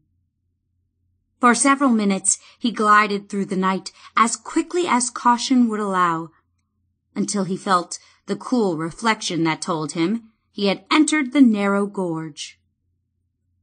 He stopped for a second, and though he heard no sound of pursuit, he had not expected to, the presence of the unseen menace still lurked out there in the blackness. Dareth backed against the wall, taking care to move in complete silence. He forced his breathing into a slow rhythmic pattern and tried to relax when he at last leaned weakly against the cold granite. Something stroked across his shoulder and he gasped out loud, whirling instantly and drawing his weapon in the same motion. The blade cast a faint glow across the rocky wall, and he saw that it was a trailing tendril of dead moss that had startled him. Cursing silently, he again turned his back to the wall and stared at the small circle of light around him. Though he knew that the light made him more visible to anything lurking in the darkness, he did not sheathe the blade. It would take too long to regain his night vision, he assured himself. In reality, the dim circle was the only comfort he had in the terrifying night, and he could not bring himself to relinquish it. Calmer now, he tried to take stock of his assets. Besides his blade, he had a coil of sturdy rope around his waist and a small pouch containing various picks, wires, and probes. He wore the smooth gloves he had discovered in Caer Allisinn, which contained wire picks of their own. He knew that lock picks would be of little use to him now. And he had his belt, a pouch of drinking water, a small box of tinder, a flint, and a short, sharp dagger. Most of these items rested in a compact pack in the small of his back, though the dagger was concealed in the back of his right boot. Of them all, only the scimitar seemed to offer immediate help. He still held the weapon before him, the blade across the height of his body. The magical light of its enchantment gave him a sense, inflated perhaps, of power. The weapon had been crafted of hardened steel, and sorceled by some forgotten weaponsmith so that its edge remained keen, its point sharp, and its strength unfailing. He had always intended to name it, Daryth recalled now, something grand and heroic. The proper name had never really occurred to him, and he had decided to wait until it did. Now he saw the weapon gleam and curve before him, and he saw it as a larger version of an animal's claw or fang, a weapon he found himself facing or suspecting that he faced now. Cat's claw, he whispered. The blade seemed to glow with a warmer light, as if the cold steel had been warmed by the naming. Daryth sliced the air in a back and forth motion, and Cat's Claw floated like a feather in his hand. Then he saw the eyes. Two great yellow orbs stared at him from the darkness, beyond the protective glow of cat's claw. Each seemed as large as a melon slitted with a long, evil pupil. They remained upon Daryth, unblinking, as the Calishite leaned back against the wall. He imagined the fetid breath of the creature on his face, and it seemed to suck his very spirit away. For a second, Daryth felt his knees grow weak and he began to sink to the ground. But as quickly as it began, the impulse passed, and he stood firm again. He would not kneel before this vision from hell. The eyes continued to bore into him, and he felt the cold bile of terror rising in his throat. Again the growl came from the darkness, pushing him against the cliff with an almost physical force. Still holding Cat's claw before him, Daryth groped at the cracked face of granite with his left hand, discovering several wide ledges. He studied each of these with his fingers, not daring to turn away from the staring eyes until he had completed his exploration. Then he spun sideways and leaped onto the stone wall. By memory, each of his feet and his free hand found purchase in a narrow irregularity in the rock face. The force of his spring lifted him several feet above the ground, and allowed him to brandish the scimitar outward with his free hand. Carefully, he raised one leg, then the other, until he could lift himself another foot. Still he held the blade at the ready, while his left hand stretched upward to grab another firm hold. Then, pulling himself up, he repeated the process.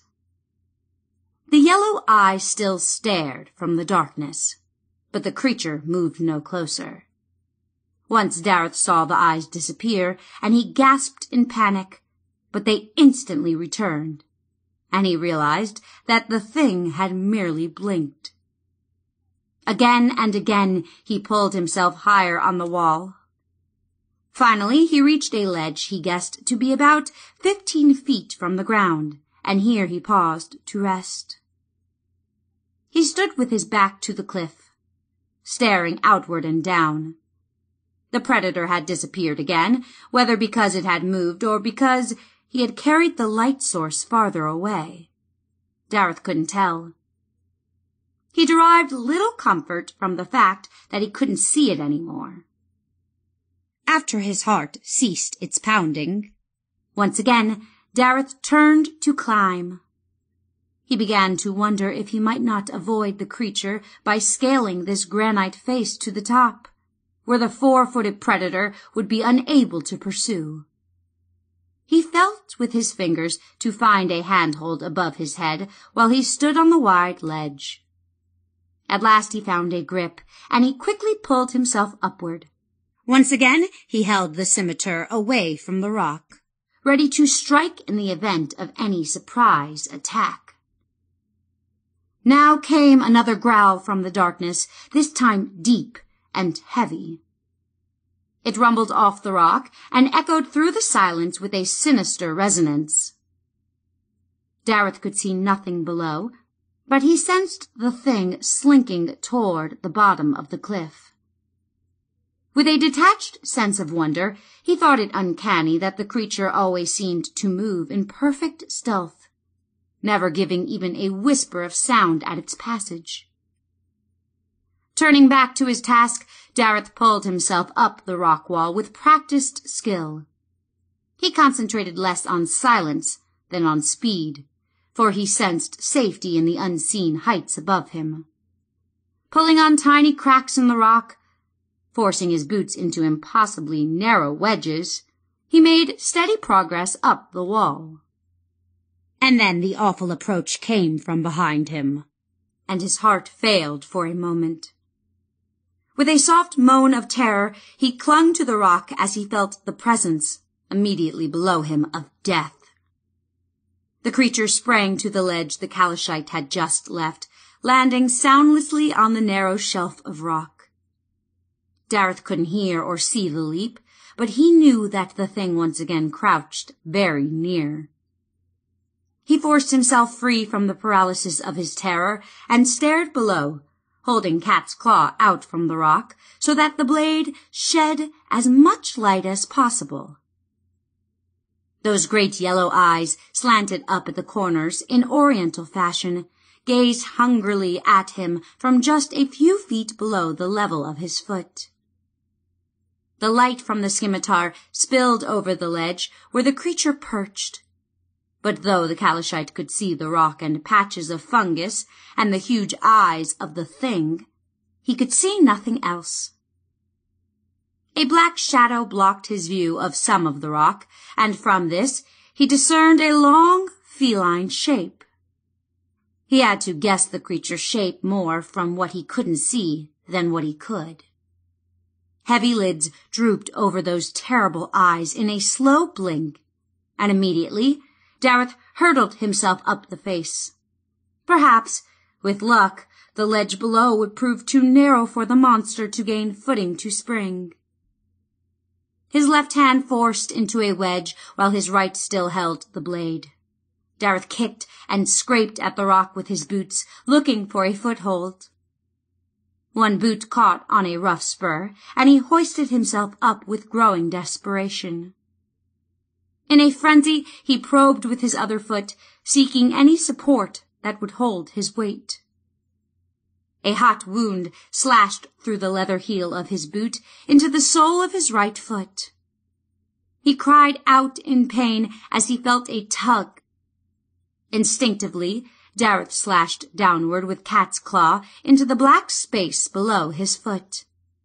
His other hand began to slip from its hold, but then the keen blade bit into something that twisted angrily beneath the impact, and the tugging ceased. Gasping, he pulled himself up another few feet and wedged himself into a narrow chimney-like crack that stretched vertically above him. Turning his back to the cliff, he held the blade across his lap and stared wide-eyed into the blackness. Even as he struck the thing, he realized, the creature had made no sound. Where was it now? Had it fallen back to the ground or to the ledge below? Or was it even now creeping up the cliff toward his tiny shelter? Was this where he was destined to die? Cursing silently, Daryth attempted to cast off these morbid thoughts. He realized that his hands, his whole body really, were shaking from the close call. Oddly, the first biting pain in his foot had given way to numbness. He twisted his leg awkwardly to try to get a look at the wound. Resting Cat's claw on his lap, he used both hands to pull his foot around ignoring the pain that again flared with the movement. His eyes widened in shock, and the world began to spin around him. With a moan, he leaned back into the crack, afraid he would faint. Mercifully, after several seconds of dizziness, his senses calmed somewhat. He felt terribly weak, but he forced himself again to look at the wound. His foot was gone, or at least half of it. Numb with disbelief, he saw that some horribly sharp thing had ripped through the bottom of his boot and torn off the forepart of his foot. Nausea rose in his throat at the sight of the white bone, its red mass of flesh glistening, and the blood that dripped freely from the gaping wound. He leaned forward and vomited over the side of the rock heaving until his stomach was empty. Weakly he leaned again into the crack, not sparing a hand even to wipe his mouth. Then he forced himself again to look at the wound. Though the heel and ankle remained intact, Daryth sensed that the wound had crippled him for life, however long that life might be. The Calishite decided he would gladly settle for one more sunrise at this point. He would make it to the dawn. With that determination, his thoughts once again focused on his enemy. Where was the creature? The camp seemed very near now. Wasn't that Robin stroking his forehead? How gentle! Startled, he snapped to wakefulness. The cold rock poked into his back, and his cramped muscles tormented him. He had lost consciousness. For how long, he wondered? Curiously, the knowledge terrified him more than had any of the events of the night. Death did not cause him great fear, as long as he could die fighting. But to grow weak, to lose consciousness, so that death could creep up silently and claim him while he remained unknowing. This he could not allow. He looked down again, and again he saw nothing but vast blackness. Whether he had dozed for seconds or an hour, he couldn't know. How long could it be before dawn? He felt with sickening certainty that night's cloak would last for many more hours. Grunting in pain, he wrapped the wound crudely, using cloth torn from his tunic. The binding quickly soaked through with blood, but it would serve as minimal protection. Next, he tried to lift himself from his awkward seat. Only with great exertion did he finally pull himself free from the crack. His muscles shrieked in protest. Once his wounded foot thudded into the rock, and the resulting explosion of agony threatened to drive him mad. Gasping and choking, he clung desperately to the rock until the pain subsided. Slowly, inch after pain-racked inch, Daryth reached upward with his left hand. Scraping his blistered fingertips across the rock, he found another of the tiny cracks that had helped him climb this far. Then he discovered another problem. Allowing his injured foot to dangle loosely, he tried to hold the scimitar in his right hand while lifting his other foot higher on the rock. But the tiny handhold, gripped only with his fingertips, didn't afford him enough purchase for the move. Grimacing, he slid Cat's claw back into the scimitar's sheath, reluctantly realizing that he needed both hands for climbing. Gaining a hold with his right hand, he pulled himself up until he could wedge his left boot into another crack. Once again, he repeated the process. This time his right foot crashed into a jagged spur of rock, and he cried out from the pain. Instantly biting his tongue, he clung to the sheer rock face while the world closed in around him. Fiery gouts of pain erupted along his leg, and tears flowed freely from his eyes. Daryth's fingers began to slip from the precarious holds, and he sensed the certainty of death below him. If I let go, I die. He whispered the words aloud over and over, and from somewhere he found the strength to hold on. But even as his grip strengthened, a great well of blackness opened up in his mind as his pain threatened to swell up and swallow him. Don't faint. Don't faint. He chanted the words desperately to himself, struggling to retain consciousness, and finally the haze in his mind began to dissipate. Nevertheless, he held tightly to the rock for several minutes until he finally felt ready to proceed. In this way, he worked himself up the cliff, moving with great deliberation, taking care not to strike his wound on anything. Occasionally, he wouldn't be able to find purchase for his good foot, and at such times Daryth lifted himself solely by the strength of his arms and shoulders, holding his position with one hand until he reached through the darkness to find another hold. As he climbed, he felt the horror that had cloaked him dissipate. The prickling of his scalp lessened, and finally he was left with a sense of being alone in the night. Not a friendly night, to be sure, but only the night. Did he spend minutes or hours finishing his climb on the wall? The Calishite had no idea, though the time seemed to drag on for a half a lifetime.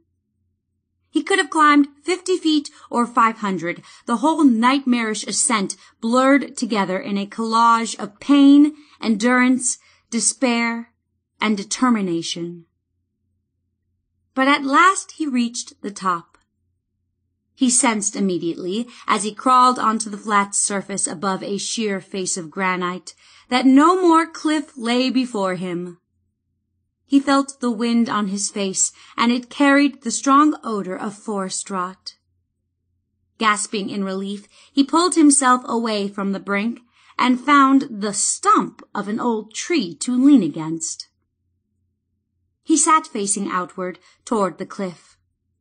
It took him several minutes to convince himself that even a monster of supernatural ability would not be able to scramble up that face. Only something equipped with hands or wings could make such a climb. He looked toward the sky and saw nothing but vast and inky blackness. How much longer could this night last? Wearily he pulled Cat's claw from its sheath using the faint illumination of the blade to look around. Isolated trunks of the dead forest stood arrayed around him, as if the wood had crept toward the precipice to look over the edge. Large broken pieces of rock lay upon the ground, and these were covered with a phosphorescence that caught the light of his weapon and amplified it. The patches of reflective fungus gave the tiny clearing a friendly, welcoming aura. And then, between two of the tree trunks, at the limits of his vision but unquestionably atop the precipice with him, he saw the two yellow eyes, still unblinking, and coming closer. Where's Daryth? Tristan, standing lonely guard duty over the little camp, spun in surprise as Robin emerged from the darkness. He had assumed she slept. The sword of Cymrych Hugh still leaned against the rock, casting its light around their small camp. Tristan worried about the possibility of the dim light giving their position away, but somehow this night had seemed too dark, too black to face without some form of illumination. He wondered if it was cowardice that caused him to leave the sword out as a light. He went off into the night. Tristan didn't want to confess that he had sent his companion away. We had an argument. He got angry. Robin didn't look surprised, just concerned. Tristan felt a need to talk to her, but he didn't know what to say. How could he make her understand? We fought about you, he blurted suddenly. Oh? He can't forgive the way I hurt you. I understand that. Believe me, I can't forgive myself. Tristan groped for words to continue, to keep her looking at him, talking to him. Daryth! But he couldn't bring himself to tell her of the Calishite's love. You fought, and then you sent him away? The words were cool and accusing. No! The denial was instinctive, and he immediately regretted it. Yes, I did. What's become of the man I loved? Robin seemed honestly puzzled. Why do you do such things? You have friends, followers, people who love you and wish to help you, and one by one you drive us away. I didn't wish that. I was bewitched by something, some force I don't understand. I only know that I feared for you when you were gone. If harm had come to you, I could not have lived with myself. Rest assured sire, that if harm comes to me, it will not be your responsibility to bear. I have control of my own destiny. I have chosen this mission for myself. If I suffer because of that, so be it. The responsibility is mine. Very well, said the king quietly. But will you let me help you? Yes, replied the Druid, equally softly. She turned and looked into the night surrounding their camp. I wonder where Daryth is. Tagar, shaman of Norland, threw down his ash-streaked deerskin and paced angrily around the smoky lodge. The signs, he was forced to admit to himself, were all bad. First, the king should have returned by now. Grunnarch the Red, of course, always pressed his raids late into the season, but winter was about to begin, and there were still no signs of the Red King's longships. Second, the storms had roared into Norland from the trackless sea every other day for a fortnight. Every shaman knew that seven storms in fourteen days bespoke great ill. And third most awful of all was the news brought by the abject farmer, who even now stood outside the leather-bound shaman's lodge. The wretch had lost nine sheep in one night. Each of these omens, in its own right, would have forced Taggart to call a prophecy of ill will for the coming winter. But all three together? It was too much to conceive. Indeed, Tempus was mightily displeased, and Taggart thought that he knew why. Tempus, brawny god of war, and the deity worshipped by most of the Northmen, relished the clash of battle, the shedding of blood, and the triumph of routing the enemy from the field. In normal circumstances, the Northmen were the perfect tools for furthering the aims of Tempus. They had chosen him as their god, and he favored them with his blessing. But during the last war, the Northmen had crusaded under the auspices of a different god, though the warriors themselves had been ignorant of that fact. Tempus must have been angered by the slight, and the men of the north had done nothing since to gain his favor. Tagar was now convinced, in the absence of his king and of any plunder of battle, that Tempus would call down his anger upon his people when they were most vulnerable, during the cruel months of winter. For the god of war was not a patient deity. Chapter 7 Tiger's Tooth and Cat's Claw For a long time Daryth did nothing except meet the cold gaze of the predator with his own unblinking stare. Neither the monster nor the man moved a muscle, though the Calishite strained to keep his eyes open. He felt it would be disastrous to blink. He wondered how the creature had climbed to the top of the cliff. It had appeared off to one side, not directly behind him, so he deduced that it had gone up or down the gorge for a distance until it found a place where the sides were not so steep. Then it must have climbed the slope and come along the crest to find him. Suddenly the creature moved. Daryth saw the eyes disappear behind the bole of a tree, then appear again, still boring into him. The thing slipped sideways through the woods, marking a semicircle around him, but not moving any closer. Why don't you attack, beast? hissed Daryth, feeling a bit giddy from the strain. Are you afraid? Yes, you know my cat's tooth has a sharp bite. The creature did slink a little closer at his words, and Daryth found himself wishing it would leap at him or do anything but this patient stalk. The beast was, he sensed, playing games with him, the way a cat plays with a wounded mouse. The analogy struck him as decidedly unpleasant, if accurate. Gradually, the man became aware of a dull grayness diffusing through the air. It could not yet be called light.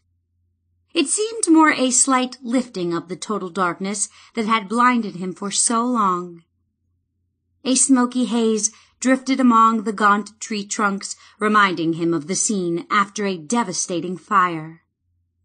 As the light gradually increased, Daryth witnessed the advent of a heavily overcast foggy day. Even the minimal illumination was far preferable to the inky darkness. And he decided something else, changing a decision he had made in the depths of the night. It was no longer enough to simply live until the dawn. He saw the creature take form against the forest, a nightmare thing of purest black. He saw the great shoulders and massive soundless paws the gleaming teeth, clearly visible in a widely gaping maw, seemed to hunger for his flesh. And he saw the long, sickening tentacles that coiled and twisted from the thing's shoulders, clearly dispelling any suspicions he might have had that this was simply a great panther. And now, with the coming of daylight, he formed a new goal for himself. He would slay this nightmare creature. He didn't know exactly how, for the monster's physical tools far superseded his own. But that left him a battle of wits, and the Calishite had always been proud of his wits. Indeed, he resolved to outsmart the creature and bring it to its well-deserved death. But how? Obviously, he told himself, with a trap. The designing of a trap was a thing well taught at the Academy of Stealth, and a tactic at which Daryth excelled. Of course, he had never tried to trap anything like this before, but that was no deterrent. A basic rule of trap design states that no good trap is identical in purpose or execution to any other trap. The very concept of repetition in a trap becomes a weakness. He looked again at the monster. The yellow eyes stared back into his own, but the beast had not moved. It crouched between a tree and a rock, poised as if to spring. The tentacles, which he could see more clearly as dawn progressed, writhed and twitched like disfigured snakes along the cat's back or over its head. His first decision to make was should it be a killing trap or a capturing trap? Killing, obviously. Or if the trap could not be ultimately fatal, it must at least smash the creature hard enough to allow Daryth to administer the coup de grace. Next, he must take stock of the tools at hand.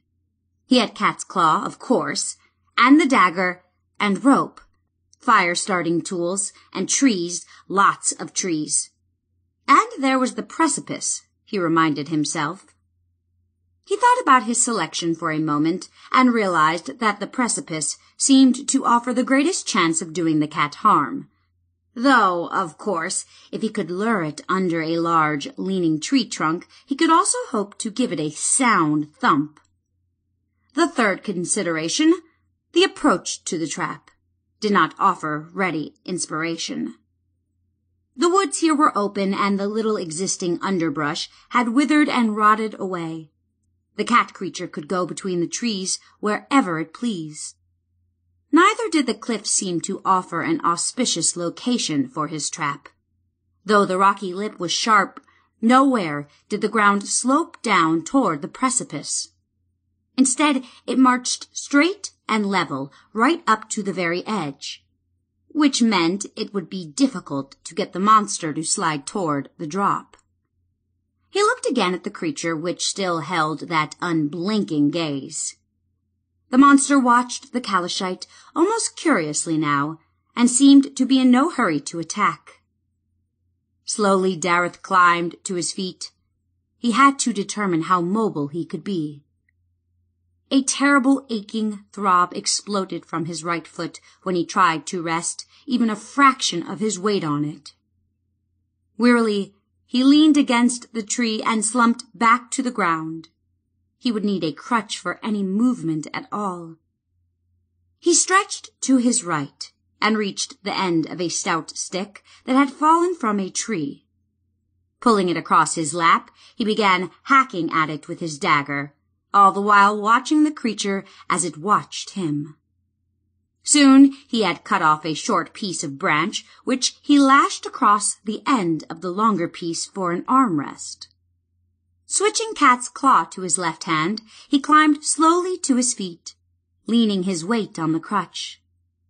With an awkward hobble, he started moving away from the creature, determined to find a location that would provide him with his trap. His foot continued to throb, but the pain had become a fact of life, and he no longer took special note of it. He hopped for several steps, then leaned against a tree as he suddenly grew dizzy.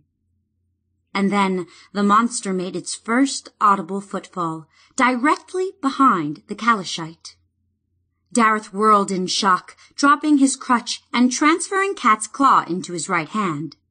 The creature had bounded a hundred feet or more in mere seconds.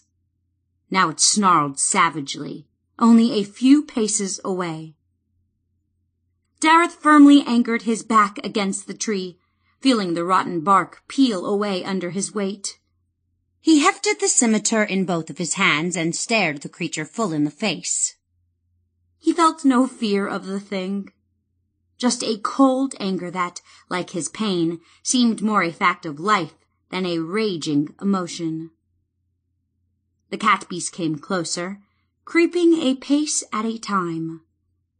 The shiny black body crouched as if it prepared to spring after each slithering step.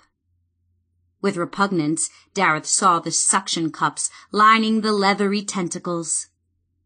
The moist lips of each flexed and pursed as if seeking contact with the flesh of their victim. The Calishite took no notice of the sun, which at last broke through the morning haze as it crested the ridge across the valley. Though the woods remained shrouded in fog, the small area on top of the cliff stood outlined clearly in yellow sunshine. A deep, heart-stopping growl rumbled from the creature's cavernous chest, but even this awful sound could no longer bring a tremor to Daryth's hand. He carefully studied the approach of the monster, marshalling his strength, planning his blow. Staring at the center of the monster's forehead, he concentrated on the placement of his weapon. He doubted that he would have a second chance, but if his first blow could somehow puncture the bone there, driving into that wicked brain. Smoothly, he raised the scimitar but not so high that the creature could slash in under his guard. The cat came on with no apparent fear, creeping almost to within his range without springing. Each breath the beast took now was a prolonged and rumbling growl. Suddenly, Daryth struck. The silver blade sliced downward faster than a mortal eye could follow, straight and true toward its target. All the muscle in the Calishite's shoulders and arms and all of the skill in his heart and mind poured into that one blow. The blade fell true, striking exactly at the point of aim, but it passed straight through the point and the air beneath it to crash harmlessly into the ground. His already precarious balance gone, Daryth pitched forward and fell on top of the blade. There was nothing there. He whirled into a sitting position and reached out to touch the image of the monster, squatting beside him and glaring balefully. His hand passed right through the sleek black side, and he knew the creature there was nothing but air. Then the monster snarled again, and the sound brought a chill of horror to Daryth's spine. The snarl came from behind him. In an instant, Daryth understood the nature of the beast. This was a creature that appeared to be in one place, but was actually somewhere else. Daryth's blow had been strong and true at the image of the beast, while the beast itself crouched behind his unprotected back.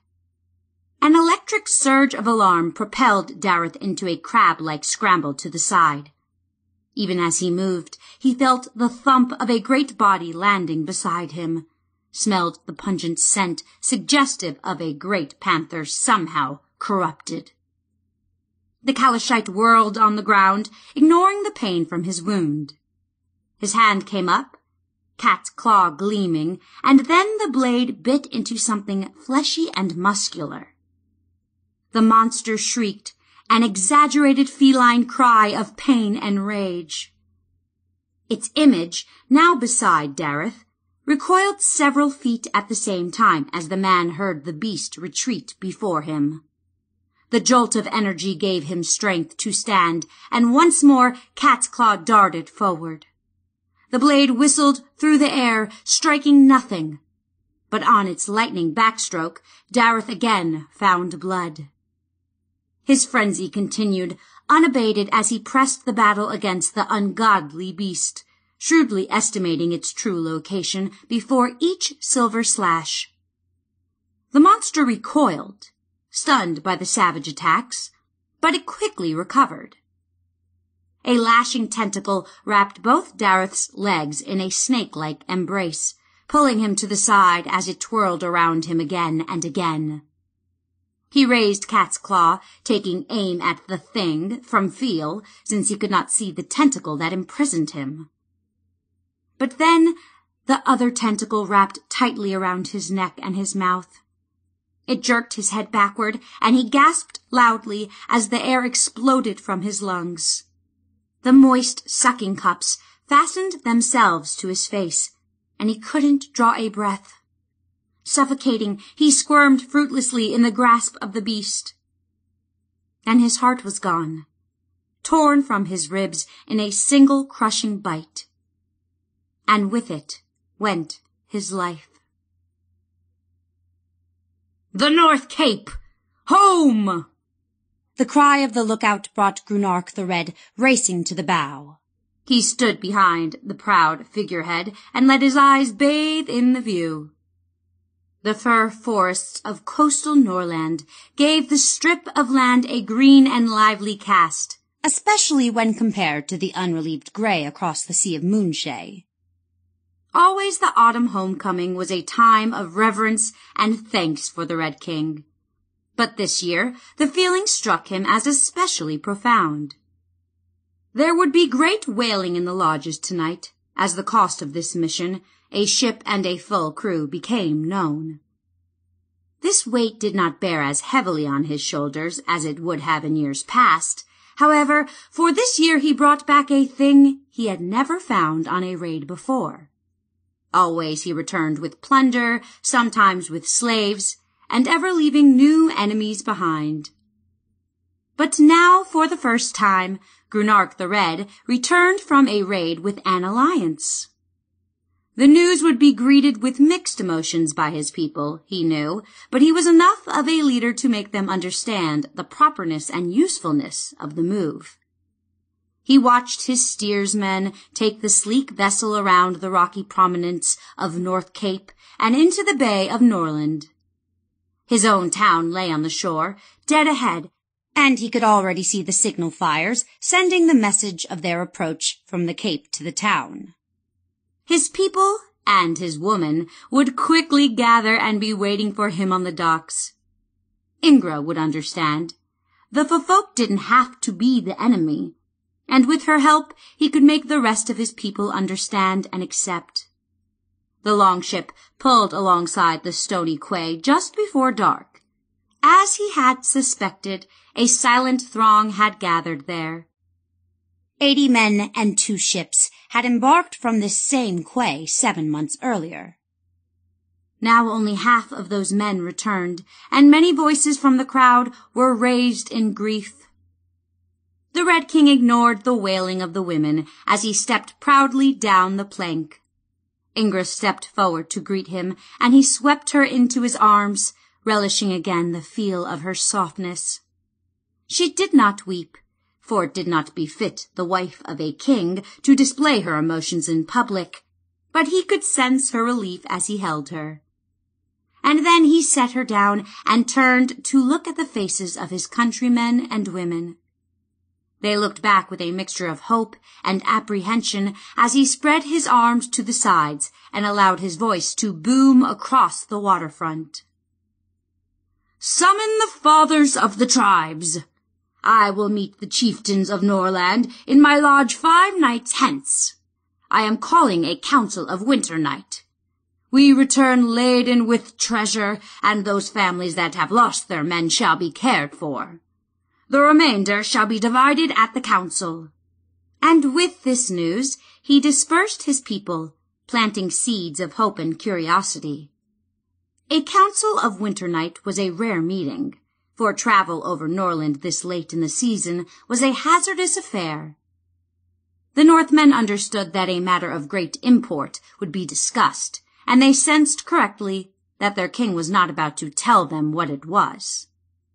But word went out to the hill villages and to the towns along the coast.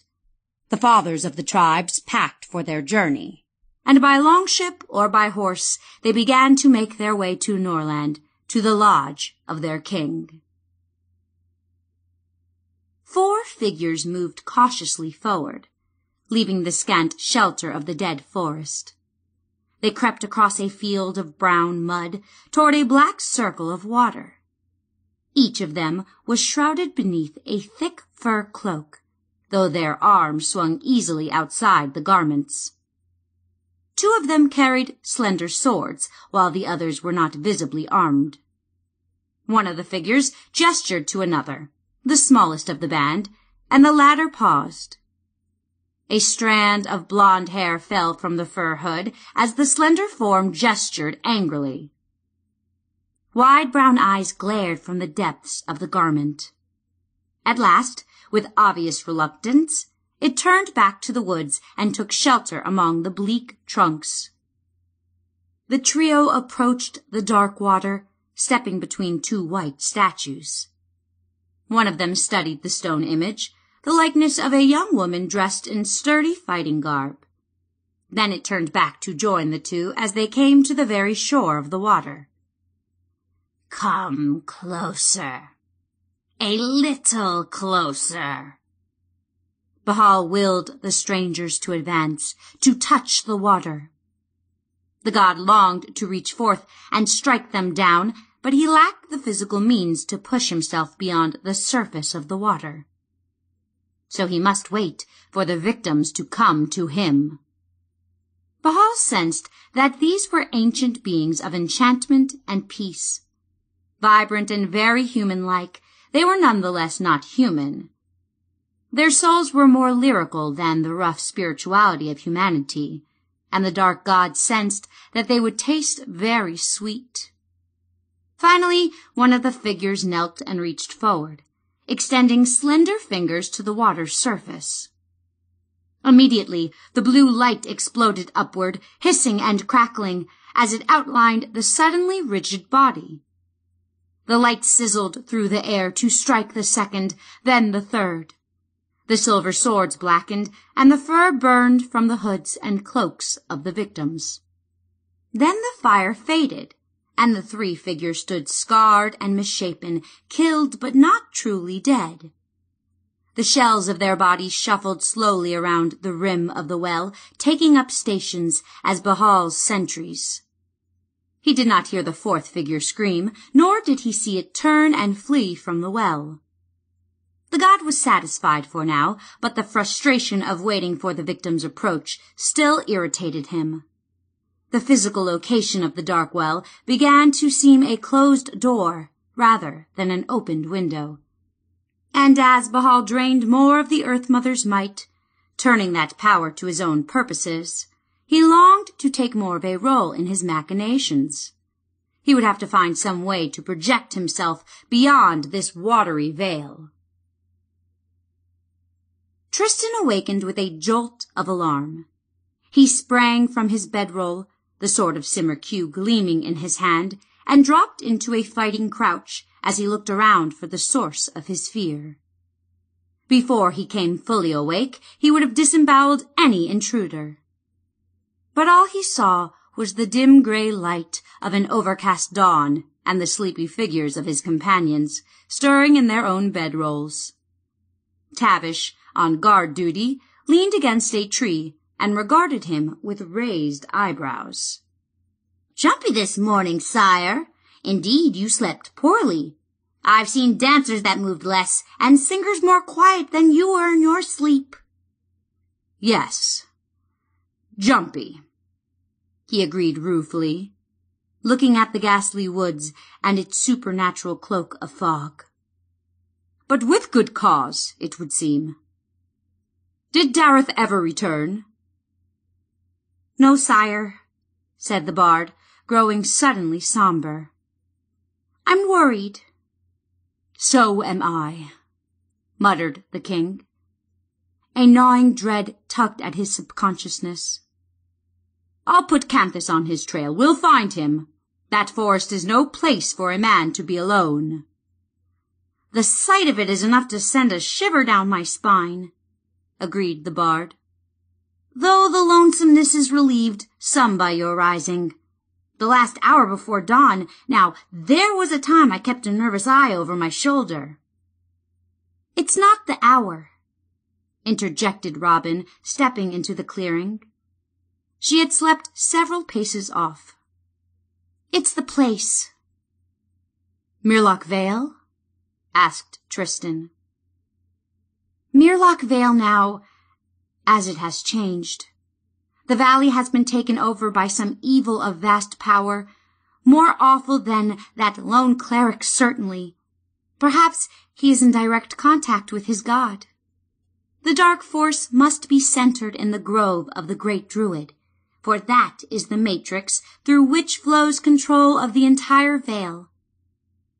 And that also is where the druids remain entrapped in stone? Asked the bard. Yes, I intend to go there and break the power of this god. Tristan immediately wondered how Robin planned to do this, but he dared not ask her. Tavish, too, seemed curious for more details, but she settled for a shrug of her broad shoulders. Well, I'm in till the end this time. I've a hunch I've missed some great ballad material when I left you on Callidyrr. I'm famished. Pawldo's voice emerged from the depths of his bedroll. I'll have three goose eggs turned oh so very easy. Eggs? There must be bacon, too, and cakes. Let's eat. Newt lifted his head from beneath the saddle that had served as his tent. Cold bread, said the king, suddenly irritated by his companion's good humor. And we'll hit the trail in ten minutes. Tristan stretched his stiff muscles as he slid the chainmail over his shoulders. Even the heavy wool padding did not prevent the chill of the iron links from penetrating to his skin. He saddled Avalon, then lifted Daryth's saddle to the back of the Calishite's frisky chestnut mare. There he met Robin, as she brought their friend's bedroll to be lashed onto the horse. Daryth went down the trail last night, farther into the vale, he explained. I want to put Canthus on his trail. If he's strayed from our path, I'll try to find him. I'll catch up with you later. By all means, she agreed, but we shall all go. She looked at him without anger. Our first priority must be to find him. By the time they had packed their meager camp, Tristan had located the Calishite's trail and shown it to Canthus. The moorhound immediately grasped his master's meaning, and started along the path at an easy lope. His nose held inches off the ground. Tristan atop Avalon rode behind the moorhound. Robin, on Daryth's mare, came next. Newt also rode the mare, perched possessively on the saddle horn before the druid, while Yazilliclick rode in front of the king on Avalon. Pawldo and Tavish brought up the rear.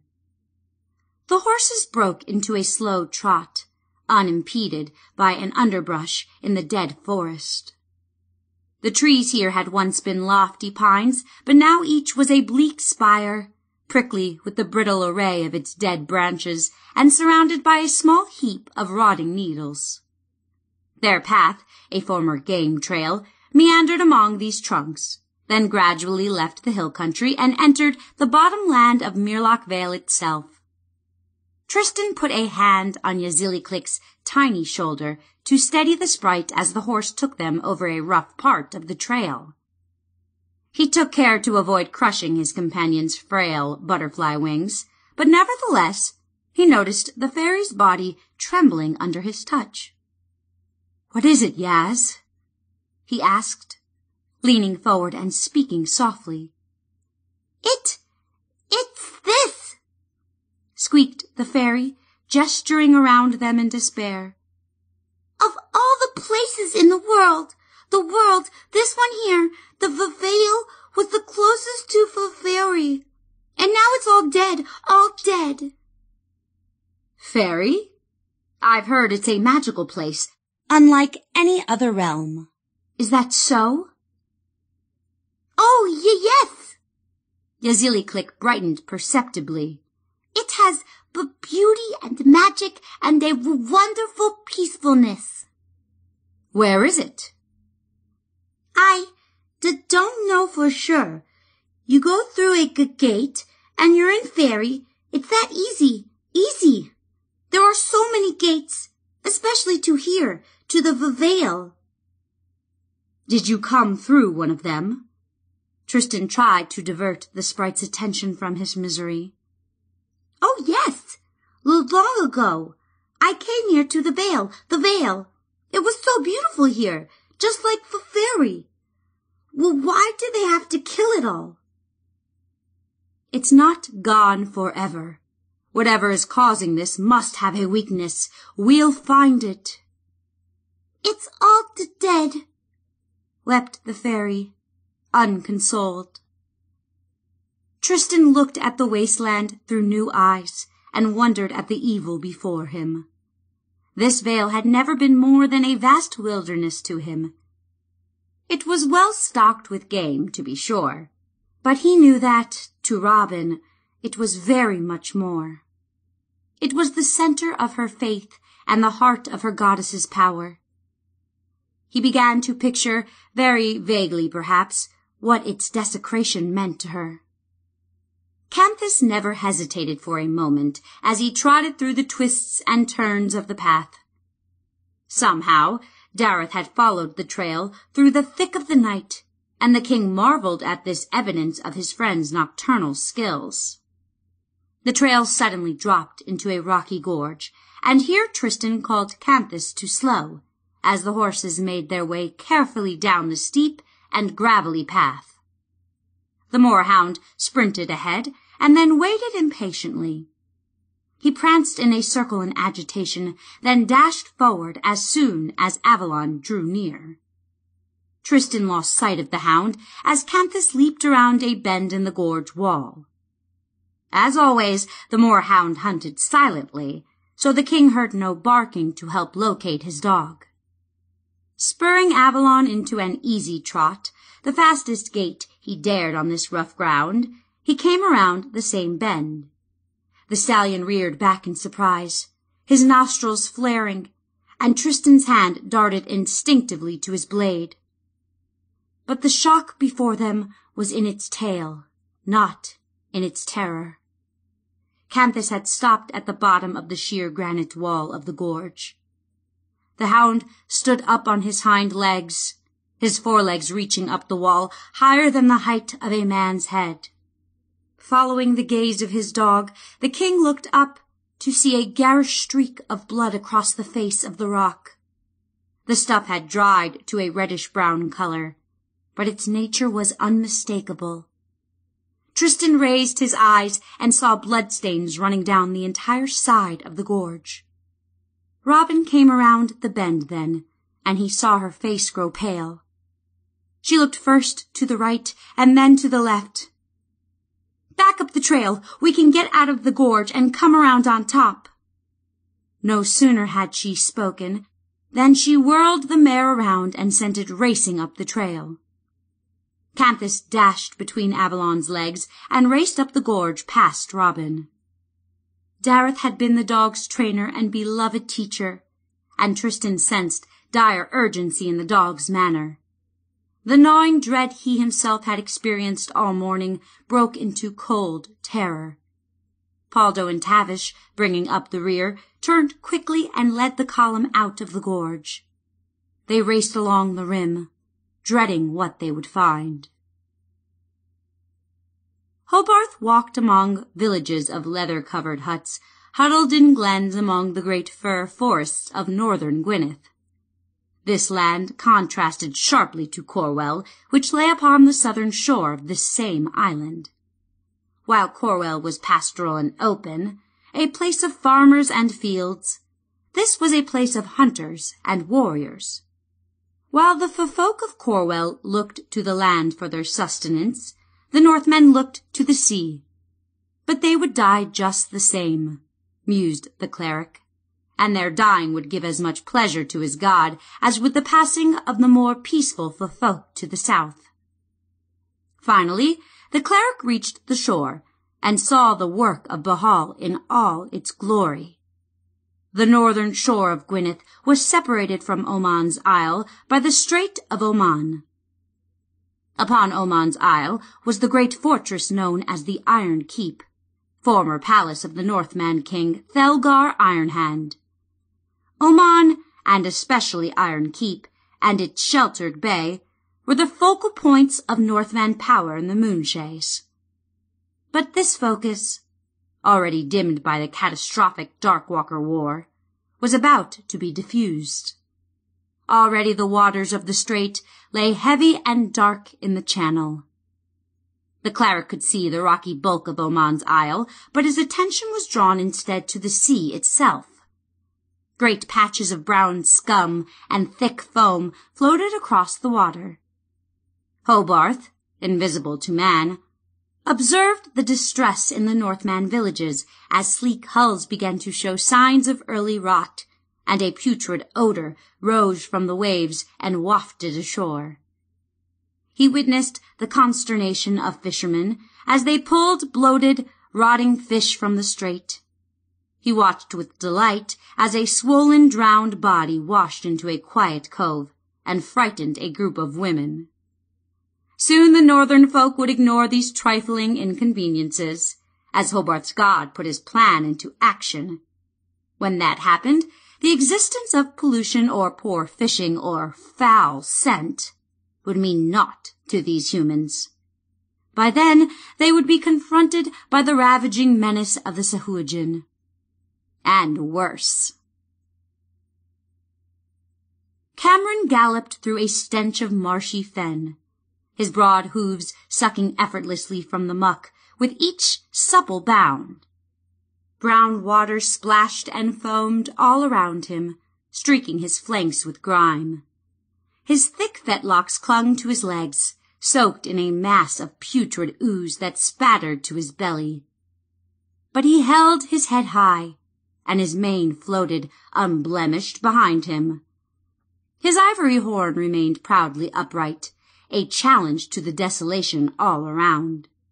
Soon he charged up a smooth slope and stopped on dry ground once again. Normally he would have paused to nibble a patch of clover or very young grass, but now there was no food to be found. Every day the unicorn progressed farther in his exploration of the devastated vale, and each day the scene around him grew more miserable, more hopeless. Kamerynn's ribs now showed clearly through his dirty hide, but his stance remained ever proud and unbowed. And then he was off again, moving with the easy canter he could maintain all day. He loped through a chaotic jumble of hills where all the dead trees had lost their roots in the sandy soil and lay like matchsticks, a nearly impenetrable tangle. The unicorn forged ahead, forcing his way among the trunks and nearly getting stuck before he emerged from the other side. He came into a shallow draw and followed a pebbly stream bed, now dry, down the center. This was free of trees, so he was able to canter again. Finally, the unicorn stopped in his tracks, his nostrils flaring, his great head swiveled as he looked this way, then that, before turning his attention to the ground.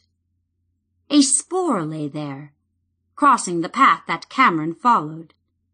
As a trail, the spoor was completely invisible, for the thing that had passed had neither disturbed even one tiny stone, nor broken the most insignificant of twigs. Nevertheless, its passing was written boldly on the land for the eyes of the unicorn. Kamerynn saw the mark of four huge paws carrying a heavy body of supple grace. But the thing that made the unicorn's ears perk upward and widened his large eyes was the fact that the spoor on the ground was written not in trail sign, but in sheer, palpable evil. The god of murder sucked hungrily at the warm life of the Moonshaes like a vampire claiming the blood of its victim. And like the vampire's prey, the goddess Earth Mother's strength faded toward eternal nothingness. The history of Bhaal is a tale of treachery and betrayal, murder and death, on a scope undreamed of by most creatures. Creatures of the lower planes, creatures of the mortal world, all had tasted death at the hands of Bhaal and his minions. But his killing had never before claimed a god.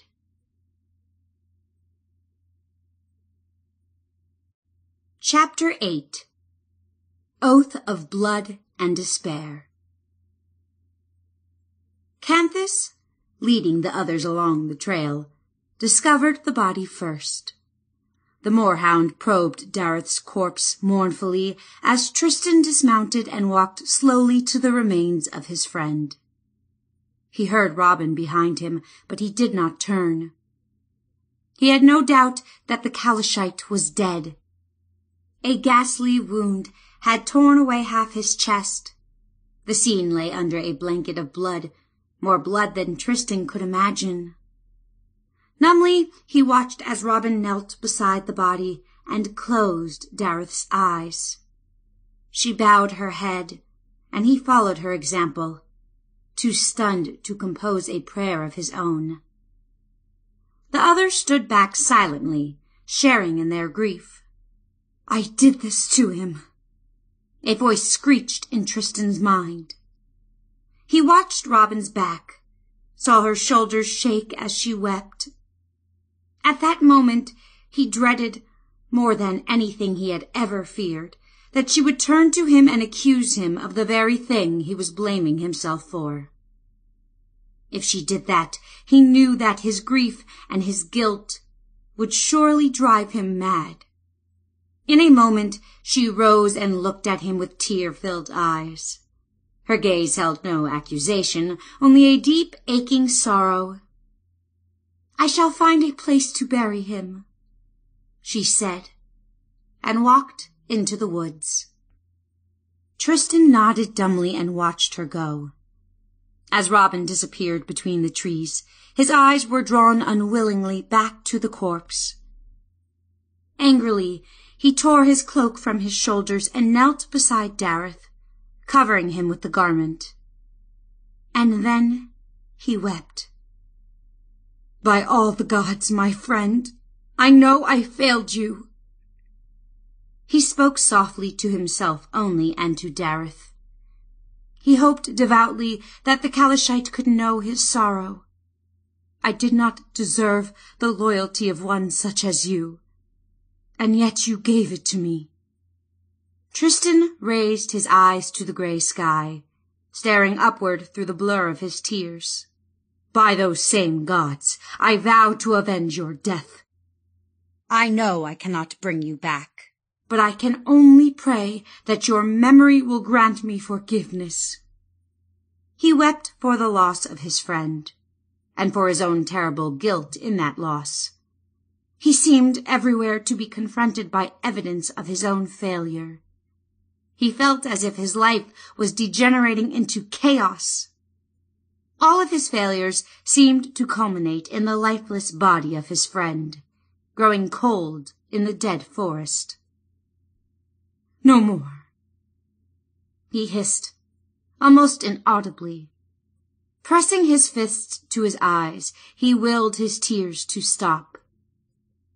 He started at the touch of a hand upon his shoulder and looked up to see Tavish beside him. He was a brave man and true, she said, her own eyes moist. And I was the one, Tristan began angrily. Don't say it, warned the bard, an iron edge in her voice. You are the High King of the folk King of us all. Our destiny is wrapped within yours, and some of us will die before you reach that destiny. The king listened. He wanted to argue, but the tone of her voice compelled him to remain silent. It grieves you to witness the death of those who serve you, and that is good, for you must share our pain. But you cannot carry the blame for those deaths. You must have a goal, and that is the goal for all of our people. That goal is the important thing. Tristan wanted to shout at her, to tell her that this was different. This was a death for which he bore special responsibility, for it was brought on by his own selfishness and arrogance. But he said nothing. Instead, he thought about her words. It seemed a long time that he stood there, while Tavish sat beside a tree and began to strum a slow anthem on her lute. The music floated around him, sweet and heartbreaking at the same time. It was full of minor chords, yet it resounded with a triumphant pattern that urged a listener to look up, not down. I always knew he needed me to look after him, said Pawldo miserably. The halfling's face was red with grief. Tristan had always suspected that the diminutive adventurer cared for the Calishite more than he had admitted. Newt and Yazilliclick curled up dejectedly on the ground. The fairy dragon's scales had darkened to a deep purple, a hue the others had never seen him take on. Yazilliclick peered into the woods nervously, his antenna twitching in agitation. Robin returned, having found a suitable grave site, and Tristan carried the body behind her. The others offered to help, but he would have no assistance for this task. They prepared Daryth for burial as best they could, covering his body and its horrible wound with his favorite red cloak. Robin tenderly brushed his hair, and finally Daryth had the look, almost, of one who rested peacefully Tristan gently removed the Calishite's ensorcelled gloves and laid Daryth's hands across his chest. Turning to Pawldo, he held the soft leather objects toward the halfling. These came from a place of long ago, he said haltingly. I think he, he would have wanted you to have them. The despondent Pawldo said nothing, but he took the gloves reverently and slid them onto his hands. Though they had been too large for the halfling while Tristan held them, they quickly shrunk to a skin-tight fit. They laid Daryth to rest in a small clearing high above the winding gorge. Robin said a quiet prayer over his body, asking the goddess Earth Mother to help his spirit in its search for fulfillment. Tavish strummed another anthem, heartbreakingly beautiful, and they stood for a moment of silence. Tristan stared at the rough ground, the dirt he had piled with his bare hands. He had never felt more forlorn. But all the time he had labored, a grim resolve had begun to crystallize in his mind. A determination that this drifting of his life into chaos must end. Hobarth decided that the community before him must be the largest on this forsaken shore. He stood on a high, bald hilltop less than a mile inland from the town. From the summit he could see the wooden and animal skin buildings scattered around the shore of a small cove. Rickety wooden piers jutted into the water, and a number of small boats bobbed at rest. It wasn't much of a town, but the other human settlements he had discovered were even smaller, tiny fishing villages of a score or two buildings. The north coast of Gwynedd seemed a poor place for an attack, if plunder was the object. The plans of Bhaal were not obvious to his humble cleric, however. Here Bhaal had ordered the attack, and so here it would be. The waters of the strait were devoid of boats, as the filth of pollution now spread thick across the surface. In the far distance, he could vaguely make out the bulk of Oman's Isle, faintly outlined through the haze. The sun had passed into afternoon, but many hours of daylight remained. The cleric spent several minutes exploring the hilltop, finding a jumble of rocks that marked its highest point. He walked in a tight circle around this summit, chanting a careful litany and dropping a powder made from finely crushed diamonds. As he cast, a glowing pattern of lines formed across the rocks until he had inscribed a circle of magic around the crest. The lines seemed to have been carved into the rock itself, and they shimmered with a silvery cast, enclosing the cleric in a circle of enchantment. His glyph of warding cast. Hobarth could now prepare his major spell in security. He knew anything trying to interrupt him would be stopped by the glyph. His glyph of warding cast. Hobarth could now prepare his major spell in security or surprised very rudely if it tried to penetrate the magical barrier. Finally, Hobarth sat upon the summit and closed his eyes. He called upon all the faith in his black heart and all of the knowledge in his twisted mind. Then began the spell of summoning. For long minutes he sat as motionless as a statue, his face wrinkled in concentration, his eyes tightly closed. Only the flaring of his wide nostrils gave visual proof that he still lived. But if an observer could have looked beneath the veneer of optical senses, he could have seen the real proof of Hobarth's vitality. Concentrated in the invisible employment of magic, the cleric's spirit sent out a call deafening in strength to those who could hear it and compelling in nature to those same listeners. Beneath the brackish waters of the Strait of Oman swam one listener who heard and immediately moved to obey the summons.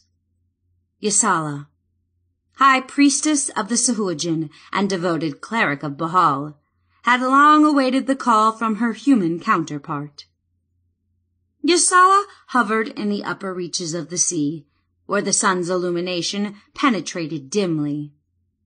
The water here was shallow, and the smooth bottom was heavily layered with silt, but the priestess took no notice of this. She drifted slowly between the surface and the bottom, waiting. All around her waited the legions of the sea. Standing abreast upon the bottom stood the rank of ogre corpses that had perished in battle only to be reanimated by her priestesses and the power of Bhaal. The fat bodies resembled monstrous maggots, swollen from their immersion. The blue-black water swirled around them, but the stolid corpses remained immobile, awaiting the command of the priestess and the black power of her god.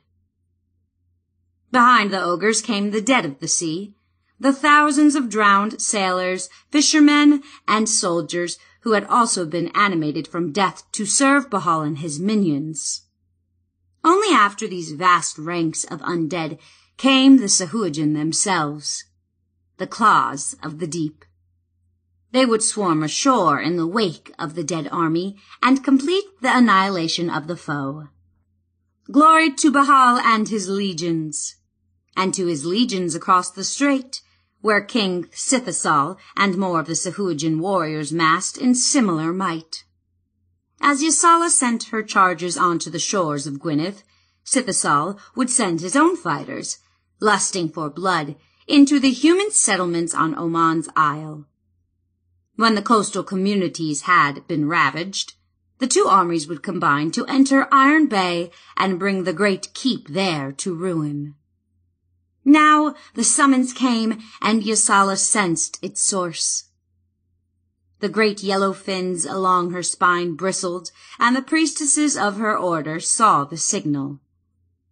Their own spines bristled in silent acknowledgement, and the legion surged forward. The dead marched stolidly across the silt, climbing the sloping shelves toward the beach. The Sahuagin swam slowly behind them, the entire mass gliding through the water like great, sinister fish. Then the broad ogre heads broke through the listless surf, and eyeless sockets fastened upon the shore. The bloated bodies lumbered from the shallows, their clubs, axes, and great hammers held high. The skin of the lifeless monsters had bleached to milky white during the long immersion, and the waterlogged bodies moved slowly, heavily forward. They were indeed slow, but they could not be stopped. Cole's heart pounded as he left the tiny inn and walked the few steps to the pier. The starling bobbed prettily at dockside, even amid the scum that had coated the water lately. Though small, the little sailboat was the perfect setting for his purpose. And here came his purpose. Gwen walked to the boat with just enough eagerness to excite his hopes and just enough restraint to calm his nerves for ten days. He had been trying to get her to go off alone together with him. Now she smiled at him, her brown eyes sparkling with a secret promise that inflamed his passion. She was not overly pretty, Gwen, but she had a lively manner that had caught Cole's attention when he had first purchased a shield and jerkin from her father, the leather worker of Codscove. Short and slightly plump, Gwen greeted him with a shy smile. Her red-brown hair was cut short, and Cole liked the way it framed her round, smiling face. Indeed, as he was unusually tall even for a man of the north, they made an oddly matched couple. His soft beard had finally covered his chin the past spring, and now he stroked it self-consciously as she made her way to the dock. He helped her into the boat, enjoying the unsteady moment when she lost her balance and leaned on him. Sit here, he offered, lowering her to the bow seat. The line came easily free from the dock, and he pushed the starling away, as if worried that someone would come along and stop him. The breeze was sluggish at first, but the little craft caught what little wind blew, and they pulled steadily away from shore. For some time they didn't speak. Cole tried to ignore the lifeless brown of the sea without complete success. Indeed, fish were dying in whole schools. Catches were non-existent or diseased. Even these placid Northmen of Gwynneth were once again talking of raiding as a means of survival. Cole tried to banish such thoughts knowing that Gwen was of a family of native folk, while his ancestors were the plundering Northmen who had claimed these lands as their own a century before. Instead, he concentrated on his passenger's eyes as she demurely looked away. Such pretty eyes they were, shy but not afraid. Gwen had always fascinated him with this air of demure courage so unlike the women of the Northlands. He finally pulled in the sail and drifted calmly. Cod's Bay was a distant mark on the shoreline, though Cole could still distinguish individual buildings. With the easy grace of the sailor, he moved to the bow seat and took Gwen's hand. She giggled briefly, but she did not turn away as he bent to kiss her. She was warm and soft, her slight plumpness filling his arms as he embraced her. Suddenly, he felt her grow rigid, and he saw her eyes open in shock, staring at something over his shoulder. Gwen screamed as Cole spun around, his own eyes widening. The most horrible creature he had ever seen slithered over the transom, flicking a forked tongue toward him. Its pale eyes bulged, and rows of sharp, wicked teeth gleamed in its widespread mouth. Its vaguely human-like body was completely covered with green scales, and it used clawed hands with webbed fingers to pull itself into the bottom of the boat. In the instant of his turning, the Northman froze in panic. What could he do? He gaped in terror as the man-like form slithered forward. Suddenly his fear galvanized into action, and he reached for one of the long oars. He lifted the oar from its lock and brought it crashing down on the creature's head as the monster tried to stand. It slumped to its knees, and he crashed the oar down upon it again, snapping the wooden shaft in two, but dropping the creature senseless into the hull. What, what is it? gasped the maid as Cole slumped weakly to the bench. For a moment he could not speak. Bile rose in his throat, and he feared he would lose his breakfast, but finally his tongue freed itself from the terror. I, I've heard tales of the fishmen, dwellers of the deep. Sometimes they struck ships, but only far at sea. The Northman spoke slowly as he regained his breath. Look! Cod's Bay! cried Gwyneth, pointing to shore. They watched in horror as a wave of huge white bodies plodded menacingly from the surf and entered the town, striking down any humans who did not flee before them. And then another wave of invaders rose from the sea, and still more hastened in their wake. Cole pulled the sail taut as they watched, and soon the wind pushed them slowly toward the strait. Where are you going? cried the distraught young woman as she saw his course. My family's there. We've got to go back.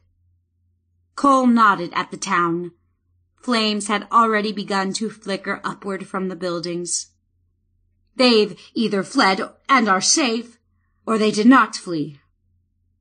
In either case, we will not be able to help them. She turned with a sob to watch the shore, seething in chaos behind them. We'll go to Oman's Isle, he promised. There we can get help and sail home as soon as possible. Of course, he couldn't know that Sythissal and the Sahuagin already swarmed across the length and breadth of Oman's Isle, and that the survivors were already fleeing toward the cramped security of the Iron Keep. They rode steadily toward the Darkwell, each immersed in private thoughts, but they all shared the common purpose now Nothing else mattered until they could confront the root of the evils that plagued the land and had slain their friend. Tristan wondered what Robin would do when they reached the well. Some secret with the scrolls, she had indicated. Why had she refused to give him more details? This, he realized, was just another evidence of the depth of the change between them. She no longer confided in him or sought his advice. He realized with sharp clarity just how much he missed her.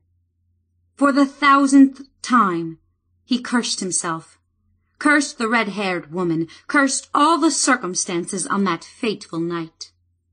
All he could do now was strive for atonement, and so he would. To start, he would see that the companions all reached the grove of the great druid and the goal of their quest alive. For a while they rode in silence, all of them sharing their grim purpose. Even Newt seemed to sense their resolve. He sat forlornly ahead of Robin in the saddle, curled against her stomach, silent for once. Behind her, lashed to the saddle, rested Daryth's silver scimitar. Tristan had offered it to her as they buried their friend, and reluctantly she had accepted the gift. All the riders looked nervously this way and that, sharing a grim apprehension, yet seeing no visible threat. Tristan took a measure of comfort from the fact that the sharp-eyed halfling rode at the rear of the party. Then a blackness gripped him, and he thought of how much more secure they would have felt with Daryth's keen senses protecting their flank. He shook off the thought and looked again toward Canthus. The moorhound led the party as they advanced carefully into the heart of Myrloch Vale. Yazilliclick sat before the king on Avalon's broad back. The little sprite held his tiny short bow ready, with one of his silvery dart-like arrows nocked in the weapon. His antenna quivered, and the king wondered if they helped him to search the woods for enemies. He hoped that they did. Though the season was autumn, the chill in the air and the low, leaden sky bespoke more of winter. No snow had fallen here yet, but the bleak wind blew off the highlands with an icy bite that penetrated their cloaks and clothes and flesh, cutting right to their bones. Shivering, Tristan pulled his woolen cape more tightly around himself, but even that offered little comfort. They followed a faintly visible trail through the black trunks. Though fallen leaves now rotting covered parts of the path, Canthus seemed to have no doubts as to the trail's location. Their route took them on a gradual decline into the flat basin of the vale. Soon they came to the shore of a bleak and stagnant fen. The vast marsh reeked with an air of death and disease, and Tristan nearly gagged as the trail moved along the fringe of the swamp. This must, very recently, have been a thriving wetland teeming with ducks and otters and other creatures. Now it lay brown and still, a lifeless smear upon the land. A few barren tree trunks jutted from a vast swamp of brown, stagnant water. In other places, patches of thick scum covered the surface. He felt relief as the trail again returned to the woods, climbing gradually away from the fen. The return to the forest was only a slight improvement, for still there was no sign of greenery or animal life, but at least that horrent stink of the swamp grew more faint in the air. Still the whole vale, forest and fen alike, gave him a chilling sense as if they were all cloaked in a blanket of death. The king watched as Canthus stopped and sniffed nervously at the ground. He saw the hackles rise on the great dog's neck, and he quickly dismounted. We'll wait for the others, but be careful, careful, squeaked Yazilliclick. Tristan looked back, surprised to see how far the rest of the party had fallen behind. Watch my back, he ordered. I want to see what's bothering Canthus. He saw Robin spur her mare into a fast trot as he turned back to his dog. Canthus stood at a bare spot in the trail, turning his huge head this way and that. Abruptly he growled and began to back toward the king. The hound's body, stiff with tension, poised like a coiled spring as he bared his great teeth at a threat that remained to Tristan unseen. Suddenly, the ground began to convulse under Tristan's feet, and he crashed to his back. The wind knocked from his lungs. Gasping, he saw Canthus leap backward with a prodigious bound that took the dog clear over his master's body. Then came an awful ripping sound, as of a body being torn asunder, and he felt the ground quiver beneath him again. Suddenly the firmament beneath him fell away. For a sickening split second, he felt himself hang in the air. In that same instant, a stinging wave of gas exploded from the yawning space below him, sending fiery fingers into his chest as he gasped for air. Great roots dangled from the broken ground, hanging into the hole, and Tristan felt poised, for a moment, at the brink of doom. And then he started to fall. A great fissure had opened in the ground along the trail, and now the stunned king lay at its lip, sliding into bottomless darkness. Noxious fumes rushed upward from the chasm, again biting into his lungs, and then the blackness claimed him. The moorhound rebounded instantly from his leap, and sprang forward to seize his master's arm in his jaws. As Tristan's body dropped into the pit, the dog tightened his grip and held the king back from certain death. Canthus's paws began to slip along the ground, and he growled savagely as he felt himself pulled toward the chasm. Suddenly he tumbled forward, unable to hold the king's weight. But even then he would not let go. The dog still clawed desperately for footing as both of them dropped over the edge. Randolph stepped wearily down the long staircase at the heart of Caer Corwell. Once again, another day drew to a close as he left unfinished the great majority of the tasks he had set for himself that day. True, his duties as captain of the guard occupied him for many hours each day. But more significant was the burden of governing the kingdom in the absence of King Kendrick. He would not have believed the petty bickering causing strife among the populace were he not forced to hear the complaints himself. Pontswain, of course, was no help whatsoever. The lord enjoyed the bounty of Tristan's cellar and pantry, and the hospitality of his keep, but he did little to aid Randolph with the daily chores of office. Instead, Pontswain was more likely to sit brooding in the great hall, alone, or with one of his favorite kitchen maids. The lord would glower at the crown of the Isles, gleaming where Tristan had left it upon the great mantle, and declare to all and sundry that the real honors belonged to him. Randolph passed beneath the wooden arch into the great hall, and saw Pontswain sitting in his usual position. The lord sprang to his feet as the captain entered. What's the meaning of spying on me like this? demanded Pontswain. Don't be ridiculous, my lord. I'm simply going to the kitchen on my way to check the stables. And by what right do you challenge me?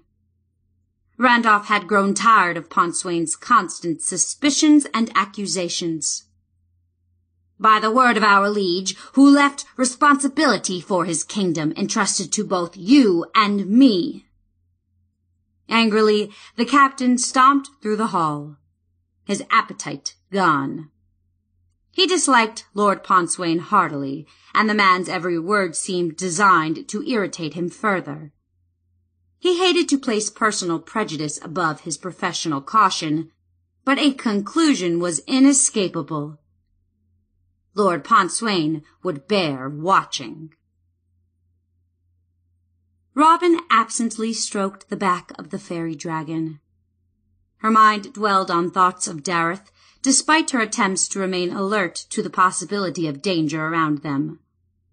The devastation of the forest weighed heavily on her spirit, and she found it difficult to look at the black terrain. Thus, she strayed easily into reminiscence. She thought of her first meeting with Daryth, when he had just stolen her prince's coin purse, and Tristan had caught the thief after a long chase. She remembered the flashing humor in his black eyes, and the even match between the Calishite's skills and Tristan's. Though even then, as the two men had formed their friendship, the prince had stood out clearly as the leader. Tristan! How her anger flared whenever she thought of him. She did not blame him for Daryth's death, though it occurred to her that she could. But whenever the picture of Tristan's infidelity came again into her mind, the bitter ache of anger flared brightly within her.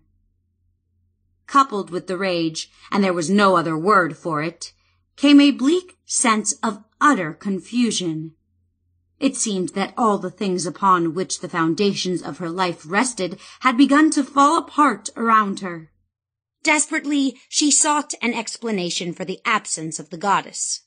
For her deity's silence when the druid prayed. All the possible answers loomed as too frightful for contemplation. Had the goddess perished forever from the earth? Had Robin unknowingly enraged her spiritual mother, and thus cut herself off from her comfort and power? And Tristan? Had the woman in Caer Corwell bewitched him? Or was his love so frail that he could be drawn from Robin by a simple flirtation? She desperately hoped that the former explanation represented the truth, but even if it did, she wondered if she would ever be able to forgive him. She whispered a soft prayer, but the words seemed to echo hollowly through the dead woods. Never had she felt so alone, so separated from her goddess. It was as if a great void had opened up, and neither her faith nor the mother's might was great enough to bridge it. With a start, she came back to her surroundings, surprised as Newt jumped to his feet before her. The fairy dragon arched his back like an angry cat and stared around the mare's neck, straight at Tristan.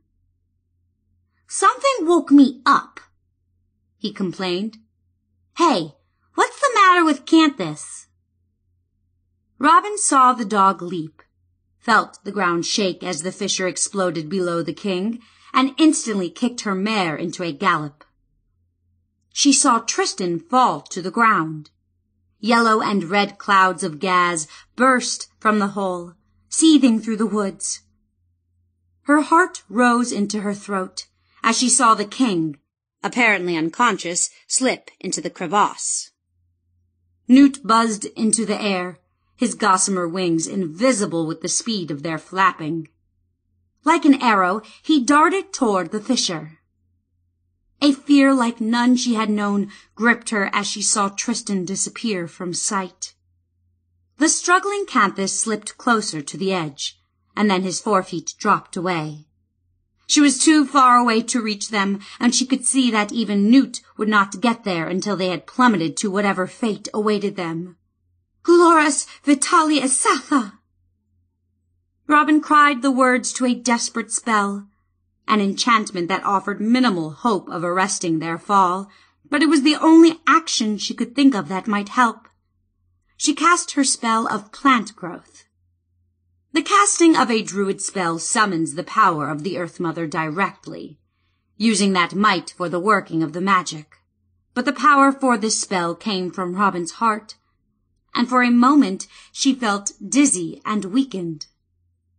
Even as her vision blurred, and she swayed in the saddle, she saw the roots and brush at the fringe of the fissure begin to spurt upward. Canthus disappeared from her view as the growing tangle of vegetation sprouted around him. The thicket continuing to grow, writhing constantly, along the edge of the fissure.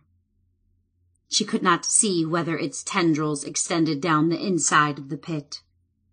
In another moment she had reached the gap. Quickly, she leaped to the ground, though she staggered unsteadily, and had to grip the reins of the mare for support. The awful terror she felt held her back, and she could not bring herself to look into the fissure. Newt, appearing and disappearing rapidly in his agitation, buzzed around the fissure. They're here! You saved them! Come on, you guys, get out of there. Hey, Tristan, wake up. Weakly she stumbled to the lip of the gaping pit, gagging on the stench of the gas that rose from the wound in the earth.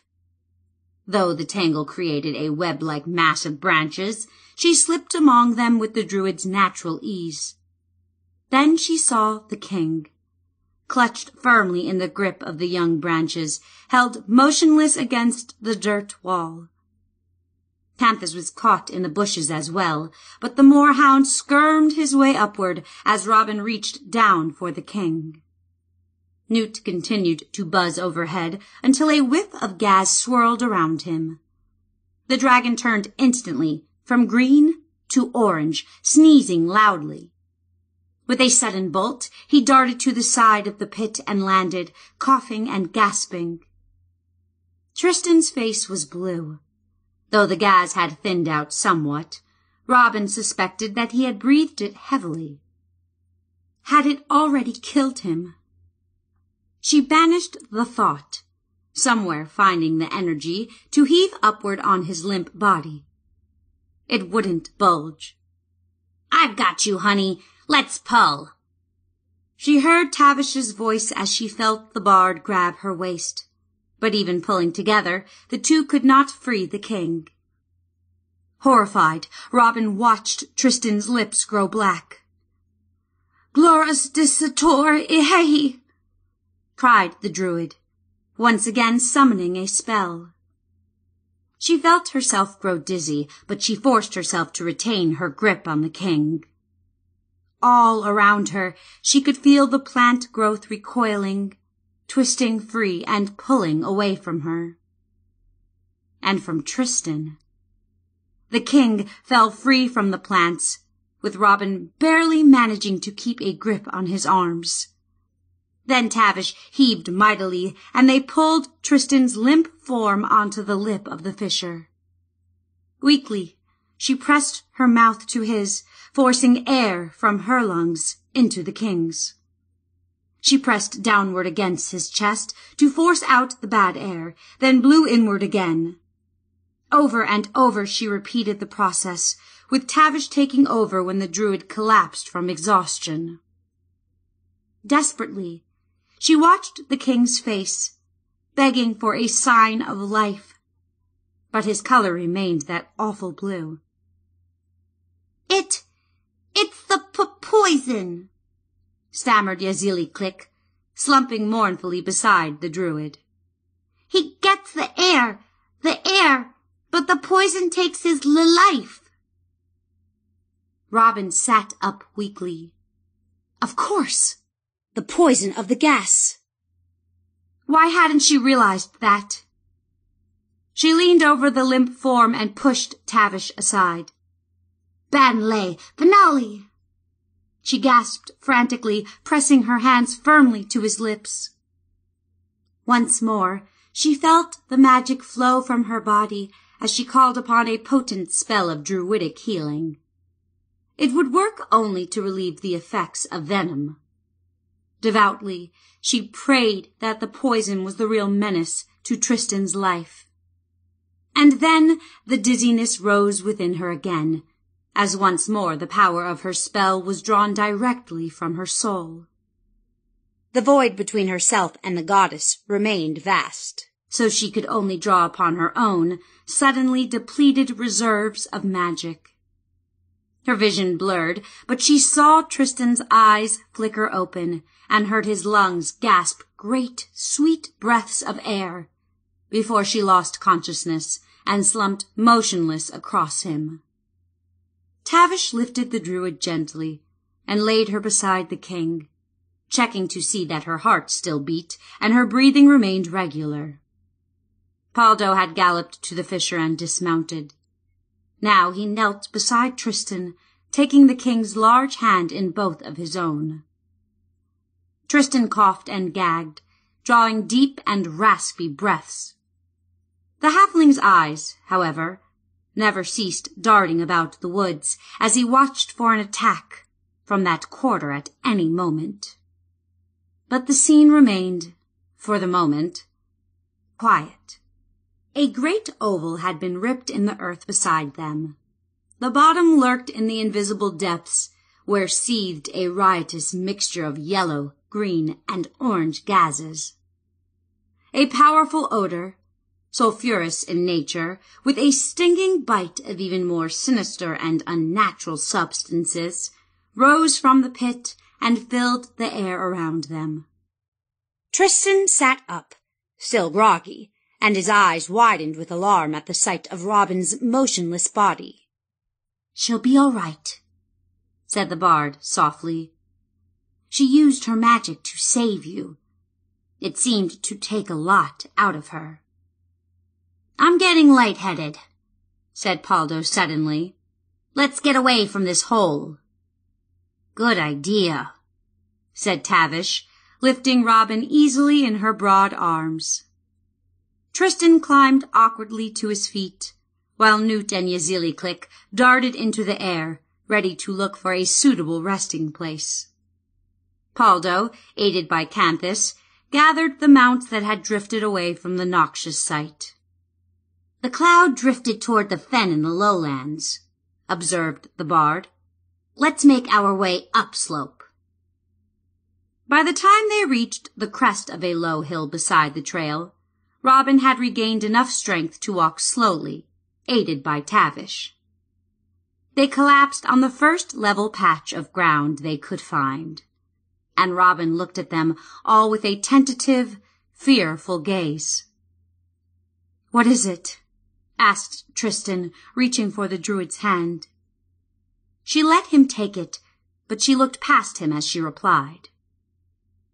They're gone, she whispered, frightened. The spells I cast, they come to me through prayer.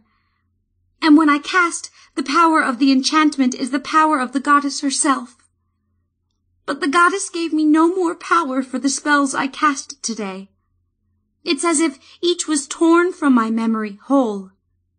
There's nothing left. But can't you pray to the goddess to get them back again? asked Tristan. I can no longer hear her. I don't know if she speaks or even lives.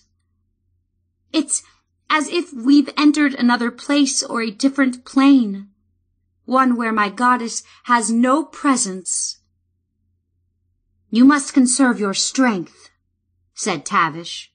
Use your magic only if it's absolutely necessary. They were all aware, but none mentioned it, of how necessary her magic had already proven that day. I'm ready to go now, the druid announced. We must keep moving. I'll take the lead this time, offered the bard. Me, piped Newt. Yaz and I will bring up the rear, added Pawldo. This left Tristan and Robin riding in the center of the group. For a time, the king followed the druid, riding in silence but when they reached a place where the woods opened into broad clearings, he pushed Avalon gently forward to her side. Tavish told me what you did. He started out awkwardly. I owe you my life. He trailed off, unable to express his gratitude and his love. She turned and for a moment she smiled at him like the maiden he had fallen in love with. Only her eyes, dark and somber, betrayed her maturity and purposefulness. The land of Corwell needs you, she said simply. And what of the druid Robin? asked Tristan, his heart pounding. Does she need me? I need to serve my goddess to the whole of my being. Robin's voice carried firm resolve. That is the most important thing in all the realms to me. A door slammed shut before the king, and he was left shivering in the cold. Hey, you guys, get up here! Newt darted from the trees to hover before them. His tiny mouth split in a toothy grin. You've never seen anything like it before, I'll bet. Come on, hurry! The fairy dragon dashed away, dodging like a hummingbird among the tree trunks. The pair called to Pawldo and urged their horses into a run. In moments they broke from the woods to gaze upon the bleak shore of something the like of which, to be sure, neither of them had ever seen before. It was the size of a small lake, with a smooth surface of glistening black. Tavish says it's a tar pit, though how she knows that, I'm sure I can't tell you. The dragon darted across the flat surface before them, pausing in mid-air to sniff at a bubble. He flew back to them and lighted upon the stuff. No! cried Tavish, too late. The dragon's four feet touched the sticky surface, and though he tried to spring back into the air, he found himself stuck fast. Tristan laughed, in spite of himself, and drew the sword of Cymrych with a flourish. To the rescue, worm! He announced, leaning forward to slip the blade, flat side up, under Newt's belly. He lifted with a smooth motion, and the dragon popped free of the tar. Newt flew off in a huff to rest upon a tree limb, and try to clean his sticky paws. There was never anything like this in Myrloch Vale before, observed Robin solemnly. Tristan sensed that this was yet another example of the blasphemy that had fallen upon this sacred ground. Suddenly, he heard Canthus bark from the shore of the pit, and he saw the halfling, still mounted, galloping toward the dog. Just then, Yazilliclick popped into sight. Over the there is a firbolg, a firbolg. A firbolg? Cried Tavish.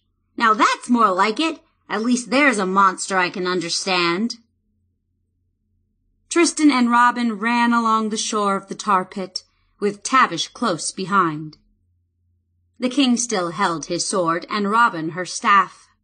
The bard brandished her lute, keeping the borrowed short sword in its scabbard at her waist. In moments they reached Pawldo's side. The halfling stood with an arrow nocked in his short bow, but he didn't shoot. Canthus stood before him, growling at something lying on the very shore of the tar pit.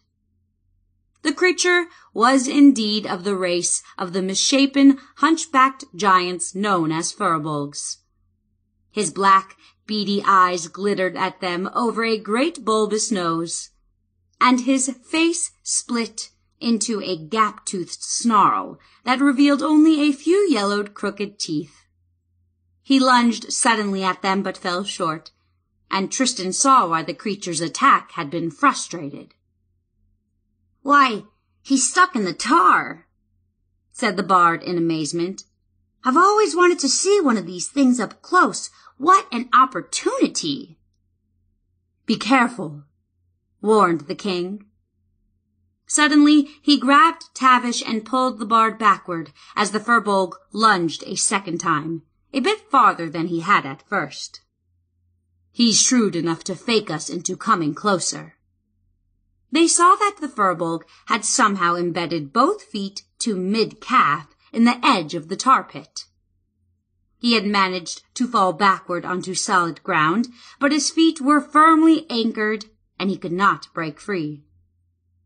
Instead, he snarled and snapped at them, then jabbered something in his crude, brutish tongue. I feel sorry for the poor thing, said Robin. Tristan, to his great surprise, found himself in full agreement. Perhaps only because the firbolg represented a familiar thing. Though an enemy, the firbolg was a natural element of the vale, the first such they had encountered in this bleak place. He leaned forward to get a closer look at the firbolg's plight, and was rewarded with a swinging club of a fist that would have crushed his skull had he not skipped out of the way. I'd be inclined to help him, he declared ruefully, but I don't think he'll let us. Maybe I can help. In a swift motion, the bard lifted her lute from her shoulder and strummed a pleasant chord. She followed it with a trill of light notes, then several more rich and gentle chords. Tristan saw the firbolg look at her in amazement, and the belligerent look on his face faded to an almost trance-like glaze. The king moved closer, and the creature started to turn toward him. But Tavish strummed vigorously, and the firbolg turned back to the music. We'll have to use one of the horses to get him out, whispered Tristan. He whistled to Avalon. The firbolg turned suddenly at the note of dissonance, but the thing had been pacified again by the time the stallion trotted over. Tristan unwound coils of his long rope and approached the giant, while Robin lashed the other end to his saddle. Keep playing, Tristan thought, concentrating on the music as he reached around the waist of the monster and looped the rope as far up on his chest as he could. The firbolg remained entranced by the music, a look of utter placidness on his face, as the king backed away and fastened the other end of the rope to the stallion. We're taking an awful chance, whispered the concerned halfling, a nervous observer of the preparations. What if he gets free and suddenly changes his taste in music? Smiling with more confidence than he left, Tristan turned to the stallion. Go! he cried, slapping the steed on the rump. In an instant, Avalon sprang forward. The rope came taut around the firbolg, and the monster gave a thunderous bellow of surprise. Scarcely pausing, the stallion lunged farther, and the giant toppled to the ground. With an additional grunt, Avalon pulled him free of the clutching tar. The monster leaped to his feet with an even louder bellow and turned toward Tavish, the nearest of the companions. The bard smiled broadly and stroked the lute, a softer, slower rhythm than she had played before. The rage fell from the creature's face as the music again held him in thrall. The firbolg cocked his head to the side as if to hear better. When Tavish stepped away from the tar pit, the firbolg followed mutely. What do I do now? asked the bard, slowly growing concerned. And then the horror exploded from the woods. Kamerynn loped tirelessly along the spoor of evil that lay like a broad stripe across the land. He followed it for a day and a night, never resting. A sense of urgency gripped him, as if he knew that here, among all the evil and corruption around him, was the focus for his vengeance. Here was an enemy he could fight. The unicorn came upon a scene of battle, where the beast had attacked a man. Kamerynn paused in surprise, for the spoor of the man was unusual in the dead vale. He saw that the man had been driven to a cliff by the approach of the monster, and that he had suffered a bloody wound as he had climbed away from the danger. Then the unicorn followed the spoor once more to where the creature had raced along the base of the cliff to a gap where the slope was more gradual. Here it had bounded easily to the top, though the climb was still precipitous. It was only with great difficulty that Kamerynn struggled up the same slope. And then he came upon the scene of blood and death. The man had died, and other humans had come. Kamerynn froze, his nostrils widely dilated as he sniffed at the footsteps of these other humans. His heart quivered with hope, but the scent was so faint he found the place where they had buried the man, and here his hopes were confirmed, where the one he hoped for had knelt beside the grave and left a strong scent for his nose. The druid had returned. She was in the vale. Eagerly he explored the area, finding with a chill that the great beast had lurked in the woods close by while the humans had buried their dead companion. The unicorn's chill turned to black terror as he saw that the creature had come out of hiding to follow the path of his beloved friend, stalking her and her companions as surely as the cat stalks the mouse.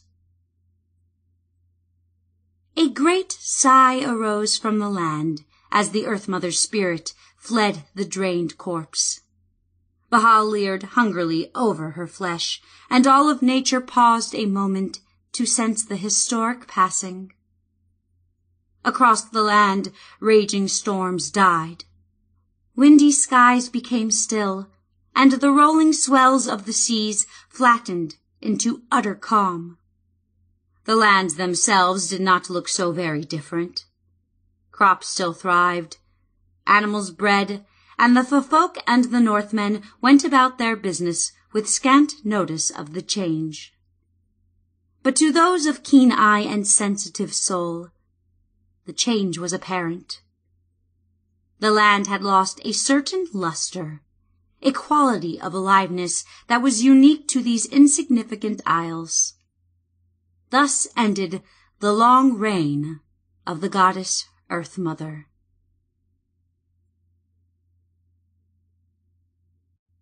Chapter 9 The Trap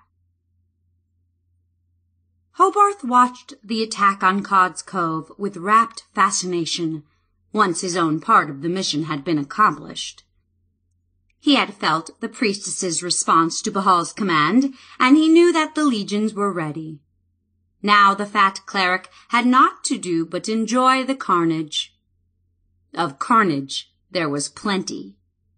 The ogre corpses lumbered through the town, smashing doors, attacking the few humans who tried to oppose them. Hobarth chortled at the sight of a brawny Northman who lurched from an inn, wielding a massive axe. The warrior bellowed in berserker frenzy, striking the arm from one of the ogre corpses. But another undead stepped in and crushed the man's skull with a blow from a heavy club. The armless one stepped over the body and smashed in the door of the inn, lumbering inside. From the hilltop, the cleric observed other patrons leap from windows or bolt from the back door. He saw the dead of the sea shuffling in the wake of the ogres, seizing fiery brands and flinging them atop the thatched buildings. These dead moved slowly, but occasionally a victim fell into their clutches such as one woman who hurried back to retrieve her toddling child.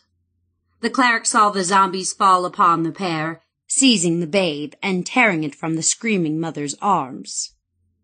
More and more of the monsters joined the slaughter, forming a lurching, frenzied mob that completely buried the doomed humans. The final wave of the attack struck with the most savagery, for though the undead killed unhesitatingly upon command, they did so without emotion. The Sahuagin, coming on the heels of the animated corpses, slayed with relish. Hobarth saw the fishmen search through the rubble for survivors.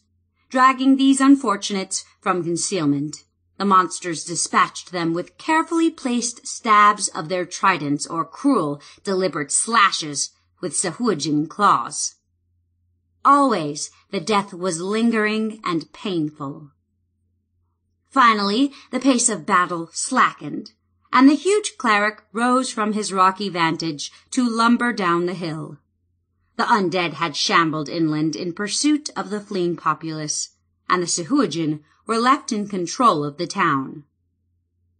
Before he entered the ruined settlement, Hobarth mumbled a quick spell one that enabled him to speak to these monsters and be understood. He had no doubt that his message would guarantee him free passage. A trio of Sahuagin spotted him as he stepped between the ruins of two buildings. Hissing, they turned their tridents toward him and advanced. Take me to your mistress, the high priestess Yasala, commanded the cleric his voice a booming human command. But the words registered clearly in their dim brains. They paused in surprise, hissing among themselves, clearly taken aback by the appearance of this human who could speak their tongue. We will do as you say, announced one, finally stepping forward. His sibilant speech was clearly understandable by Hobarth. You are wise.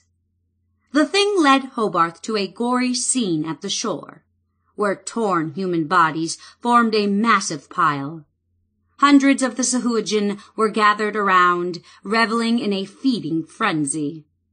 Many of them turned and hissed or started toward the cleric, only to be turned away by a command from Hobarth's escort. A huge Sahuagin suddenly reared before him, it bristled with a headdress of sharp spines, its color bright yellow, in contrast to the green of most of its companions. Hobarth sensed immediately that this was Yasala. Greetings in the name of Bhaal. You have won a mighty victory, he began. You are the human cleric. The creature looked at him with pale eyes devoid of emotion. Suppressing a shudder, he sensed that the high priestess would as soon eat him as speak with him. Only their obeisance to a shared master restrained her. What are the commands of our lord? We are to await his order here. He will send us either against the Iron Keep or Caer Corwell. When he does, the might of Bhaal will be revealed to the humans in all their folly. Yasala's sibilant voice did nothing to quell Hobarth's unease. He felt as though he spoke with a snake. The Sahuagin cleric loomed over him, her sleek body displaying lines of tough, wiry sinew. Her yellow scales glistened, streaked as they were with red human blood. Why are there two targets? The Iron Keep is close by, and sits astride your route from Kreslak to Gwynneth. Corwell is more significant, as it rests upon Gwynneth itself. I know this Iron Keep. Many of the long ships rest there or return there after they cross the sea. It is a good target. The humans there have displeased our god? They are in the way. Hobarth found the concept of the attack difficult to explain. He himself had doubts about assaulting a target not directly useful to the defense of Gwynneth, but his god had commanded the attack. He explained to Yasala the words of Bhaal. The humans will then have no place to flee to when we complete the destruction of this island, Gwynneth. Bhaal will claim as his domain the lands in the heart of the isle. You and your king are free to claim the coast. Yasala hissed, which Hobarth understood was an expression of eagerness or perhaps bloodlust. And you will swim with us to Iron Keep? I shall walk my own paths, said the cleric, looking at the water with a shudder. How he hated the sea. But fear not, I shall be there when you arrive. What is fear? asked the high priestess, puzzled. And then she turned back to her bloody feast, and the cleric slipped quietly away. Thorax the owlbear grew more and more angry with the passing of each day. Though it stalked the vale tirelessly, pressing ever outward, away from the Darkwell, it could find no trace of prey. Like Shantu, Thorax desired blood for the joy of the kill, not for any need for sustenance. But the owlbear lacked the displacer beast's cold, cunning, and shrewd sense of stealth. Thorax was a creature of stupid nature and brute strength. And so the malformed brute lumbered along, it turned its feathered head around on its broad shoulders, looking behind itself like an owl. The owl bear walked sometimes on all four of its massive paws, and other times it walked upright.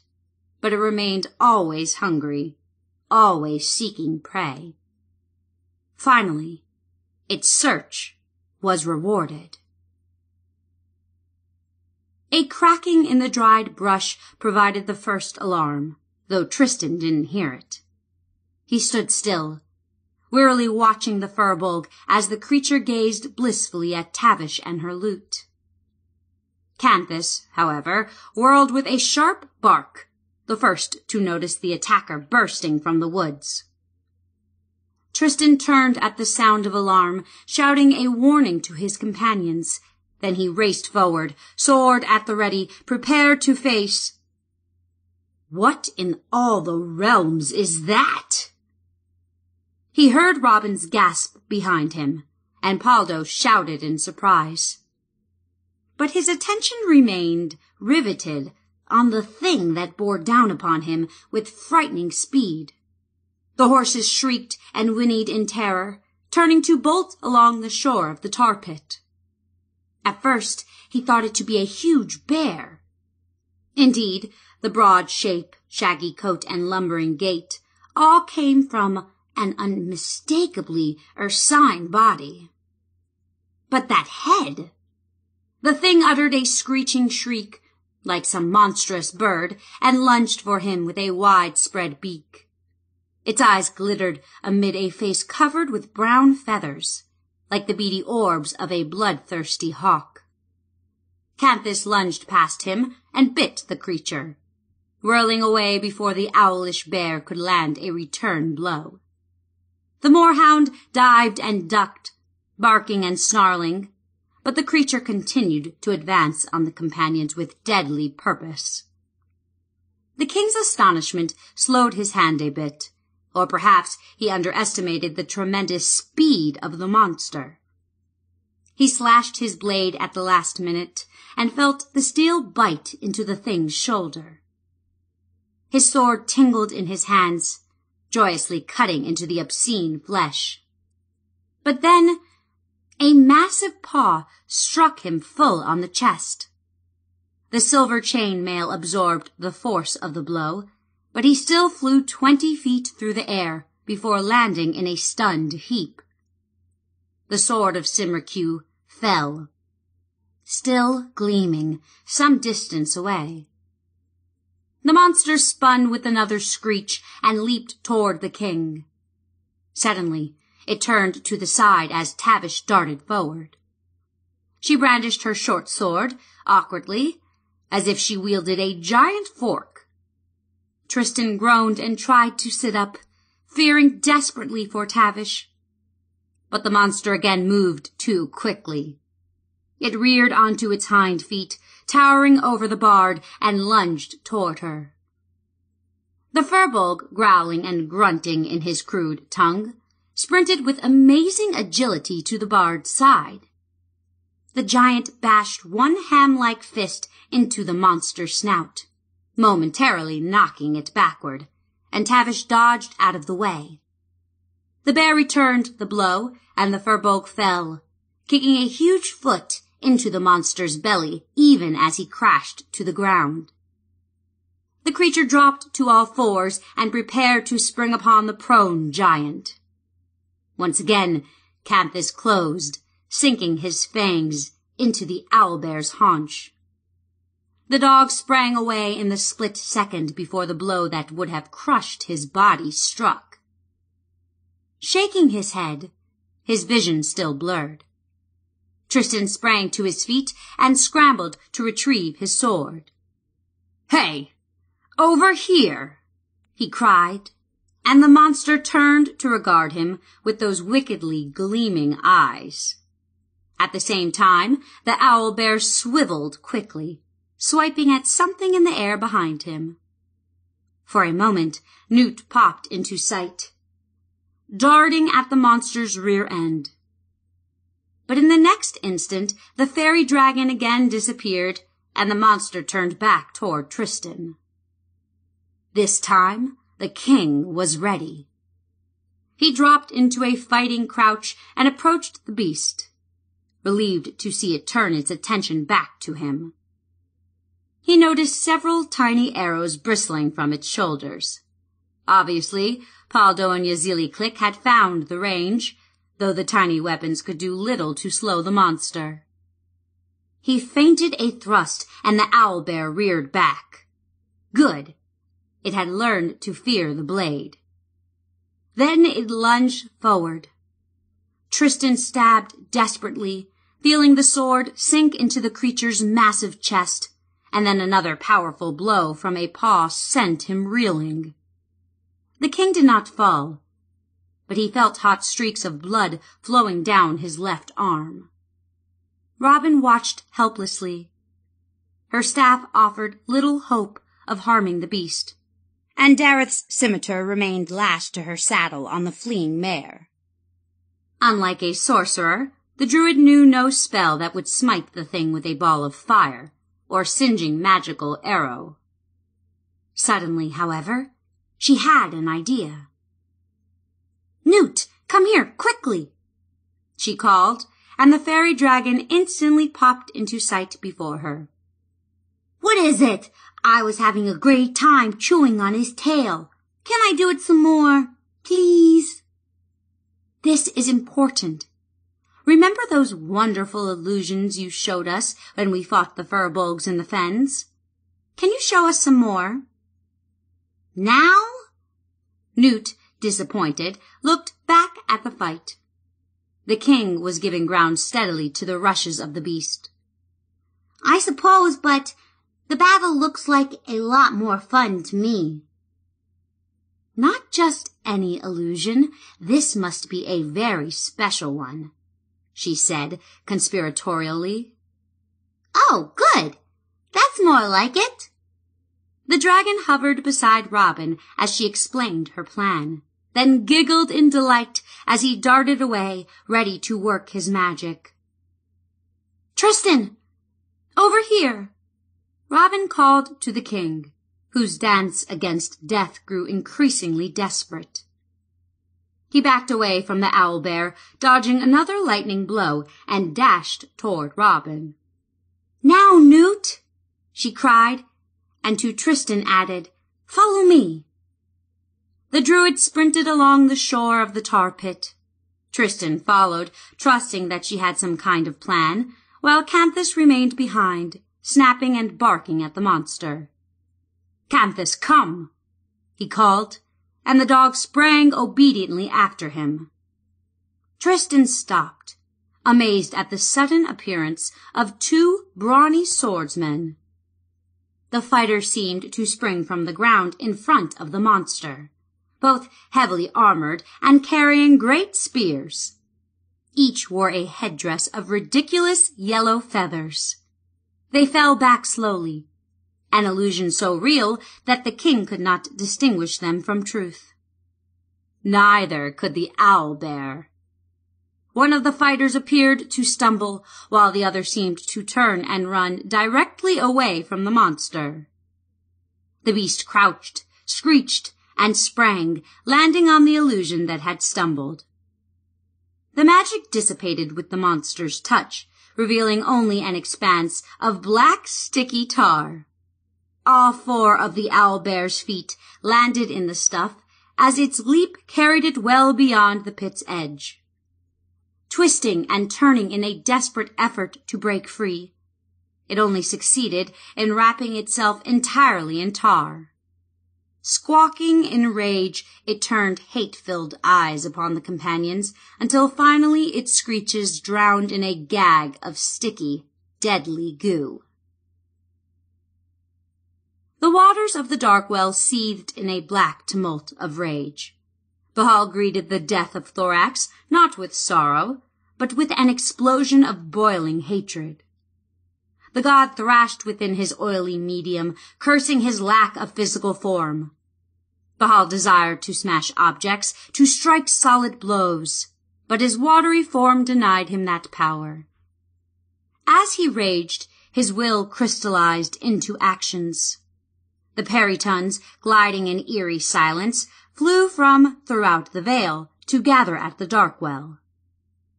His clerics, Hobarth and Yasala, paused briefly in their own plotting as the stuff of their faith shook from the deep disturbance. Each recoiled before the rage of his deity, and each likewise felt immense relief that the rage was directed elsewhere. Instead, Bhaal's rage brought them a command imperious and irresistible. Level the iron keep! Bhaal's intense anger needed slaying before it would cool.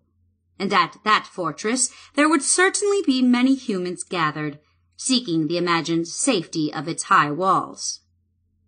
But those within were not reckoning on the mighty power of the god of murder and his minions. His clerics instantly set to work upon the plan.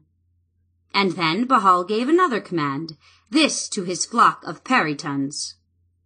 The monsters had gathered at the well and circled, a great cloud of corruption above the center of their master's power, and they heard his command.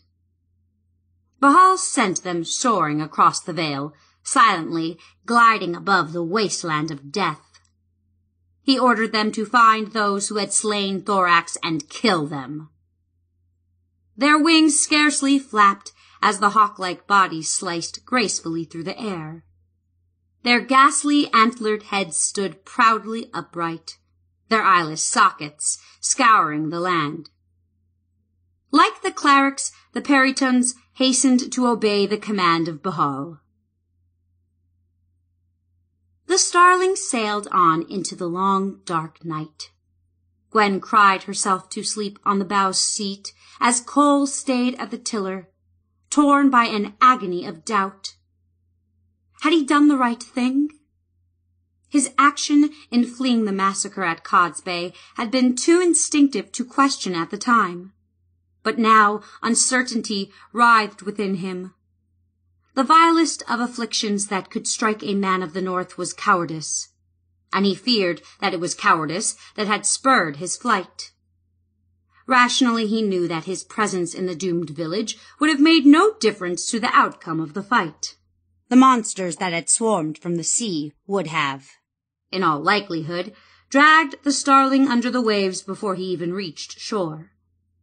But should that have been his only concern?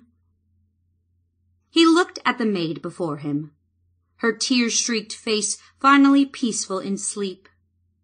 Cole had no family in Cod's Cove, but the village had been Gwen's lifelong home. She couldn't know if her parents even lived. Yet they could not have saved them even if they had made it to the village. The thought was only slight consolation. He looked at the wicked dagger he had tucked into his belt, the prize from the fishman that had climbed into their boat. The creature must have been some kind of scout for the army, Cole had decided, since they had seen no more of the monsters near them. He had dumped the body overboard, but kept its weapon. They had no food and very little water in the boat, but this did not concern him greatly. The crossing of the Strait of Oman was a voyage he had made many times and required but a single day, or night, as the case may be. By dawn, they would be in sight of Ramshorn, the village on Oman's isle closest to Cod's Cove. There they would recruit, help, and spread the alarm. Certainly the hot-tempered Northmen would flock to the rescue of their kin on Gwynneth. His certainty died as the dawn's light showed more than that he had been true to his course. The village of Ramshorn lay directly before him, visible from far out at sea. The visibility killed his hopes, for the village was marked by a tall, oily column of black smoke. What's that? asked Gwen sleepily, staring before them. Cole hadn't realized that she had awakened. Ramshorn. It's been razed as well. The attack is far more broad than I feared. What can we do? She asked anxiously, turning to him. The pleading look in her eyes banished all thoughts of cowardice. Cole had a responsibility, he realized, to keep this woman alive and safe. As safe as they could be on the surface of an ocean teeming with enemies. We can sail to Iron Keep. There will be a gathering of warriors there, I'm certain. And then we'll be safe from this scourge. Daryth always told me that a trap could often be more effective than a weapon, explained Robin. And since I didn't have a weapon that would be of any use against that abomination, I tried to think of a way we could trap it. She stopped speaking suddenly as a shadow fell across her face. Closing her eyes, she turned away from the others. Tristan took her hand gently, understanding her pain. The mention of Daryth had brought his grief to the forefront as well. As a trap, it was well done, very well done, exclaimed Tavish, hastily strumming another chord as the firbolg stirred restlessly. I don't mind telling you that the beast had me a little worried. Worried? Newt scoffed. It was a great fight. I haven't had so much fun since we burned down the firbolg lair. But, but, Tristan, Tavish, they could have been killed, killed. Yazilliclick glared at the fairy dragon. Our arrows were helpless against it. But now my magic. That was the best illusion I ever thought of, I'm sure. Who thought of it? The bard grinned mischievously at the dragon. Well, maybe it was Robin's idea, But I added the yellow feathers. That was my idea. They sat at rest finally, watching the descent of another inky night. The gray clouds had dropped even lower as the day progressed and would certainly block out any trace of moonlight or starlight. Robin had discovered a small grotto surrounded with high limestone walls, where they could take shelter from the wind. The companions had climbed across a stretch of low, barren hills to reach the hollow. The walls towered close to them on all sides except for the wide, sloping entrance. A narrow crack split the walls behind them, where a steep, winding gully dropped toward a bleak stretch of swampland. Once again, they dared light no fire to drive back the darkness. They all felt the presence of some sinister, nameless aura in the vale, and they did not want to call attention to themselves. Tristan looked uneasily at the Firbolg, wondering if it had been a mistake to bring him along. During the Darkwalker War, the Firbolgs had been among their most implacable and hated foes. For all his life, he had known them as the natural enemies of humans, dwarves, and the Llewyrr. But now there seemed an unspoken bond that had developed between this monster and themselves. Perhaps it was because they all belonged here on the Isles. They were a natural part of this world. As such, they made natural allies in the fight against a supernatural foe. The creature had shuffled along with them for the entire afternoon, occasionally calmed by a trill of the lute. After its courage in the fight against the owl bear, none of them wanted to send it away. You know, speaking of the Firbolg lair, this isn't far from where we first met Newt remarked the king. Tristan and Pawldo had made a brief reconnaissance of the area before dark. The gulch out in back of our shelter drops directly into a swamp, and I think it's the fens of the Fallon. The Firbolg looked up, blinking his oddly small eyes. Fallon? he grunted. And where you found the sword of Cymrych Hugh, that's what it says in the Song of Karen. Tavish strummed a few chords of the ballad as if to remind them. Tristan nodded. Yes, in the stronghold of the Firbolgs. I wonder what's left of that place, mused Pawldo. It was quite a fortress, but then we burned most of it down before we left. The halfling's eye suddenly glinted at a secret memory and he turned his face away from the others to hide his sly smile. I'm sure there's quite a mass of ruins remaining, mused the king. After all, most of the place was made out of stone. Fallon! grunted the Firbolg again, pointing at himself. Firbolg! The bard pointed at the giant. Fallon Firbolg! The creature was obviously pleased with himself. Human, offered the bard, pointing to herself, then Tristan and Robin. Human, bug. He's smarter than I thought. Tavish began to enjoy the lesson. She taught him more words, and he absorbed lute, sword, hand, head, and fist in rapid succession. Tavish, she offered, pointing to herself. Human? No. I mean, yes, but humans, that's all of us. Me, I'm Tavish. Tavish? The giant blinked, and then his face brightened. Tavish, he said, pointing at her and then at himself. Yak! You're Yak? That's wonderful. She proceeded to teach him the names of the others, and soon Tristan, Robin, Pawldo, and Newt had been formally introduced to their new companion. The Firbolg stumbled on Yazlik Yusuluk Yiz Ir and finally settled on Yaz, much to Newt's amusement and the sprite's discomfiture. They chatted idly for a time, trying to avoid the pain lurking very near the surface of their awareness.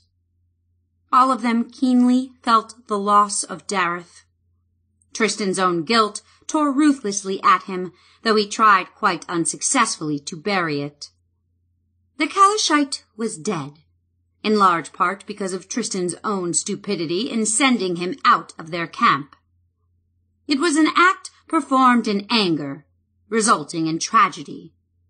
All he could offer, and it was very little solace, was a prayer for Daryth's soul and a silent plea for his forgiveness. And he had his own determination to succeed, and by doing so, atone for his mistake. Tavish once again pulled one of her wineskins from her pack, though the king declined the proffered drink. The others took small sips, but the sack remained mostly full. The bard offered to take the first watch and continue the language lesson, so the others retired, each taking a shift in turn. The night, like the previous eve, was pitch black. At least the high walls of the grotto kept the worst of the wind from their camp, but even so, the temperature fell below freezing. None of them slept well. Tristan and Robin spent the night in lonely grief, each mourning the loss of their close friend. For the others, too, the combination of death among them and the universal death around them made for miserable rest. Even so, dawn found them ready to move on again, if only to alleviate the stiffness and chills of a night spent sleeping on a bed of stones. They wasted little energy in conversation as they wrapped their meager bedrolls and started to load the horses. Tristan, looking nervously around the chill grotto, wondered what new horrors the day could offer. Once again it was Canthus who saw the first sign of attack. With a sharp bark, the hound called their attention to the sky. Look out! cried the king. Look to the sky! His sword came instantly to his hand as if moved by a will of its own, and he raised it to meet the diving winged creatures above them. A flock of bird-like forms swirled downward from the clouds, numbering two score or more. Many veered away from the narrow hollow, but several continued to dive right toward the party. They made no sound as they swooped into the attack. What are those things? wondered Pawldo aloud, swiftly nocking and drawing an arrow. One of the creatures swished over Tristan's head, and he thrust at its belly but missed. He stared, amazed at the stag-like head of the creature and its black, cold eye sockets. Its pointed, misshapen antlers appeared deadly, as did the sharp claws on the monster's feet. Pawldo loosed an arrow that darted through the wing of one of the creatures. The thing made no sound, but settled awkwardly to earth, where Canthus sat upon it with a growl and a flash of white fangs. The two creatures rolled across the ground in a blur of feathers, fur, antlers, claws, and teeth, until finally the moorhound stood with the monster's neck in its mouth. With one final shake, the dog cast the corpse aside. Many of the winged creatures landed at the lip of the little grotto, perching like vultures waiting for the kill. Others swooped in aggressively to the attack. Yazilliclick and Pawldo sent arrows after these intruders, but the missiles whizzed harmlessly past their intended victims. Finally, in order to conserve arrows, they held their fire. Tristan ducked as one monstrous bird flew over his head. Then he slashed savagely upward and sliced off its wing, killing the beast with one quick thrust as it flopped to the ground. Once again, the sword of Cymrych Hugh sang joyously in his hand. Rock! Yak grunted from somewhere nearby. Yes, rock! Tristan panted, too distracted by the fight to pay attention to the firbolg. Rock! Kill! Suddenly the giant pitched a stone the size of a man's head at one of the monsters perched on the rim of the grotto.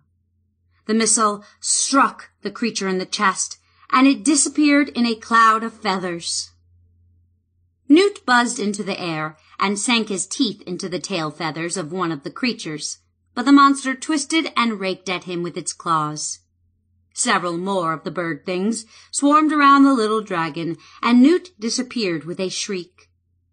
He did not become visible again until he was safely on the ground, watching the battle from a vantage point between Robin's ankles.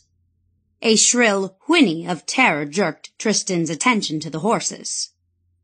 Horrified, he saw Pawldo's pony pitching and rearing while three of the bird things clung to its back. Their talons tore through the pony's skin, and then another of the monsters landed and drove its ghastly antlers into the poor steed's chest. With a squeal, the little horse fell heavily to the ground, where the beasts attacked with their sharp teeth. The king raced toward the scene with an inarticulate cry of rage. Before he reached the dying pony, he saw one of the creatures tear through the animal's breast with its razor-like teeth. It pulled forth a pulsing, bloody chunk of flesh. The pony's heart.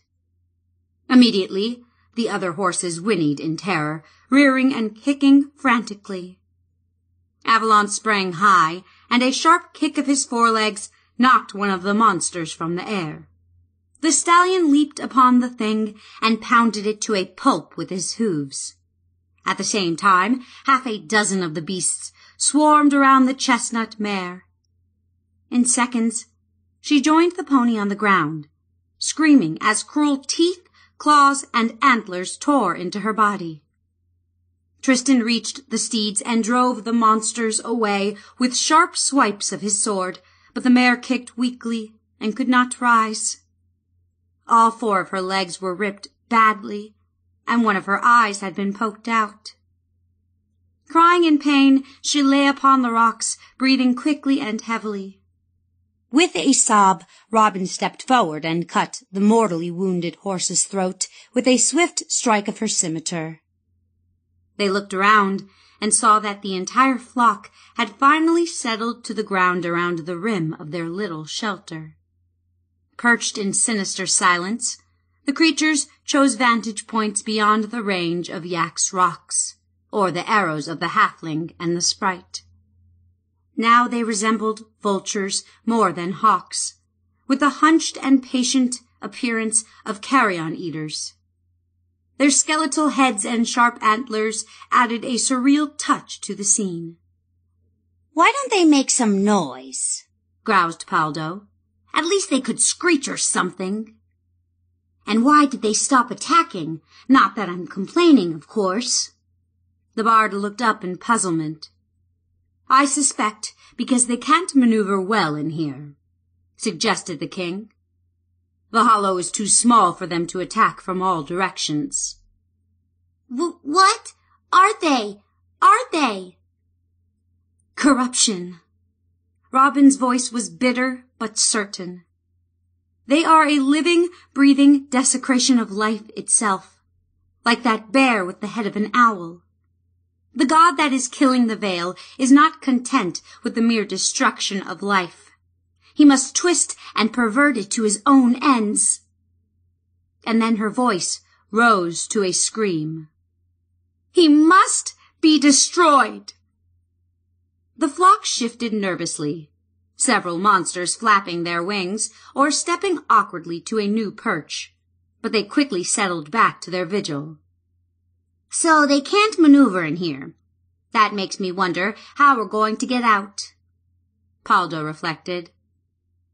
The gully you mentioned last night, Robin said to Tristan. Could we get down it? And is it narrow and deep enough to keep these death birds from following us? It's possible, but the horses could never make it. Even Canthus might have a hard time. What about waiting right here until they go away? Asked Tavish. That won't work. Robin answered quickly, then told them about her experience with the death bird that had waited three days for her to emerge. Can we cross the open ground out the front and fight our way to the woods? The king wondered aloud. The answer was obvious to all of them. Though the confines of the grotto provided them temporary shelter, they would be torn to bits if they gave the flock ample room to attack. The gully began to look like the only solution. Perhaps we can try the descent and get the things to follow us. One of us can wait behind and spook the horses. The steeds might have a chance to get away at least. Tavish offered the only real possibility. Let's try it, agreed the king, trying to ignore the ache in his heart. I'll stay back with the horses. No, let me do that. You lead the way down the gully. Pawldo argued hastily, albeit reluctantly. They all knew that the last one down would be in grave danger. Thanks, old friend. But no, I will do this myself. Now get ready to go. Tristan felt some small measure of pride in his role. Perhaps this was a way for him to begin his atonement. The white stallion stood silently, watching them, and Tristan had the eerie feeling that Avalon had understood.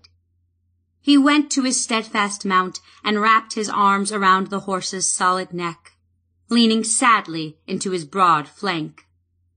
Run for me, boy. Run like you've never run before. You can make it. They unsaddled the mounts and loaded food, water, tinder boxes, and an assortment of supplies into their own packs. Tristan and Tavish each took a length of sturdy rope, after they tried and failed to convince Yak to coil the strands around himself. The giant snarled and backed away, and only the soothing strains of Tavish's lute kept the firbolg from bolting from the camp. After he saw the companions lifting their backpacks, he tried to mimic them, however, and eventually they succeeded in loading a heavy saddlebag onto the firbolg. The gully is back here. It's more of a narrow chute, really. Tristan led them through a crack in the rock walls to the head of the gully. They saw a narrow, rock-filled slide dropping steeply for several hundred feet. Far below them, the black waters and gaunt trees of the fens of the Fallon stretched into the distance. To the far north, they could barely see Myrloch, covered with a thin haze and lying flat and lifeless in the valley.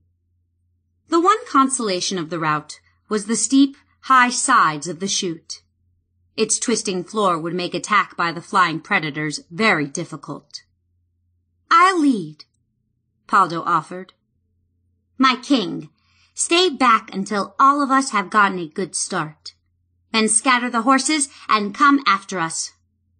Good luck, sire. And to you. Tristan stood as Pawldo started down the chute, followed by Tavish.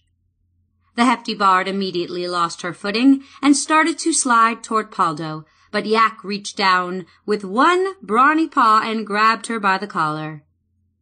Thus steadied, the bard worked her way carefully over the loose rubble with the sure-footed firbolg beside her. Newt and Yazilliclick used their wings, flying slowly down the chute and staying near the ground. Finally, Robin came to the edge of the gully. She looked back at the horses. Do you think they have a chance? Yes, a chance, no more than that. She reached forward as if to embrace him, but hesitated and then placed a hand on his shoulder. Now go, and good luck to you, she whispered, then started down the chute. Already he could hear Pawldo and Tavish shouting, trying to attract the death birds.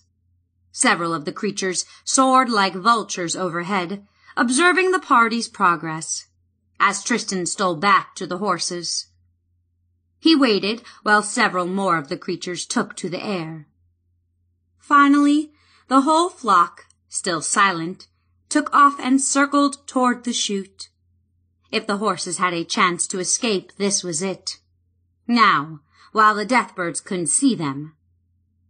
Go! he hissed, slapping the gelding on the rump. The black horse bolted toward the wide entrance to the grotto. You too! Off with you! He stared at Avalon but did not strike him. The stallion looked at him quizzically, then suddenly turned. With a kick of his hooves, the great white steed blazed after the gelding. The king raced through the cut and started down the chute, slipping and sliding on the stones in his haste. He ignored the cuts on his hands, desperate to join his companions and lead the deathbirds away from the horses. Then he looked up and jerked to a horrified stop. The creatures as a flock soared over his head back toward the hollow. In moments they drifted out of sight behind the rocky shoulder of the hill, back toward the camp and the courageous steeds. The screaming of the horses followed the companions all the way to the bottom. The fabric of the myriad planes of existence is a material of many parts. When a single panel grows weak, the whole grows weak as well. When a portion tears away, a void is created and chaos reigns. The stuff of the fabric is the stuff of the gods. And now a tear in the fabric began to open in the realms, where the Moonshae Islands served as a tiny portion of the whole. The death of the goddess sent a soft ripple through the ether that connects the myriad planes. The gods of chaos greeted the news with delight, the gods of law with concern. The former would try to rip the fabric asunder, the latter to patch it. The gods of neutrality cared little about the opening of the void. They would seek to prevent it from growing, but would not strive to close it. But Bhaal, dark god of chaos and evil, the most base of aspects, had claimed a place in this void before the other gods could act. Now Bhaal tore the fabric wider. Other deities sought to stem the disaster, led by Chauntea, benign goddess of health and nature. But the force of Bhaal's black evil drove them away. Other gods, led by Tempus, stormy god of war, and favorite of the Northmen of the Moonshaes, strove to contain the hurt, so that it would not spread to the rest of the realms or the planes beyond. They built and strained, creating barriers of strong magic to cast in the murderous god's path.